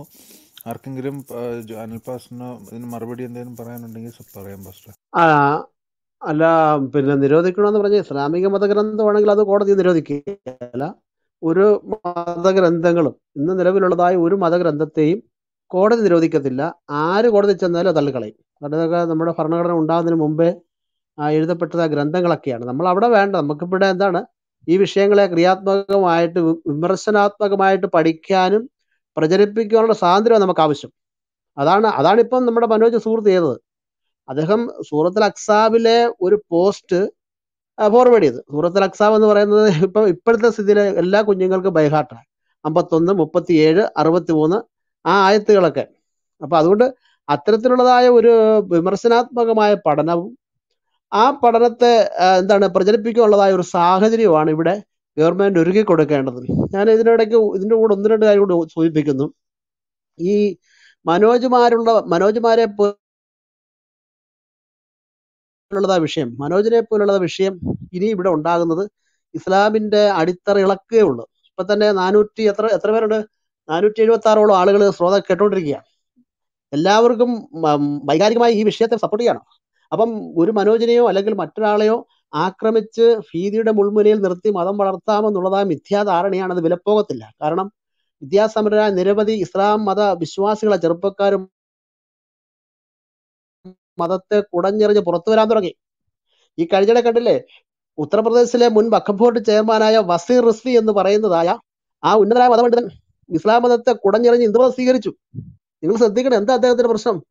ഖുറാനിലെ ഇരുപത്തിയാറ് ആയത്തുകൾ ക്രൈസ്തവരെയും യഹൂദന്മാരെയും ആക്രമിക്കുന്ന ക്രൈസ്തവ യഹൂദന്മാരെ ബഹുദൈവ വിശ്വാസികളെ ആക്രമിക്കുവാൻ പ്രേരിപ്പിക്കുന്ന ഇരുപത്തിയാറ് ആയത്തുകൾ നിരോധിക്കണമെന്നും പറഞ്ഞുകൊണ്ട് ചില മാസങ്ങൾക്കും അദ്ദേഹം സുപ്രീം കോടതിയെ സമീപിച്ചു. അന്ന് തൊട്ട് ജിഹാദികൾ അദ്ദേഹത്തിന്റെ കഴുത്ത് വെട്ടാനായിട്ട് പ്ലാനിട്ടു ജിഹാദികൾ അദ്ദേഹത്തിനെതിരെ രംഗത്ത് വന്നു അദ്ദേഹം പറഞ്ഞ ഇതാണ് ഇത് മാനവീയതയ്ക്കെതിരായ ആയത്തുകളാണ്. പ്ലീസ് ഇതൊന്ന് നിരോധിക്കണം. ഇവിടെ ജമാഅത്തെ ഇസ്ലാമിയുടെ പിന്നെ മാധ്യമം പത്രം വരെ അത് കൃത്യമായിട്ട് പുറത്തുവിട്ട വാർത്ത. അപ്പൊ അദ്ദേഹം പറഞ്ഞതാണ് ഇത് മാനവിക വിരുദ്ധമാണ്. ഈ ആയത്തുകൾ നിരോധിക്കണം. ഇത് മദ്രസയെ പഠിപ്പിച്ചാലേ ഇവിടെ മതസംഘർഷം ഉണ്ടാകും. ഇതര മതവിശ്വാസികളുടെ വെറുപ്പ് സമ്പാദിക്കുന്ന ഒരു നല്ല മനുഷ്യൻ അദ്ദേഹം. അത് അത് അറിയപ്പെടുന്ന വഖഫ് ബോർഡിന്റെ മുൻ ചെയർമാൻ അദ്ദേഹം. അപ്പൊ ഇത് പറഞ്ഞപ്പോഴത്തേന് കോടതി അത് സ്വീകരിച്ചില്ല. കാരണം എന്താന്ന്? ഞാൻ മുമ്പ് പറഞ്ഞ പോലെ കോടതി ഒരിക്കലും ഇത്തരത്തിലുള്ള വിഷയത്തിൽ ഇടപെടത്തില്ല. കോടതി അത് തള്ളിക്കളഞ്ഞു. അറിഞ്ഞു കൊടുത്ത് അദ്ദേഹത്തെ ശാസിക്കാൻ പറ്റുക ചെയ്തു. അത് പിന്നത്തെ വിഷയം. ഈ കഴിഞ്ഞ ദിവസം അദ്ദേഹം എന്ത് ചെയ്തറിയാവോ അദ്ദേഹത്തിനെതിരെ കുതിര കയറാൻ വന്ന ഇസ്ലാമിസ്റ്റുകൾ നോർത്ത് ഇന്ത്യയിൽ അദ്ദേഹം പുച്ഛിച്ച് പുറന്തള്ളി ഇസ്ലാം മതത്തെ അദ്ദേഹം പുതിയ പേര് സ്വീകരിച്ചുകൊണ്ട് ഹിന്ദുമത വിശ്വാസിയായി കണ്ടോ? പണി കണ്ടോ? നിങ്ങൾ ശ്രദ്ധിക്കണേ. നിങ്ങൾ അസഹിഷ്ണുത നിങ്ങളുടെ വിമർശനത്തോട് നിങ്ങൾ പുലർത്തിയാൽ ഉപ്പ് വെച്ച കലം പോലെയാകും ഈ കേരളത്തിലും ഭാരതത്തിലും ഇസ്ലാം. അറേബ്യയിലൊക്കെ കണ്ടു തുടങ്ങി. അതുകൊണ്ട് വിമർശനത്തെ ക്രിയാത്മകമായിട്ട് നിങ്ങൾ നേരിടുക. ആശയത്തെ ആശയം കൊണ്ട് നേരിടാനായിട്ട് പ്രിയമുള്ള ഇസ്ലാം സുഹൃത്തുക്കളെ നിങ്ങൾ തയ്യാറാകണമെന്നാണ് എനിക്ക് പറയാനുള്ളത്. അതുകൊണ്ട് ഈ വിഷയങ്ങൾ ഇവിടെ കെട്ടടങ്ങത്തില്ല. ഒരിക്കലും നിങ്ങൾ ആയുധം കൊണ്ട് കീഴടക്കാമെന്ന് വിചാരിച്ചാൽ നടക്കുകയില്ല. ഞങ്ങൾ തീർച്ചയായിട്ടും അനിൽകുമാർ അയ്യപ്പൻ പറഞ്ഞ പോലെ ഇതിനകത്തെ കൃത്യമായ കാര്യങ്ങൾ ഞങ്ങൾ വെളിപ്പെടുത്തിക്കൊണ്ടിരിക്കും. നിങ്ങൾ മറച്ചു വെച്ചതായ കാര്യങ്ങൾ നിങ്ങളുടെ പ്രവാചകൻ മദ്യപിക്കുമെന്ന് എം എം അക്ബറി കഴിഞ്ഞിടെ പറയുണ്ടായി ഇത് മറച്ചു വെച്ച കാര്യം. എന്തുകൊണ്ട് അദ്ദേഹം ഇതിനു മുമ്പ് പറയാതിരുന്നത്? ഞങ്ങളെ പോലെയുള്ളവരാണ് പുറത്തു കൊണ്ടുവന്നത്. അദ്ദേഹത്തിന്റെ ആ ശൈലിയൊക്കെ ഞങ്ങൾ ഹദീസിനെ ഉദ്ധരിച്ചുകൊണ്ട് പുറത്തു വന്നപ്പോൾ പ്രവാചകനെ കുറിച്ച് മതവിശ്വാസികൾക്ക് അപകർഷതാബോധം ഉണ്ടെന്നും അദ്ദേഹം മദ്യപിച്ചിരുന്നെന്നും സഹിഹായ മുസ്ലിമിന്റെ ഹദീസ് നമ്പർ ഉദ്ധരിച്ചുകൊണ്ട് അക്ബറിന് പറയേണ്ടി വന്നു. എന്തുകൊണ്ട് മുമ്പ് പറഞ്ഞില്ല? അപ്പൊ ഇത്തരത്തിലുള്ള കാര്യങ്ങൾ ഞങ്ങളത് പ്രചരിപ്പിക്കും അത് നിങ്ങളുടെ മതത്തിന് ദോഷം ചെയ്യും എന്നതിനകത്ത് രണ്ട് പക്ഷമില്ല. അതുകൊണ്ട് വിമർശനത്തെ ക്രിയാത്മകമായി ആശയപരമായി നേരിടാനായിട്ട് പ്രിയ സുഹൃത്തുക്കളെ നിങ്ങൾ ശ്രമിക്കണം എന്ന് മാത്രമാണ് എനിക്ക് പറയാനുള്ളത്. ഓക്കെ. ഒരു കാര്യം പറയാനുണ്ട്. ഞാനൊന്ന് അനൗൺസ്മെന്റ് ആണ് ഒരു മിനിറ്റ് വെയിറ്റ് ആ ജിമിച്ച പറയൂ. ജിമിച്ച ജയബൻ ബദറെ കേക്കാം കേക്കാം കേക്കാം പറയൂ. ഹലോ? ഹലോ? കേക്കാം പറയൂ. കേക്കാം കേക്കാം പറയൂ. ഹലോ നിങ്ങൾ ഈ ഒരു മിനിറ്റ് ഒരു മിനിറ്റ് ഒരു മിനിറ്റ്. ജോൺ ബ്രദർ വെയിറ്റ് ചെയ്യും. ഞാൻ ജിമ്മിച്ചാനോടാണ് ഹലോ? ജിമ്മിച്ച കേക്കാം പറയൂ. ആ ഓക്കെ ഓക്കെ ഓക്കെ ഓക്കെ ഇവിടെ നമ്മുടെ മനോജിന്റെ മനോജുമായി ബന്ധപ്പെട്ട് നമുക്ക് നിയമപരമായിട്ട് സഹോദരങ്ങൾ നമ്മുടെ നാട്ടിലുള്ളവരും വിദേശത്തുള്ളവരുമായ ഒരുപാട് വ്യക്തികൾ തയ്യാറായി നിൽപ്പുണ്ട്. അപ്പോൾ അതിനെയൊന്ന് കോർഡിനേറ്റ് ചെയ്യാൻ നമ്മൾ താല്പര്യപ്പെടുന്നു. ഇവിടെ ഇപ്പോൾ നമ്മുടെ സ്പീക്കേഴ്സ് പാനലുള്ള മുകളിൽ നിന്ന് ആറാമത്തെ വ്യക്തി ജെയ്സ് ജെയ്സ് അബ്രഹാം. ഈ ക്രോസ് ഒരു റെഡിലൊരു ക്രോസ് ഒക്കെ ഉള്ള ഡി പി ഉള്ള ജെയ്സ് അബ്രഹാം എന്ന് പറയുന്ന സഹോദരന്റെ ബാക്ക് ചാനൽ അദ്ദേഹമായിട്ട് ബന്ധപ്പെടണം. കാരണം ഇത് ഈ ലീഗലി നമുക്ക് സാമ്പത്തികം ആവശ്യമാണ്. മനോജ് എന്ന് പറയുന്നൊരു മനുഷ്യൻ സാധാരണക്കാര മനുഷ്യനാണ്. അദ്ദേഹത്തെ സപ്പോർട്ട് ചെയ്യാൻ നമ്മൾ ബാധ്യസ്ഥരാണ്. അപ്പോൾ അതുകൊണ്ട് മനസ്സിലാക്കി താഴെ സ്പീ താഴെയുള്ളവരോ ഓഡിയൻസിലുള്ളവരോ അതുപോലെ നിങ്ങൾക്ക് ആർക്കെങ്കിലും ഫൈനാൻസിൽ ഫൈനാൻസായിട്ട് അദ്ദേഹത്തെ സപ്പോർട്ട് ചെയ്യണമെന്ന് ആഗ്രഹമുള്ളവർ ഇവിടെ ജെയ്സ് അബ്രഹാം എന്ന് പറയുന്ന സഹോദരനുണ്ട്. അദ്ദേഹത്തിന്റെ ഡീ അദ്ദേഹത്തിന്റെ ബാക്ക് ചാനൽ ബന്ധപ്പെട്ട് അദ്ദേഹവുമായി ബന്ധപ്പെട്ട് കാര്യങ്ങൾ ക്രമീകരിക്കണമേ എന്ന് അഭ്യർത്ഥിക്കുകയാണ്. ദൈവം എല്ലാവരും അനുഗ്രഹിക്കട്ടെ. ഒരു ക്ലാരിറ്റി ആ സ- സംസാരിക്കും സംസാരിക്കും. അല്ല ഇപ്പം നാട്ടിലുണ്ടായിരിക്കുന്ന ഇപ്പം ഇപ്പം വന്നിരിക്കുന്ന ഈ പ്രശ്നങ്ങളെ ഒത്തിരി സഹോദരന്മാർ വെളിയിലുള്ള സഹോദരന്മാർ ഒത്തിരി പേര് ബന്ധപ്പെടുന്നുണ്ട്. അപ്പോൾ അതിലെ അതിലൊരു ജോയിന്റ് ജോയിന്റ് ആയിട്ട് എല്ലാവരും കൂടെ പ്രവർത്തിക്കാൻ ഒരു തീരുമാനമുണ്ട്. അത് കോർഡിനേറ്റ് ചെയ്യുന്നുള്ളൂ ഞാൻ അത് വിശ്വാസത്തിൽ ചെയ്യുന്ന സഹോദരന്മാർ മാത്രം വിശ്വാസത്തിൽ ചെയ്യുന്ന സഹോദരന്മാർ മാത്രം ഇത് ഫ്യൂച്ചറിൽ ഒരു പ്രശ്നം വരുമ്പോൾ നമുക്ക് അന്നേരം തന്നെ ഫണ്ട് കാണണം. ആ രീതിയിൽ നാട്ടിലുള്ള പ്രമുഖ ഒരു സംഘടനയുമായിട്ട് ബന്ധപ്പെട്ട് ക്രമീകരിക്കാനായിട്ടാണ് അതിന്റെ ഭാഗമായിട്ട് നമുക്കത് പ്രൈവറ്റ് ആയിട്ട് ചർച്ച ചെയ്യാം. ഇതിപ്പോ അവിടെ ചർച്ച ചെയ്ത പബ്ലിക് അല്ലേ? നമുക്ക് അതിനകത്ത് വേറെ ഒത്തിരി കാര്യങ്ങൾ ക്ഷമിക്കണം. എബിൻ ബ്രദർ ക്ഷമിക്കണം. ഈ ഈ പ്രൊഫൈലിൽ ഡ്യൂപ്ലിക്കേറ്റ് വരാൻ വളരെ സാധ്യത സാധ്യതയുണ്ട്. അതുകൊണ്ട് നിങ്ങളത് ഷെയർ ചെയ്യുമ്പോഴത്തേനും കൂടുതൽ ഡീറ്റെയിൽസ് പ്രൊവൈഡ് ചെയ്യാൻ ശ്രദ്ധിക്കണമെന്ന് അപേക്ഷിച്ചുകൊണ്ട് നിർത്തുന്നു. ശരി ശരി ശരി. ഓക്കെ ടോം ജോ സാർ കേൾക്കണ്ടോ? താങ്ക് യു ഞാൻ അദ്ദേഹത്തിന്റെ അറസ്റ്റിനെ അപലപിക്കുന്നു. അതോടൊപ്പം എനിക്ക് പറയാനുള്ളത് ഈ ബ്ലാസ്ഫമി എന്ന് പറയുന്ന നിയമം ലോകത്തെ ഒത്തിരി രാജ്യങ്ങൾ എടുത്തു കളഞ്ഞിട്ടുണ്ട്. അത് ഇന്ത്യയിലും എടുത്തു കളയണം എന്നുള്ളതാണ് എന്റെ ശക്തമായ അഭിപ്രായം. ബ്ലാസ്മി സംബന്ധിച്ച് ഞാൻ ഇതിനു പല പ്രാവശ്യം പറഞ്ഞിട്ടുണ്ട്. നമ്മുടെ ജോ ബെർണാഷെ പറഞ്ഞേക്കുന്ന വാക്കുകൾ all the truth began as blasphemy after become joke. Later uh, uh, later the thorough discussion it will become a truth എന്നാണ് പറഞ്ഞേക്കുന്നത് അപ്പം ഈ എല്ലാ ബ്ലാസ്മികളുമാണ് അതായത് ദൈവദൂഷണങ്ങളാണ് പിന്നീട് സത്യങ്ങളായിട്ട് വരുന്നത്. അത് പിന്നീട് ആദ്യം ജോക്കായിട്ട് വരും later through discussion it will become truth അത് പിന്നീട് സത്യങ്ങളായി ലോകം അംഗീകരിക്കും. അതുകൊണ്ട് ഈ ലോകത്തുണ്ടായിട്ടുള്ള മിക്കവാറും സത്യങ്ങളെല്ലാം തന്നെ ബ്ലാസ്ഫമി എന്നാണ് രൂപപ്പെട്ടേക്കുന്നത് അതുകൊണ്ട് സീക്രലേജ് അതുപോലെ തന്നെ ബ്ലാസ്വമി എന്നൊക്കെ പറയുന്ന ആ ആ ആ, രീതിയിൽ ദൈവദൂഷണം അല്ലെങ്കിൽ ദൈവത്തെ വികൃതപ്പെടുത്തുക എന്നൊക്കെ പറയുന്ന തരത്തിലുള്ള ശിക്ഷാവിധികൾ നമ്മുടെ നിയമവ്യവസ്ഥയിൽ നിന്ന് മാറ്റണം എന്നാണ് എന്റെ ശക്തമായ അഭിപ്രായ വിഷയത്തിൽ ഒന്നാമത്തെ പിന്നെ രണ്ടാമത്തെ കാര്യം ഒരു മതവും ഒരു മതപുരോഹിതനും ഒരു മതദൈവവും ഇവിടെ വിമർശനത്തിന് അതീതരല്ല. കാരണം ദൈവങ്ങളെല്ലാം മനുഷ്യൻ സൃഷ്ടിക്കപ്പെട്ടിട്ടുള്ളതാണെന്ന് വിശ്വസിക്കുന്ന ഒരാളാണ് ഞാൻ. അതുകൊണ്ട് ആ ദൈവസങ്കല്പങ്ങളെ രൂപപ്പെടുത്തിയതിൽ മനുഷ്യന് വലിയ പങ്കുണ്ട്. മനുഷ്യന്റെതായിട്ടുള്ള ബലഹീനതകളും മനുഷ്യന്റെതായ കുറവുകളും എല്ലാം ഈ പുസ്തകങ്ങളിലെല്ലാം നമുക്ക് കാണാൻ പറ്റും. അപ്പോൾ അതുകൊണ്ട് ഈ പറയുന്ന ഒരു മതത്തെയോ ഓരോ മത ദൈവത്തെയോ വിമർശനത്തിന് അതീതമാക്കരുത്. അവരെല്ലാം ശക്തമായ വിമർശനത്തിന് അധീ- അധീനമാകണം. അതിനുപരി അവരെ എല്ലാം വിമർശിക്കാൻ പൊതുസമൂഹത്തിന് അവകാശമുണ്ട്. അത് മനോജിന് അവകാശമുണ്ട്. ആ മനോജിന്റെ അവകാശത്തെ കൃത്യമായി ബഹുമാനിക്കുന്നു ആദരിക്കുന്നു. മനോജ് ആ വിമർശനം മുമ്പോട്ട് തുടരട്ടെ. ആ ഏത് ദൈവത്തെയും വിമർശിക്കുന്നവരെ ഞാൻ സപ്പോർട്ട് ചെയ്യുന്നു. കാരണം ദൈവങ്ങൾ എന്ന് പറയുന്നത് വിമർശനത്തിന് അതീതരല്ല. ദൈവങ്ങൾക്ക് ശക്തി ഉണ്ടെങ്കിൽ അല്ലെങ്കിൽ ദൈവങ്ങളെ പ്രകീർത്തിക്കുന്ന അല്ലെ ദൈവങ്ങൾക്ക് വേണ്ടി ഗ്രിഗോറിയൻ സങ്കീർത്തനങ്ങൾ ആലപിക്കുന്നവർ അവർ ആ ആ പറയുന്ന ദൈവങ്ങളുടെ ശക്തി കൊണ്ടാണ് അതിന്റെ ശത്രു ശത്രുവിനെ നേരിടേണ്ടത്. അല്ലാതെ അവരുടെ അവർ കയ്യിലെടുക്കുന്ന വാളുകൊണ്ടല്ല അതുകൊണ്ട് ആ ദൈവത്തെ പ്രകീർത്തിക്കാൻ വേണ്ടി നടത്തുന്ന ആളുകൾക്ക് എന്തെങ്കിലും ദൈവത്തിൽ വിശ്വാസം ഉണ്ടെങ്കിൽ അവർ നേരിട്ട് ആയുധം എടുക്കുന്നത് ആ ദൈവത്തോടുള്ള അവഹേളനമാണ്. ആ ദൈവത്തിന് ശക്തിയില്ല എന്നുള്ളതിന്റെ തെളിവാണ്. അതുകൊണ്ട് ഏത് മനുഷ്യനും ഇവിടെ ദൈവ നിഷേധം നടത്താനുള്ള അവകാശമുണ്ട്. അത് നടത്തിക്കൊണ്ട് തന്നെ ഇരിക്കും. ആരെല്ലാം തടഞ്ഞാലും അത് നടന്നുകൊണ്ട് തന്നെ ഇരിക്കും. കാരണം ദൈവത്തെ കണ്ടുപിടിച്ച മുന്നൂറ് വർഷങ്ങൾക്ക് ശേഷം മഹാനായ സോക്രട്ടീസ് അറോറ മാർക്കറ്റിലൂടെ ഈ ദൈവങ്ങൾ ശരിയല്ലെന്നും ഈ ദൈവങ്ങൾ അന്ധവിശ്വാസങ്ങളാണെന്നും പറഞ്ഞപ്പം അത് ലോകം ചെവി ഉയർത്തി കേട്ടതാണ്. അവിടുന്ന് തുടങ്ങുന്നു. ആ തുടക്കം ഇനിയും തുടർന്നുകൊണ്ടിരിക്കും. അതുകൊണ്ട് ഒരു ദൈവത്തെയും ആരും ഭയപ്പെടേണ്ടതില്ല. ദൈവത്തെ വിമർശിക്കാനുള്ളവർ ശക്തമായി വിമർശിക്കട്ടെ. ആ വിമർശനങ്ങൾ ദൈവം നേരിടട്ടെ. അല്ലാതെ ആ ദൈവത്തിന്റെ അനുയായി എന്ന് പറഞ്ഞ സൃഷ്ടി എന്ന് നിങ്ങൾ പറയുന്ന ഈ സൃഷ്ടികൾ വാളെടുത്തുകൊണ്ടല്ല ഇറങ്ങേണ്ടത്. എന്ന് മാത്രമാണ് എനിക്ക് പറയാനുള്ളത്. ഞാൻ എല്ലാ എല്ലാ ബ്ലാസ്ഫമി നിയമങ്ങളും മാറ്റണമെന്നും ലോകത്തൊത്തിരി ഏ, രാജ്യങ്ങൾ അത് മാറ്റിയിട്ടുണ്ട്. അതുകൊണ്ട് ഇന്ത്യയിൽ അത് മാറ്റണമെന്നും ഈ ദൈവങ്ങളെ കർശനമായി വിമർശിക്കാൻ സാധാരണക്കാരനായ പൗരന് അവകാശമുണ്ടെന്ന് വിശ്വസിക്കുന്നു. നന്ദി. മനോജിന് എല്ലാ പിന്തുണയും പ്രഖ്യാപിക്കുന്നു. ഓക്കെ. ഓക്കെ. രഞ്ജിത്ത് ബ്രദറെ. ആ, നമസ്കാരം. ഈ ഒരു വിഷയത്തിൽ ശക്തമായ പ്രതിഷേധം ഞാൻ അറിയിക്കുന്നു. മനോജ് ബേദർ അന്ന് കാര്യങ്ങളൊക്കെ പറഞ്ഞപ്പോൾ ഞാനത് കേൾക്കാൻ ഇടയായി തീർന്നു അപ്പോൾ ഇതിന്ന് മനസ്സിലാക്കുന്നത് ഒരാളെ കൊല്ലാൻ ശ്രമിക്കുന്നതിൽ ഉപരിയാണ് ഒരു ഫേസ്ബുക്ക് പോസ്റ്റ് എന്നാണ് ഇപ്പോൾ മനസ്സിലാക്കേണ്ടത് അതായത് നമുക്ക് നിങ്ങൾക്ക് കൊന്നാൽ എങ്ങനെയാലും ഊരിപ്പോരാ. നിങ്ങൾ ഒരു ഫേസ്ബുക്ക് പോസ്റ്റ് ഇട്ട് കഴിഞ്ഞാൽ ചിലപ്പോൾ നിങ്ങളെ വീട്ടിൽ നിന്ന് എത്ര വയ്യെങ്കിലും അത് അറസ്റ്റ് ചെയ്യേണ്ടി പോകുന്ന അവസ്ഥയാണ് കേരളത്തിൽ. മുമ്പേ സൽമാൻ ബദർ ആ ലിസ്റ്റൊക്കെ വായിച്ചപ്പോൾ ഒരു കാര്യം മനസ്സിലായി. ഈ മാടമ്പിയിലെ മനോരോഗി എന്ന് പറയുന്നത് ഗംഗയാണെന്നുള്ള മനസ്സിലാകുന്ന പോലെ നമ്മളെ ഈ കേരള കോൺഗ്രസിനെ എപ്പോഴും കുറ്റം പറയും. കോൺഗ്രസ് ആണ് ബി ജെ മുസ്ലിങ്ങളെ സപ്പോർട്ട് ചെയ്യുന്നത്. പക്ഷേ ഈ നിഷ്പക്ഷ വർഗീയ പാർട്ടി വർഗീയ തുലയേറ്റം എന്ന് പാർട്ടി ഭരിക്കുമാണ് കൂടുതൽ ആക്രമണം. മറ്റ് ഈ എസ് ടി പി എ പോലുള്ള സുഡാപ്പി കക്ഷികൾ ഇവർ കേരളം നടത്തിയിട്ടുള്ള ചരിത്രമാണ് മുമ്പേ അദ്ദേഹം ആ വർഷം വായിച്ചപ്പോൾ എനിക്ക് മനസ്സിലായത്. അപ്പോൾ അത് മാത്രമല്ല ഈ എസ് ടി പി ഐ ഇപ്പൊ ചെയ്തുകൊണ്ടിരിക്കുന്ന ടെസ്റ്റ് ഡോസ് എന്ന് പറഞ്ഞു കഴിഞ്ഞാൽ മുസ്ലിങ്ങൾക്ക് വേണ്ടി അവരാണ് യഥാർത്ഥത്തിൽ പ്രതിഷേധിക്കുന്ന ആൾക്കാർ. അതായത് നിങ്ങൾ ഞങ്ങളോട് നിൽക്കണം. നിങ്ങൾക്ക് വേണ്ടി ഞങ്ങളാണ് നിൽക്കുന്നത്. കൂടുതൽ ശക്തം ഇടപെടുന്ന ഞങ്ങളാണെന്ന് അറിയിക്കാൻ ഉള്ള ശ്രമമാണ് ഇവർ നടത്തിക്കൊണ്ടിരിക്കുന്നത്.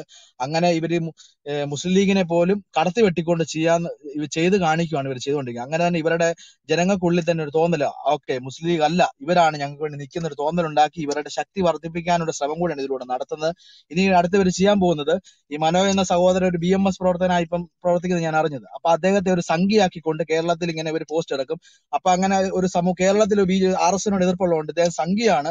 അതുകൊണ്ട് കുഴപ്പമില്ലാന്ന രീതിയിൽ ഇനി ഒരു മനോഭാവം കഴിഞ്ഞ ദിവസം കണ്ടാണ് ഒരു കൊലപാതകം ഉണ്ടായപ്പോൾ അതേ ഒരു ബി ജെ പി പ്രവർത്തനാന്ന് പറഞ്ഞ് ഇവർ ആ കൊലയെ കേരള സത്യം പറഞ്ഞ് അവഗണിച്ചു വിട്ടു.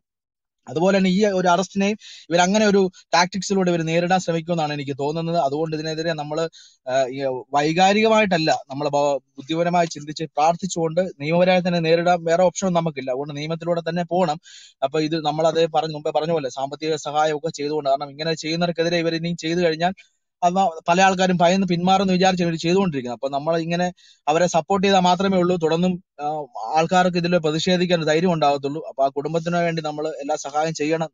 സാമ്പത്തികമായും അതുപോലെ തന്നെ നിയമപരമായ സഹായം ചെയ്തു കൊടുക്കണം.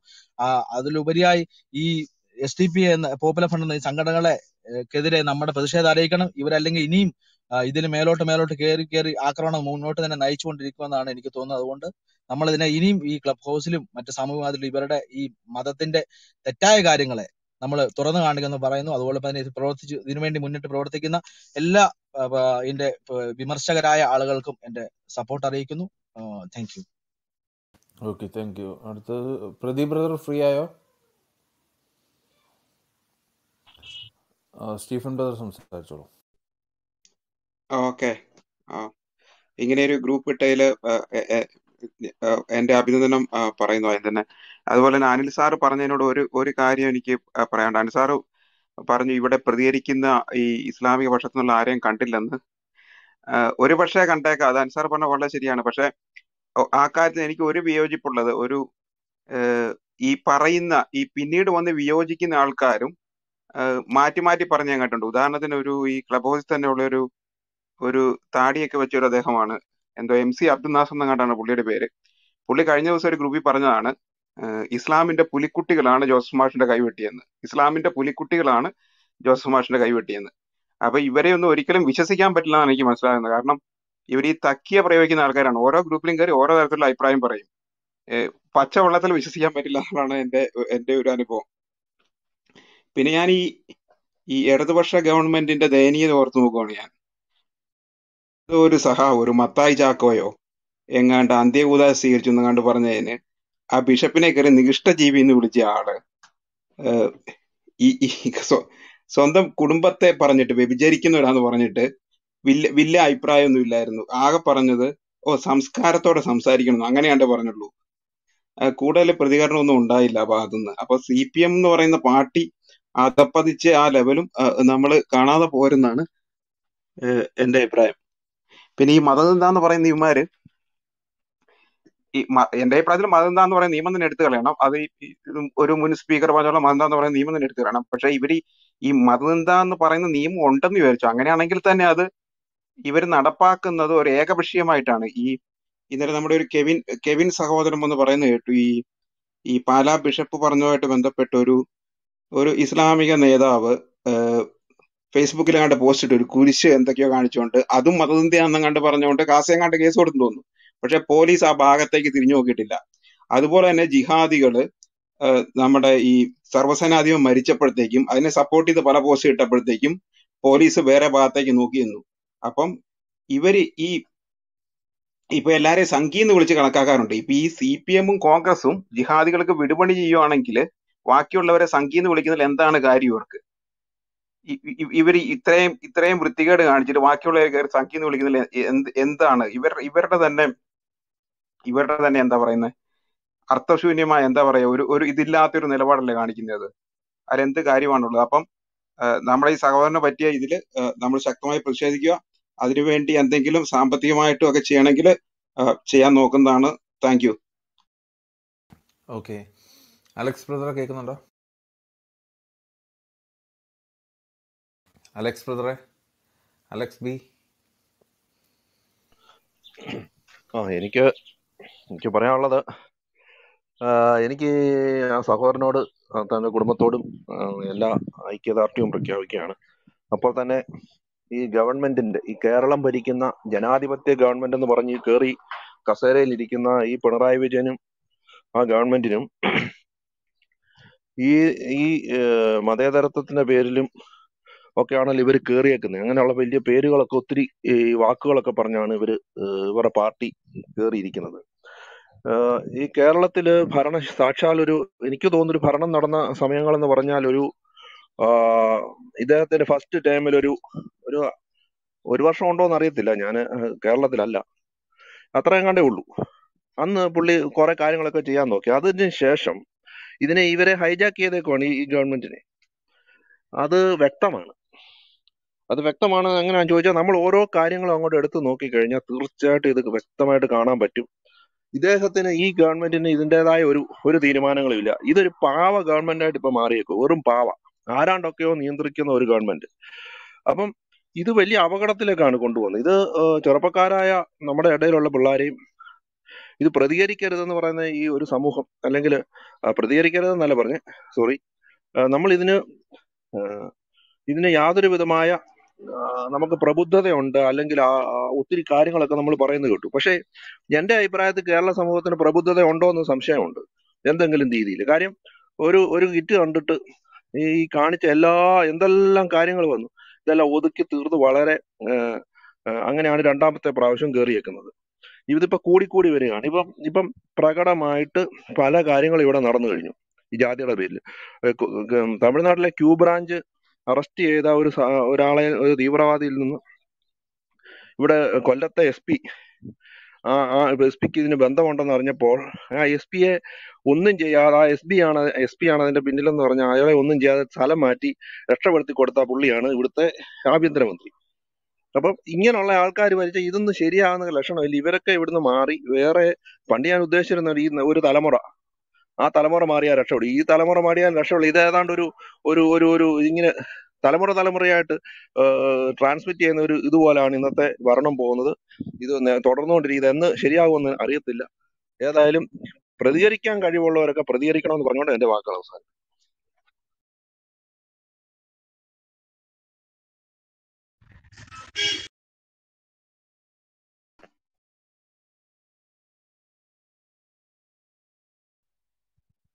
എല്ലാവർക്കും സമയം കിട്ടാത്തവരുണ്ടെങ്കിൽ ഹലോ എനിക്ക് സമയം കിട്ടിയില്ലായിരുന്നു.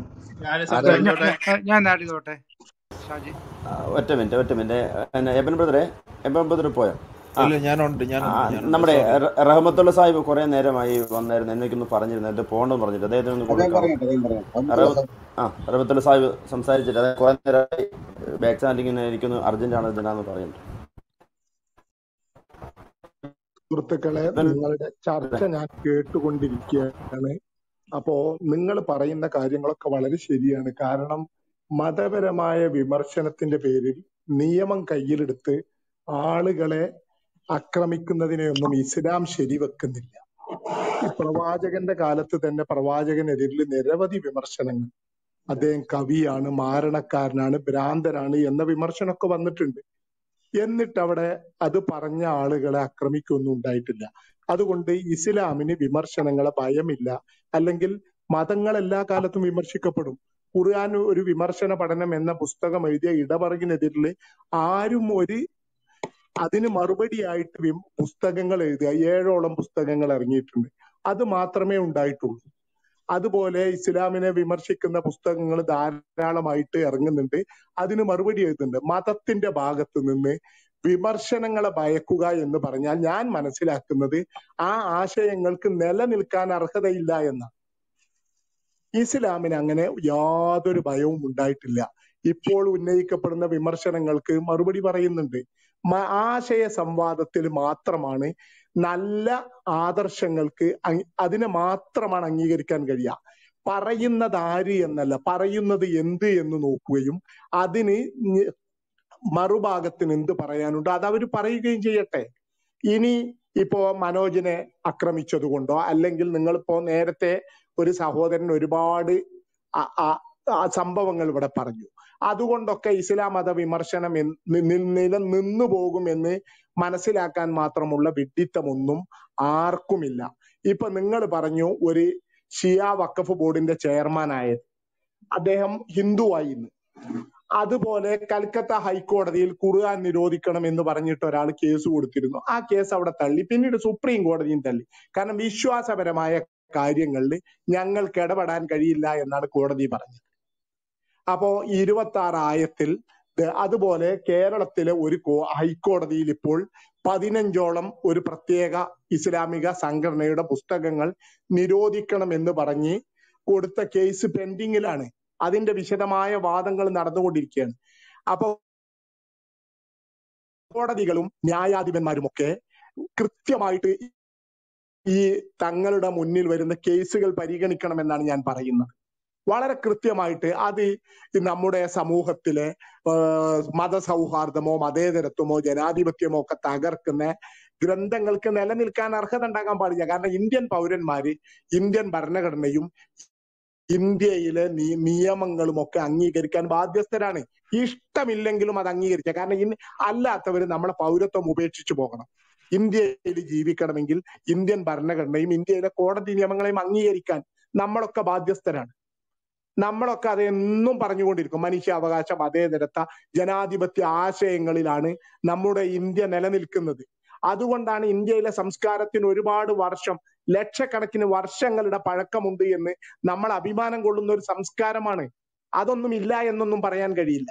അപ്പോൾ ഞാൻ പറയുന്നത് മതങ്ങളെ വിമർശിക്കാൻ നമ്മുടെ ജനാധിപ ലോകത്തിലെ ഏറ്റവും വലിയ ജനാധിപത്യ സമൂഹമാണ് ഇന്ത്യ. വിമർശനങ്ങൾ വരട്ടെ. നിലനിൽക്കാൻ അർഹതയില്ലാത്തത്. കാറൽ മാർക്സ് പറഞ്ഞ ഒരുപാട് കാര്യങ്ങൾ തെറ്റാണ്. പക്ഷെ അദ്ദേഹം പറഞ്ഞതിൽ ഒരു കാര്യം എന്നും ശരിയാണ്. അർഹതയുള്ളത് അതിജീവിക്കും എന്ന് അദ്ദേഹം പറഞ്ഞിട്ടുണ്ട്. അതുകൊണ്ട് മതവിമർശനങ്ങളെ ഭയപ്പെടേണ്ട കാര്യമില്ല. മതവിശ്വാസികൾ അവരുടെ പക്ഷത്ത് നിന്ന് മാന്യമായ ഭാഷയിൽ അതിന് മറുപടി പറയട്ടെ. വീണ്ടും വിമർശനങ്ങൾ ഉണ്ടെങ്കിൽ വരട്ടെ. വിമർശനങ്ങളെ ഭയക്കുക എന്ന് പറഞ്ഞാൽ നിലനിൽക്കാൻ അർഹതയില്ലാത്ത ആശയങ്ങളുടെ ആളുകൾ മാത്രമേ അങ്ങനെ ചെയ്യുകയുള്ളൂ. അല്ലെങ്കിൽ എന്തെങ്കിലും ഒരു വിമർശനം വന്നതുകൊണ്ട് ഇസ്ലാം ഇല്ലാതായി പോകും എന്ന തെറ്റിദ്ധാരണ വിശ്വാസികൾക്ക് എന്തിനാണ്? അല്ലെങ്കിൽ ക്രിസ്തു മതത്തെ ആരെങ്കിലും വിമർശിച്ചാൽ ഇടമറുകി ക്രിസ്തുവും കൃഷ്ണനും ജീവിച്ചിരുന്നില്ല എന്ന് പറഞ്ഞ് പുസ്തകം എഴുതിയില്ലേ? എന്നിട്ട് ക്രിസ്ത്യാനികൾ ഇവിടെ പ്രകോപിതരായിട്ടുണ്ടാ? ഹിന്ദുക്കൾ എന്ന് പ്രകോപിതരായിട്ടുണ്ടാ? ആ പുസ്തകങ്ങളുടെ ഒരുപാട് പതിപ്പുകൾ വന്നിട്ട് അതിന് മറുപടി പറഞ്ഞു. ഞാൻ നിർത്താം. പറഞ്ഞിട്ടുണ്ട്. അപ്പൊ ഞാൻ പറയുന്നത് മതങ്ങൾ വിമർശിക്കപ്പെടണം. മതങ്ങൾ പരിഷ്കരിക്കപ്പെടണമെങ്കിൽ വിമർശനം നിർബന്ധമാണ്. വിമർശിക്കപ്പെടട്ടെ. കെട്ടി നിൽക്കുന്ന വെള്ളം പോലെ മതവിശ്വാസങ്ങളാകാൻ പാടില്ല. വിമർശനങ്ങൾ വരട്ടെ എന്നാണ് എനിക്ക് പറയാനുള്ളത്. മനോജിനെ ആക്രമിക്കുന്നത് അല്ലെങ്കിൽ മനോജിനെതിരെ നിയമ നടപടി സ്വീകരിക്കുന്നത്. അതിൽ പോലീസ് എടുത്ത പരസ്യമായിട്ട് പറഞ്ഞ് അതിനെ തിരുത്താൻ നിയമപരമായി അതിന് തിരുത്താനുള്ള നടപടികൾ നിങ്ങളുടെ ഭാഗത്ത് നിന്നുണ്ടാകണം.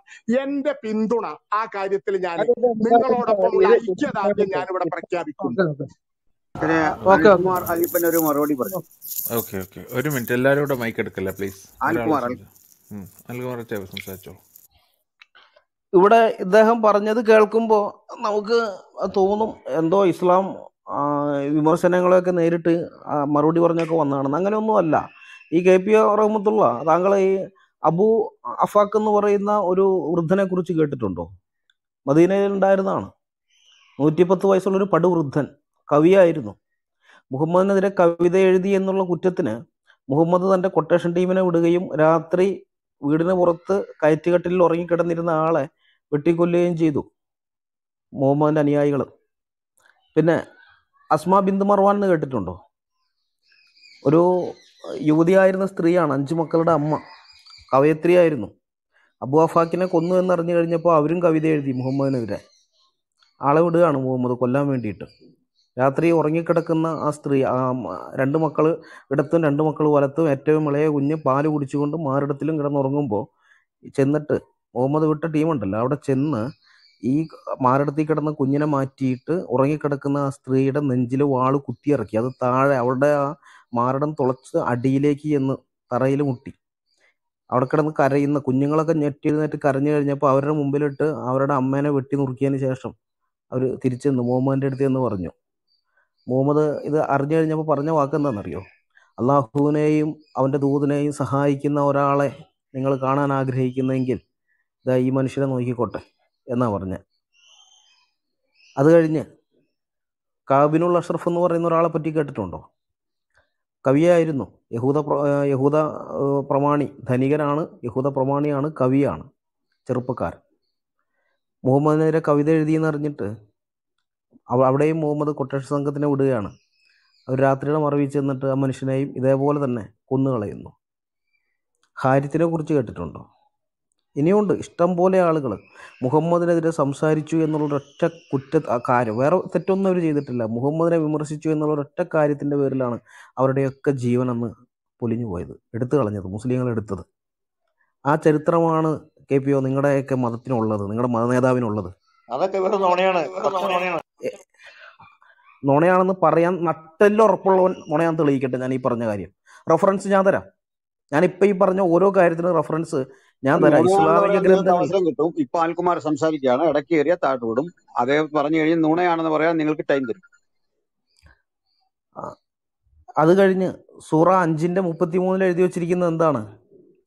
ആ അള്ളാഹുവിനെതിരെ മാത്രമല്ല മുഹമ്മദിനെതിരെ എന്തെങ്കിലുമൊക്കെ പ്രശ്നം ഉണ്ടാക്കിയാൽ സംസാരിച്ചാൽ അവൻ എന്ത് ചെയ്യണമെന്ന് പറഞ്ഞതെന്ന് അറിയാമോ? അവന്റെ അവനെ ക്രൂശിക്ക് കൊല്ലുക ക്രൂശിക്കുക നാട് കടത്തുക ഇനി അതിനൊന്നും കഴിഞ്ഞില്ലെങ്കിൽ അവന്റെ കൈയും കാലും വെട്ടിക്കളയുക. എതിർ ദിശകളിൽ നിന്ന്. അതാണ് ജോസഫ് മാഷോട് ചെയ്തത്. ഇതേപോലെ ധാരാളം കാര്യങ്ങൾ. ഇതൊക്കെ നിങ്ങളുടെ പ്രമാണങ്ങളിൽ ഉള്ളതുകൊണ്ടാണ് മതനിന്ദാ നിയമങ്ങൾ നിബിദിന്ദാ നിയമങ്ങളൊക്കെ ഇസ്ലാമിക രാജ്യങ്ങളിലുള്ളത് ശരീരത്തിന്റെ അടിസ്ഥാനത്തിൽ അതൊക്കെ ഉള്ളത് എന്താണെന്നറിയോ? പ്രമാണത്തിൽ ഇത് ഉള്ളതുകൊണ്ടാണ് നബിക്കെതിരെ മിണ്ടാൻ പാടില്ല എന്ന് ആ കാലഘട്ടത്തിലെ തിട്ടൂരമുണ്ട്. ഇസ്ലാമിനെതിരെ മിണ്ടാൻ പാടില്ല എന്ന്. പാക്ട് ഓഫ് ഉമർ എന്ന് പറയുന്ന ഒരു സംഗതി ഉണ്ട് വായിച്ചു നോക്കണം.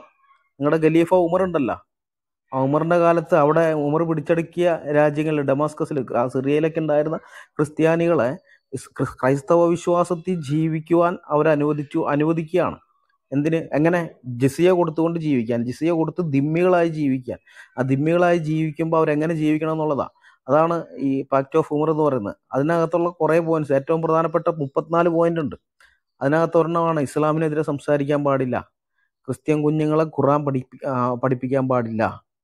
കാരണം അത് ക്രിസ്ത്യാനികൾ ഖുറാൻ പഠിച്ചാൽ എന്തുണ്ടാവും എന്നുള്ളത് ഇപ്പോൾ ഇന്ന് കേരളത്തിലെ അവസ്ഥ നമുക്ക് കാണുമ്പോൾ അറിയുന്നുണ്ടല്ലോ. അതുണ്ടാകരുതെന്ന് വെച്ചിട്ട് അന്ന് ചെയ്ത് വെച്ചിരിക്കുന്നതാണ്. അപ്പോൾ അതുകൊണ്ട് ഇമാതിരി ഡയലോഗ് ഇവിടെ അടിച്ചേക്കരുത്. ഒരു കൈ കൊണ്ട് അടിക്കുകയും മറു കൈ കൊണ്ട് തടവുകയും ചെയ്യുന്ന പരിപാടി ഉണ്ടല്ലോ. അത് നിങ്ങളുടെ സ്ഥിരം അടവാണ് മുസ്ലിങ്ങളുടെ. അത് ഞങ്ങളുടെ അടുത്ത് ഞങ്ങളുടെ ഗ്രൂപ്പിൽ വന്നിട്ട് അത് എടുക്കാൻ നിൽക്കണ്ട. നിങ്ങൾ നിങ്ങൾ ഈ സംഗതികൾ ഇത് ചെയ്തിരിക്കുന്നതെന്ന് പറഞ്ഞാൽ കൃത്യമായി പ്രമാണത്തിന്റെ അടിസ്ഥാനത്തിലാണ്.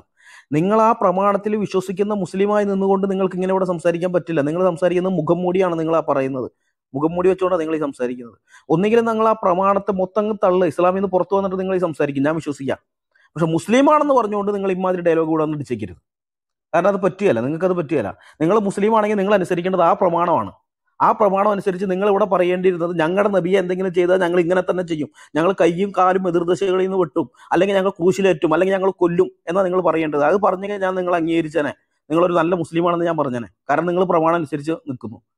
പക്ഷേ ഈ മുഖം മൂടി ഉണ്ടല്ലോ. നിങ്ങൾ ന്യൂനപക്ഷമായിരിക്കുന്ന സമയത്ത് മറ്റുള്ള ആളുകളെ വഞ്ചിക്കാൻ നോക്കുന്ന ഈ മുഖം മൂടി അത് ഞങ്ങളുടെ ഗ്രൂപ്പുകളിൽ വേണ്ട. ഞങ്ങളുടെ റൂമിൽ വന്ന് ആ മുഖം മൂടിയിട്ടുകൊണ്ട് സംസാരിക്കാൻ നിൽക്കണ്ട. മനസ്സിലായി? അതൊക്കെ ഇസ്ലാമിനെ കുറിച്ച് അറിയാത്ത ആളുകളെ നിങ്ങൾക്ക് ഇങ്ങനെ പറഞ്ഞു പറ്റിക്കാൻ പറ്റും പൊട്ടം കളിപ്പിക്കാൻ പറ്റും. ഞങ്ങളിത് പഠിച്ചതാണ്. നിങ്ങളെക്കാൾ നന്നായിട്ട് നിങ്ങളുടെ പ്രമാണങ്ങൾ ആഴത്തി പഠിച്ചിട്ട് തന്നെ ഞങ്ങൾ സംസാരിക്കുന്നത്. അപ്പൊ അതുകൊണ്ട് ഇമാതിരി ഡയലോഗ് ഇവിടെ എടുക്കരുത്. അദ്ദേഹം പറഞ്ഞ ഒരു സ്റ്റേറ്റ്മെന്റ് മതങ്ങൾ വിമർശിക്കപ്പെടണമെന്ന് അദ്ദേഹം പറഞ്ഞു. കെ പി എ റഹ്മത്തുള്ള ഒറ്റ മിനിറ്റ് ജാക്കബസ് കെ പി എ റഹ്മത്തുള്ള പറഞ്ഞത് മതങ്ങൾ വിമർശിക്കപ്പെടണം. സംസാരിക്കാൻ സമയം തരണേ. ഞങ്ങൾ അപ്പോൾ ഇസ്ലാം വിമർശിക്കപ്പെടുന്നതിൽ അതിനെക്കുറിച്ചൊന്ന് പറയും. ഇസ്ലാമിന്റെ വിമർശനത്തെ കുറിച്ച് ഒന്ന്. ആ, ഒരു മിനിറ്റ് ഒരു മിനിറ്റ്. അനിൽ അനിൽ പറഞ്ഞത് കഴിഞ്ഞോ? അല്ല ഇല്ല അനിൽ ബദ്ര സംസാരിച്ചുകൊണ്ടിരിക്കുകയാണ് ഇസ്ലാം വിമർശിക്കപ്പെടണമെന്ന് ഈ ന്യൂനപക്ഷമായിരിക്കുന്ന ഇടങ്ങളിൽ ഇവരിങ്ങനെ ഡയലോഗ് അടിക്കുന്നതല്ലേ? ഭൂരിപക്ഷമായ ഇടങ്ങളിൽ ഇസ്ലാമിന് ഭൂരിപക്ഷമുള്ളിടത്ത് ഇസ്ലാമിന് ഭൂരിപക്ഷം വന്നാൽ പിന്നെ അധികാര ഇവരുടെ കയ്യിലാണ് പൊളിറ്റിക്കൽ ഇസ്ലാം എന്ന് പറഞ്ഞാൽ മതവും രാഷ്ട്രീയവും രണ്ടല്ല ഒന്നാണ്. അപ്പോൾ മുസ്ലിങ്ങൾ ഭൂരിപക്ഷമായ സ്വാഭാവികമായിട്ട് അധികാരം മുസ്ലിങ്ങളുടെ കയ്യിലാണ്. അവിടെ ഇങ്ങനെ ഒരു സംഗതി ഉണ്ടോ? ഇസ്ലാമിനെ വിമർശിക്കാനുള്ള അനുമതി അവർ കൊടുക്കുന്നുണ്ടോ? ഇല്ലല്ലോ. അവിടെ കൊടുക്കുകയല്ല. ഇസ്ലാമിനെ വിമർശിച്ച് കഴിഞ്ഞാൽ അവന്റെ കാര്യം പോക്കാണ്. അവനെ കൊന്നുകളയും അല്ലെങ്കിൽ ജയിലിലിടും. ഇതെല്ലാം നമ്മൾ കാക്കുന്നത്. അത് ഇപ്പോൾ ഈജിപ്തിലായാലും ശരി ഇറാഖിലായാലും ഇറാനിലായാലും പാകിസ്ഥാനിലായാലും അഫ്ഗാനിസ്ഥാനിലായാലും ബംഗ്ലാദേശിലായാലും ഈ ഇവ- ഇവരുടെ ഇവരെ അധികാരത്തിലിരിക്കുന്ന ഈ ഇതുണ്ടല്ലോ ഈ ഇടങ്ങളൊക്കെ നോക്കിക്കോ. അതല്ല ഇനിയിപ്പോൾ ഗൾഫ് രാജ്യങ്ങളിലായാലും ഇസ്ലാമിന് എതിരെ സംസാരിക്കാൻ പറ്റുമോ ഇല്ല. പക്ഷെ ഇവർ ന്യൂനപക്ഷമായിരിക്കുന്ന ഇടങ്ങളിൽ ഇവർ വന്നിട്ട് പറയും മതങ്ങൾ വിമർശിക്കപ്പെടണം. അത് പറഞ്ഞ എന്തിനാണെന്നറിയോ ആ പേരും പറഞ്ഞുകൊണ്ട് മറ്റു മതങ്ങളെയൊക്കെ ഇവർക്ക് വിമർശിക്കണം. അക്ബറൊക്കെ ഇവിടെ കുറെ നാൾ വിമർശിച്ചുകൊണ്ട് കടന്നില്ലേ? ഹിന്ദു മതത്തിൽ അങ്ങനെയാണ്. രാമൻ പെണ്ണുപിടിയനാണ്. കൃഷ്ണൻ ഇങ്ങനെയുള്ളവനാണ് എന്നൊക്കെ പറഞ്ഞുകൊണ്ട് അതുപോലെ യേശു ക്രിസ്തു അങ്ങനെയാണ് യേശു ക്രിസ്തു മദ്യം വിളമ്പി എന്നൊക്കെ പറഞ്ഞുകൊണ്ട് നടന്നത്. അങ്ങനെ മറ്റുള്ള മതങ്ങളെ വിമർശിക്കണം. ആ വിമർശിക്കാൻ വേണ്ടിയിട്ടാണ് ഇവർ പറഞ്ഞത് മതങ്ങളൊക്കെ വിമർശിക്കപ്പെടണമെന്ന് പക്ഷെ ഇസ്ലാമിനെതിരെ സംസാരിച്ചാലോ? ഇസ്ലാമിനെതിരെ സംസാരിച്ചു കഴിഞ്ഞാൽ തട്ടാൻ വേറെ ആൾക്കാരുണ്ട് അപ്പുറത്ത്. അപ്പൊ അതുകൊണ്ട് ആളുകൾ ഭയപ്പെടും. ഭയപ്പെട്ടിട്ട് ഇസ്ലാമിനെതിരെ സംസാരിക്കാൻ ധൈര്യപ്പെടില്ല. പക്ഷെ അപ്പോഴും വേറെ ടീം കൊണ്ട് പറയും മതങ്ങളെല്ലാം വിമർശിക്കപ്പെടണം. അത് പറഞ്ഞുകൊണ്ട് ഇവർ മറ്റുള്ള മതങ്ങളെ വിമർശിച്ചുകൊണ്ട് നടക്കും ഇവരാളുകൾ ഇത് പല പല തട്ടാണ്. ഞാൻ മുമ്പേ പറഞ്ഞ ഇസ്ലാം എന്ന് പറയുന്ന ഒരു ഫുട്ബോൾ കളി പോലെയാണത്. ഗോൾ അടിക്കാൻ രണ്ടുപേരെ കാണുള്ളൂ മുമ്പിൽ. പക്ഷെ ഗോൾ എത്തിച്ചു കൊടുക്കാൻ പുറകിൽ കുറെ ഉണ്ട്. പിന്നെ ആ അതിന്റെ പുറത്ത് സപ്പോർട്ടിംഗ് സ്റ്റാഫായിട്ട് വേറെ കുറെ ഉണ്ട്. കോച്ചും മറ്റ് ഫിസിയോ അത് ഇതൊക്കെ പറഞ്ഞിട്ട് സപ്പോർട്ടിംഗ് സ്റ്റാഫ് വേറെ കുറെ ഉണ്ട്. ഇതേപോലെയാണ്. നമ്മൾ കാണുന്ന ജിഹാദ് നടത്തുന്ന ഒന്നോ രണ്ടോ പേരൊന്നും അല്ല. ഇതിനകത്ത് ബാക്കിയുള്ള എല്ലാവർക്കും ഇതിനകത്ത് പങ്കാളിത്തമുണ്ട്. ഏതെങ്കിലും വിധത്തിൽ അവർക്ക് പങ്കാളിത്തമുണ്ട്. എല്ലാവരും കൂടി ചേർന്നിട്ട് തന്നെയാണ് ചെയ്യുന്നത്. അപ്പൊ ഒ- ഒരു കൂട്ടർ കൊണ്ട് പറയാണ് മതങ്ങളൊക്കെ വിമർശിക്കപ്പെടണം. എന്നിട്ട് വിമർശിക്കാൻ കുറെ പേര് അവിടെ ഉണ്ടാവും. അപ്പൊ തന്നെ ഇസ്ലാമിനെതിരെ മിണ്ടിക്കഴിഞ്ഞാൽ അവനെ തട്ടും. അല്ലെങ്കിൽ അവൻ എന്തെങ്കിലും ചെയ്യും. അതോടെ പേടിച്ചിട്ട് പിന്നെ ആളുകൾ ഇസ്ലാമിനെതിരെ മിണ്ടുകയില്ല. നിരീശ്വരവാദികളൊക്കെ തന്നെ നോക്ക് നിങ്ങൾ ക്രിസ്ത്യാനികൾക്ക് ഹിന്ദുക്കൾക്ക് നേരെയല്ലേ അവർക്ക് സംസാരിക്കാനൊക്കെ ഉള്ള ഇതുള്ളൂ നാട്ടിലുള്ളൂ? എത്ര പേര്? യമുഡാപ്പി എന്ന് പറഞ്ഞിട്ട് വേറൊരു ടീമുണ്ടല്ലോ യമുഡാപ്പി ഇങ്ങനെ ചുമ്മാ വിമർശിച്ചുകൊണ്ടിരിക്കും. ഇസ്ലാമിന് തട്ടുകേട് വരുന്ന സമയത്ത് അവന്റെയൊക്കെ യഥാർത്ഥ മുഖം നമ്മൾ കാണും. അതൊക്കെ എത്ര കാലമായി നമ്മൾ കാണാൻ തുടങ്ങിയിട്ട്? എന്നിട്ട് ഇവിടെ നമ്മുടെ ഒരു സഹോദരനെതിരെ വളരെ അന്യായമായിട്ട് അതും അദ്ദേഹം ഒരു ട്രൈബൽ ഇതിൽപ്പെട്ട ആളാണ് ഗോത്രവർഗക്കാരനാണെന്ന് ഓർക്കണം. അങ്ങനെയുള്ള ഒരു മനുഷ്യനെ നേരെ ഇവർ ഇതുപോലെയുള്ള ഒരു അതിക്രമം കാണിച്ചിട്ടും അത് കഴിഞ്ഞ് അദ്ദേഹത്തിനെതിരെ കേസും കൊടുത്ത് പോലീസ് വന്ന് അറസ്റ്റ് ചെയ്യുകയും ചെയ്തതായിട്ട് നമ്മൾ അതിനെപ്പറ്റി സംസാരിച്ചുകൊണ്ടിരിക്കുമ്പോഴാണ് വീണ്ടും തക്കിയയുമായിട്ട് കുമാരി ഇങ്ങോട്ട് വരുന്നത്. രക്തം തിളക്കില്ലേ നമ്മുടെ? അപ്പൊ അത്തരം ഇതൊന്നും വേണ്ട. തക്കിയ എടുക്കാൻ പറ്റുന്ന അതൊക്കെ ആ സമയം കഴിഞ്ഞു പോയി റഹ്മത്തുള്ള. തക്കിയൊക്കെ ചെലവാക്കാൻ പറ്റുന്ന സമയമൊക്കെ തീർന്നു പോയി ഇത് ഞങ്ങൾ ഇവിടെ നിങ്ങളുടെ പ്രമാണം വായിച്ച് പഠിച്ച് മനസ്സിലാക്കി തന്നെ ഇരിക്കുന്നവരാണ്. ആ ബോധം നിങ്ങൾക്ക് ഉണ്ടായ കൂടുതൽ നല്ലതാണ് നിങ്ങൾക്ക്. അല്ല ഇദ്ദേഹം പറഞ്ഞത് പിന്നെ ഈ ഇദ്ദേഹം ഈ റഹ്മത്തുള്ള എന്ന് പറയുന്ന സുഹൃത്ത് ഇസ്ലാമിന് പുറത്തു നിന്നാണ് സംസാരിക്കുന്നതെങ്കിൽ പറഞ്ഞതിൽ കുറെയൊക്കെ ശരിയുണ്ട്. ഇസ്ലാമിനകത്തു നിന്നുകൊണ്ട് ഇദ്ദേഹത്തിന് പറയാൻ കഴിയത്തില്ല. അതെങ്ങനെ പറയാൻ കഴിയുന്നത് മുഹമ്മദിന്റെ കാലത്ത് തന്നെ വിമർശിച്ച് എത്രയോ ആളുകളുടെ കഴുത്ത് വെട്ടി. മുസ്ലിമത്തിന് റഹ്മത്തുള്ള അറിയാമായിരുന്നു. മുസ്ലിമത്തിന്റെ കഥ എങ്ങനെ കഴിച്ചത് മുഹമ്മദ്? അവിടെ നിർത്ത സുഹൃത്ത്. പറയട്ടെ സുഹൃത്ത് നിങ്ങൾ പഠിക്കാതെ നിങ്ങൾ പഠിക്കാതെ. അസ്വദുൽ അൻസി അറിയാമായിരുന്നു? അസ്വദുൽ അൻസിയുടെ ഗതി എന്തായിരുന്നു? അസ്വദുൽ അൻസി. വെട്ടിയോ? ഞാൻ ചോദിച്ചതിന് നിർത്ത പറഞ്ഞു തരാം ഞാൻ പറഞ്ഞു തരാം. അവിടെ നില്ല. പറഞ്ഞു തരാം കംപ്ലീറ്റ് ചെയ്യാം. കഴുത്ത് വെട്ടിയോ എന്നാണ്. ഒരു മിനിറ്റ് ഒരു മിനിറ്റ് ഒരു മിനിറ്റ്. ചാക്കോ പാസ്റ്റർ ഒരു മിനിറ്റ്. ഒരു മിനിറ്റ് ഒരു മിനിറ്റ് ഒരു മിനിറ്റ് ഒരു മിനിറ്റ് ഒരു മിനിറ്റ്. കെ പി സാഹിബ് ചോദിച്ചില്ലേ? അതിനുള്ള ഉത്തരം കേൾക്കാനുള്ള മനസ്സ് കാണിക്കുക ഒന്ന് മ്യൂട്ട് ചെയ്യോ. ഉത്തരം പറയാം ഉത്തരം പറയാം. ഒന്ന് മ്യൂട്ട് ചെയ്യോ. ആ അവിടെ അദ്ദേഹം അവിടെ നിൽക്കട്ടെ.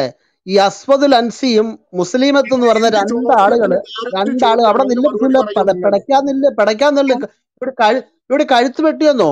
ബനു കുറയിള എന്ന് പറയുന്ന അവിടെ പറഞ്ഞു ഞാൻ പറഞ്ഞുതരാം പറഞ്ഞുതരാം. ഒന്നല്ല ഒന്നല്ല രണ്ടല്ല. ബനു കുറയിള എന്ന് പറ ഞാൻ ചോദിച്ചത്. അതിന് മറുപടി ഞാൻ പറഞ്ഞു തരാം ഒരാ ഒരാടെ കഴുത്തല്ല ആയിരത്തോളം പേര് വരുന്ന ജൂതന്മാരുടെ കഴുത്ത് വെട്ടി മദീനയിലെ മദീനയിലെ ഒരു സെക്കൻഡ്.